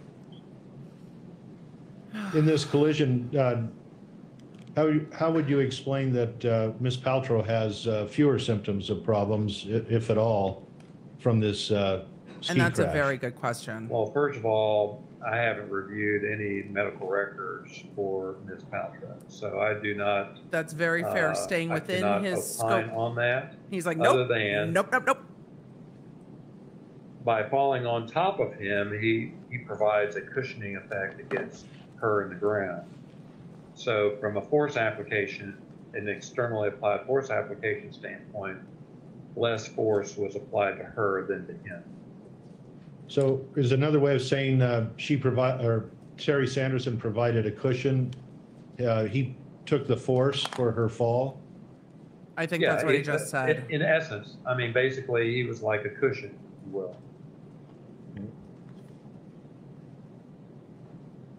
And uh, earlier, we discussed before and after witnesses being clinically important for a diagnosis of concussion and TBI. That's lasted longer than 18 months. Uh, um, How would you uh, describe these before and after witnesses, such as his daughters or his girlfriend or ex-girlfriend? Well, they certainly describe a change in his overall makeup uh, from before and after this event. Now, how it affects him directly, uh, once again, I'm going to defer to others for that, but certainly there is uh, before and after witness testimony reflecting that.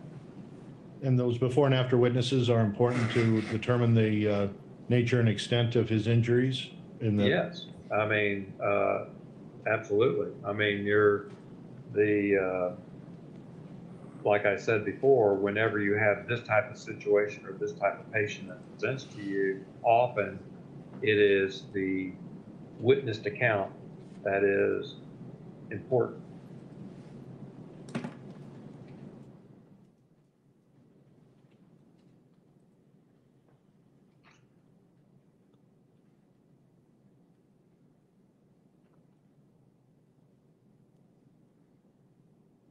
Let's talk about Terry's pre-existing uh, medical Let's. condition. Uh, uh, It's been brought up uh, in that uh, one exhibit uh, with the x-rays or radiology uh, that was reported shortly after the crash, within a few days, that he had uh, NPH and enlarged ventricles. Uh, You you recall that, Oh correct? gosh, we're back to the Yes, enlarged NPH. ventricles.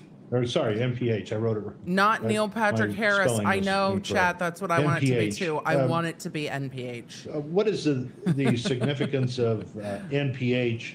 We've uh, got like five more uh, minutes. Being a condition Chat, he just- had prior to the y'all, crash y'all are the champions. and uh, how it We're affects your almost- opinions we're almost clear. If you could explain that to the jury. And then let's be done. Normal with pressure day. hydrocephalus is We've done enough work that this is day. manifested clinically by a triad. Dementia, ataxia, which means loss of balance, and incontinence. And it, it develops slowly over time. And we see this uh, from a radiological standpoint as enlarged ventricles on either the CT scan, but more appropriately, the MRI. And so when you see this in that clinical setting, then you want to do one of two things, or preferably both. You do a spinal tap to see if you have increased intracranial pressure on the spinal tap, and we have manometers that we attach to the needle going into the uh, into the back to measure that pressure in millimeters of water. This is why And chat is bay. if it is Just keep it going. elevated, i.e. greater than 200 millimeters of water, then Oh, and we're almost at the treatment of choice is to 710,000. actually do a burr hole in the head and stick a catheter into the lateral ventricle, ventricle, and then trace a drain all the way down through the neck into his stomach, if you will, abdomen, to drain off excess spinal fluid, i.e. reducing the pressure. Kelly. Plaintiff was supposed to testify today, and testimony ran long. Which I have done a number of times in the past. And so No. that is the treatment for it. But you don't want to do that unless I you think they went longer with poly you don't than they do it anticipated. Based on just the radiological findings. You want to have the clinical. Any intracranial image has to be clinically correlated to the patient. So if you don't have those symptoms, then you, you don't want to be putting holes in people's heads without having symptoms. Thanks. So in this particular case, he did not have the diagnosis of normal pressure hydrocephalus before this fall, even though he had Hmm. a suggestion of that in the differential from a radiological standpoint. So that's where the clinical correlation comes into play. So he did not have the three clinical symptoms of NPH, is that correct? That's correct. I mean, these are, I mean, dementia, ataxia, and incontinence are pretty noteworthy symptoms to have, and these people tend to Well, present with- as they're being, as they develop over time. So they're saying not a uh, rapid They tend to present medical determination. attention rather quickly, if you know what I mean. Okay. So the um, ski crash injuries he suffered, uh, uh, uh, they're not attributable to his uh, findings uh, radiologically of NPH. Is that correct? That's correct. No, they're not.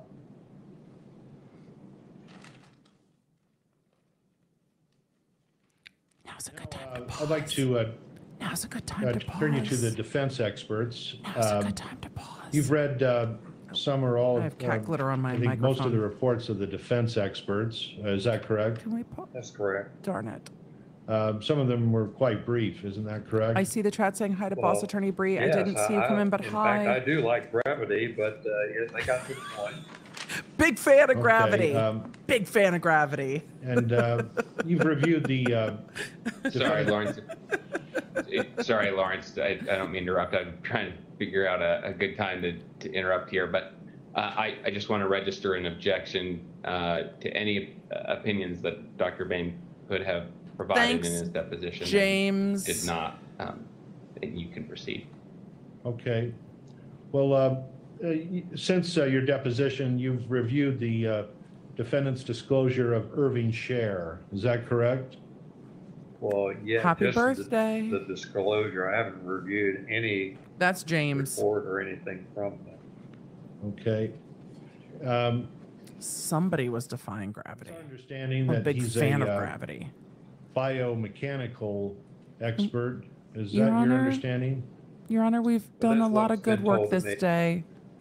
Sounds like we're getting into a new area. Yay! That would be a good time to take a recess until tomorrow at 9 a.m. So, thank you. Remember uh, to please keep the court's admonition not to do any of your own research, not to discuss the case with anyone. Thanks, Your Honor. Avoid uh, seeing, reading, or listening to any news Honor. reports about the case. Have a nice evening. You're the real hero. I saw a question scroll by and it went fast as everybody started celebrating that we were done this day. We're not done yet. We got to see what the attorneys say because that's where the spice lives. But um, I saw a question about why are we not privy to the sidebars? There's no microphones up there for the um, for us to hear that the jury can't hear. So that's why they're not excusing the jury in and out to put things on the record. They should be putting some things on the record today. Oh, look at that. Paltrow did not put a binder over her face today. I wanted to ask uh, Interesting. Polly Grashan questions about her sister, Jenny Sanderson. They're making a record of what happened And- earlier.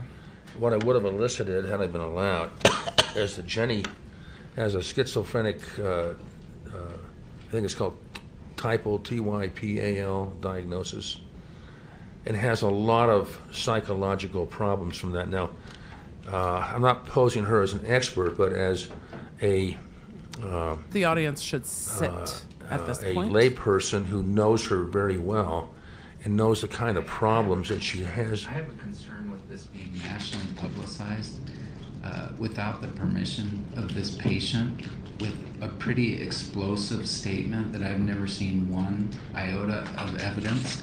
I don't think, Oh, and, boy. and specifically, Mr. Sykes does not represent Jenny. And unless he has written permission to make these disclosures to a in- even international audience, I, I'm pretty troubled by it. He's making his record for court, though, counsel. I think it's a big violation of this woman's privacy. I, I agree. If we're going to make a statement, I mean, if you want to make a record, I think we should make a record, but we should do it in camera. Well, okay, let's do that. All right. So if we could, if we could, please go ahead and clear the courtroom. We'll take five minutes so that All right. the press gets turned off. We clear the We're done courtroom, then this you can day. make your offer of proof. Yeah, and, and uh, secondly, I can make this publicly. uh, We never Yeah, it is too subpoenaed late. um, Polly Grashan officially. We gave her a subpoena so she could show it to her employer if she needed to. Uh, But we expected that she would come. If she didn't come, we were without, you know. Uh, We had a deposition. And so uh, her, she was to appear today. Excuse me. And um, uh, when she finished, you ordered her to come back next week. Now, I think that's improper. She has a lot of other things going on in her life, uh, her job, etc. and I don't think she should have to Well, stay she's, around. she's Now, been ordered back now. You objected. if you disagree and you have the black robe and I do not. You objected. You could have let counsel get uh, into it, but you didn't. uh, so this is what an agreement happens. That she can appear via Zoom. But I don't think she has an obligation under the She facts does I've given now. She's been ordered. to uh, uh, be forced to return here next week. She's been ordered. Earlier, I mean, I asked her if she Nope, would she's been have any problem remaining under the subpoena, and she didn't voice that at that time. I realized I put her on the spot. And, and it, so if she, and you're not representing her, She voiced it to me. and you're not representing her. No. And so if she, if she would like to be released from the subpoena or have its terms changed in some way, she can certainly request that. Well, It's a bit all late. sides and make a decision. It's a bit late for that. Okay. Sure, let's have her come in. Oh, she's outside. I appreciate that Paltrow's attorney did say this should be in camera. The the plaintiff's attorney should have. And then I guess if there's anything else we should do during, before we close the hearing. Well, just, uh, should have said what he was getting into on the piece record. of paper that has says what uh, Mr. I agree with you, James. is true. James, I agree with you. James said, I think we ought to wait till we're in guess we'll camera. Let's cover that in Wait the in-camera till you're in part of the camera. I think, I think that the audience ought to know, like, In, uh, it may not be true. In uh, Terry Sanderson's deposition, he indicated so- as such. So there is an iota. There is an Never iota. uttered. There is an iota of indication of this in Terry Sanderson's Because lawyers can't just about his spew daughter. shit out of their. Two days ago, it does Anal. not say that word Well, e- even if it, even if it did, that too would be improper to introduce into this proceeding in the public way. Right, what I'm saying is that the statement of counsel that there's not an iota of this. There is not. Then Counsel motion for a should have said order. that There this is what they were going to get into, and then it shouldn't be, and then it should be in camera, an iota. not on Okay. camera. So Polly, why don't you come on up and take the And stand? now they've We're gotta just talk trying to to Polly. straighten out. Uh, I understand that you may have some commitments. No, this where right you'd now, like we're, to we're be able to dealing leave with town. the subpoena and the fact that she is going to be Why don't you requested to explain come that back. us? Yeah, so I said I, I work with 4-H, and so one of the things I'm committed to is um, having programming when kids are out of school, because typically that's a time when they get in trouble. So um, that being said, in our community, it's spring break, and so I have a science camp all next week, and it's our first time in our new youth center, so it's kind of, I mean, it's a small town, but a, big deal for me. So I, I understand that you need more information. I, I don't know if remote is a possibility. Um, there could be kids in the background. no, I could probably have staff cover me if that was something that would work. I um, Your Honor, we'll, we'll release her from the subpoena Okay. Oh, well, that resolves it. entirely. Well, that resolves it then. So you're, you're, and the plaintiffs do as well? Yes. Okay, so you're released from the subpoena, you have no legal obligation. thank you. Thank you. Yeah, thanks for your service here. Okay. So Um, she can come, she's gonna leave tomorrow afternoon or evening, but she can come into court tomorrow and watch, right? Yeah. My flight's in the morning, so. All right. She's all right. now been I'm not agreeing released. Release her for hardship, to have her sit in the courtroom. Th- Then I wouldn't release her for hardship. She just said she's leaving. Oh, fucking hell, If, counsel. if she's, re- if you're released from your subpoena, that means a couple of things. She's That means, first of all, uh, according to the decorum order that the court has issued, the press might want to ask you some questions. And you can talk to them, or you can decide not to talk to them. That's your choice, and, and the bailiffs are here to help make sure that they respect that, your choice. We prefer that you not talk.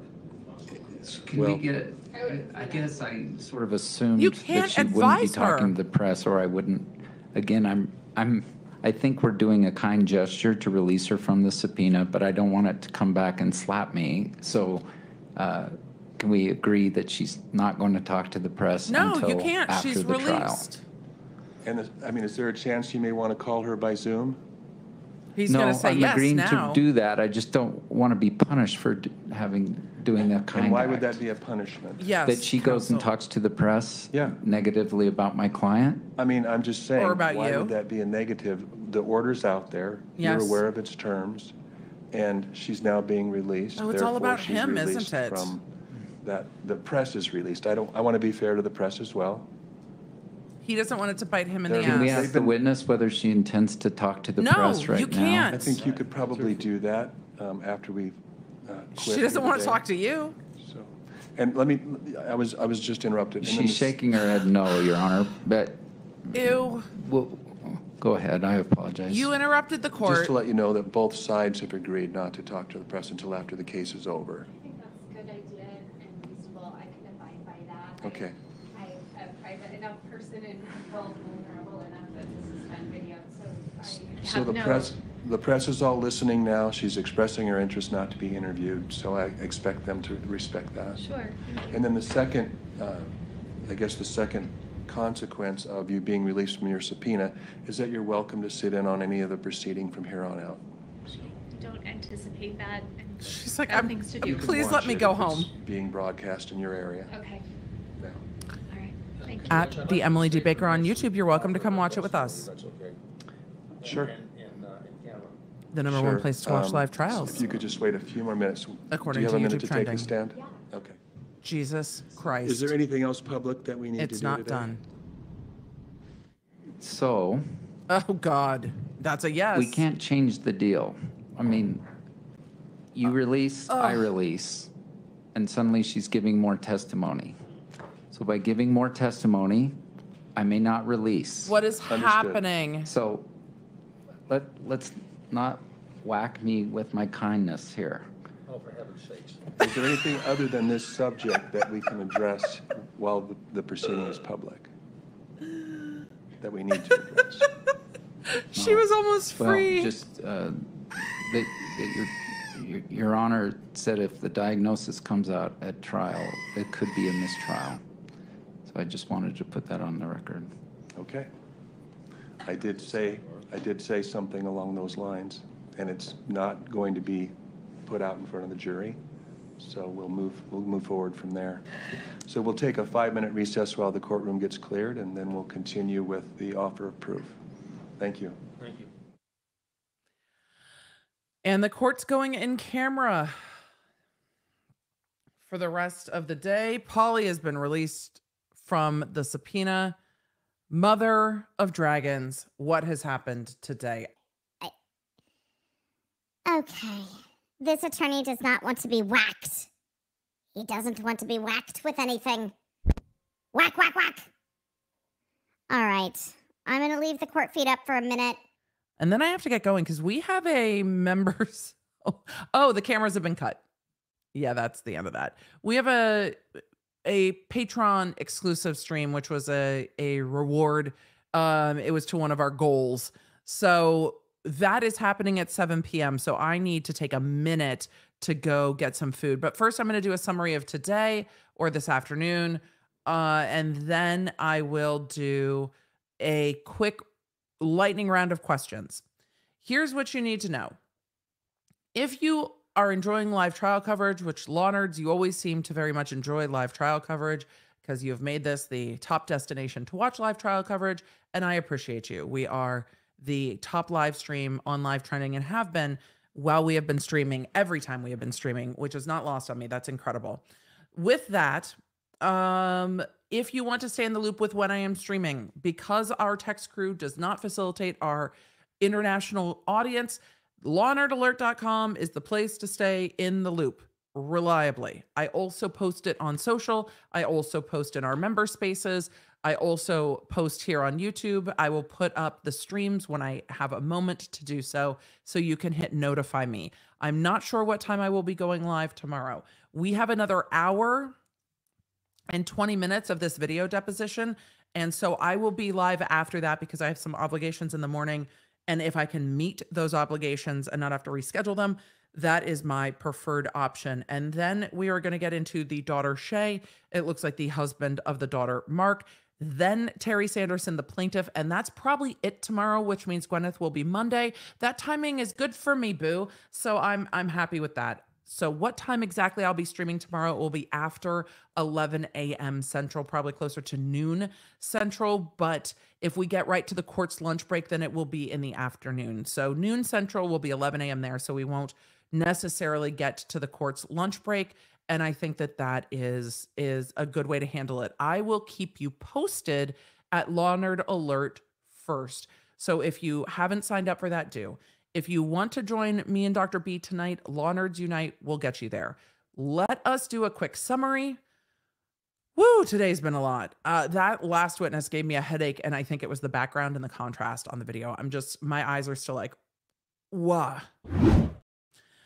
The end of day three with some snappy lawyerness, some inappropriate things put on the record that I'm not going to repeat, people who don't seem to redact medical records, and an expert witness via video deposition after we finished the cross examination of the plaintiff's daughter, Polly.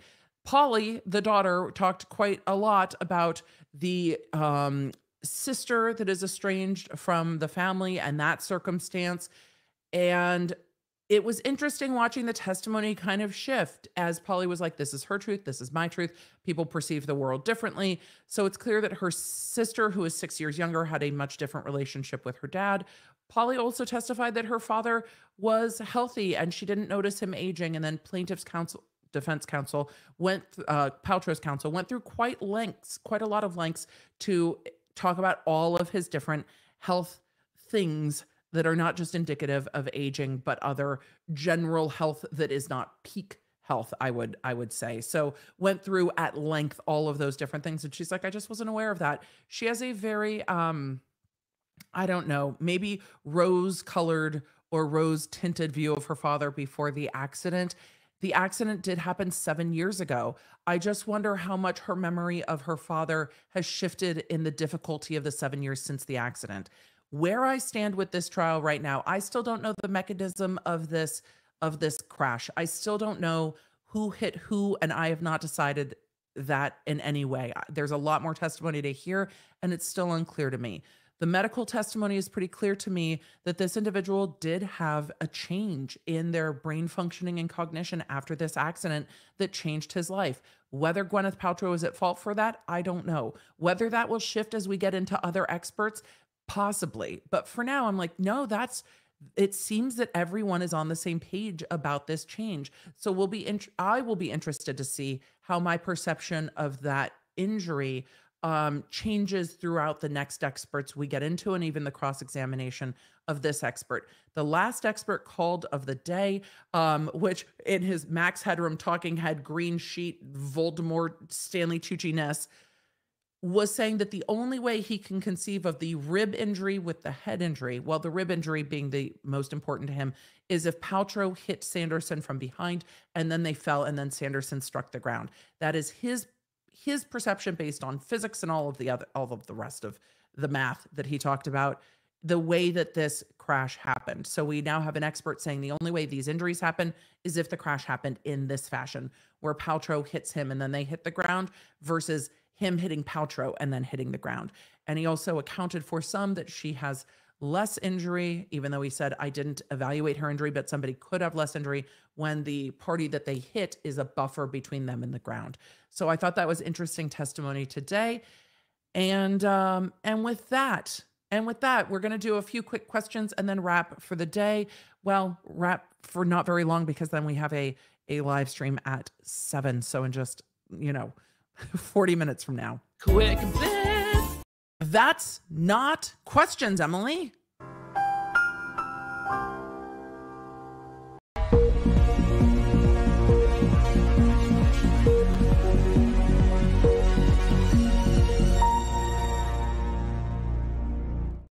Wendy asked, why so many specialists? It's obvious he has post accident issues. Shouldn't they be concentrating on proving Paltrow's at fault?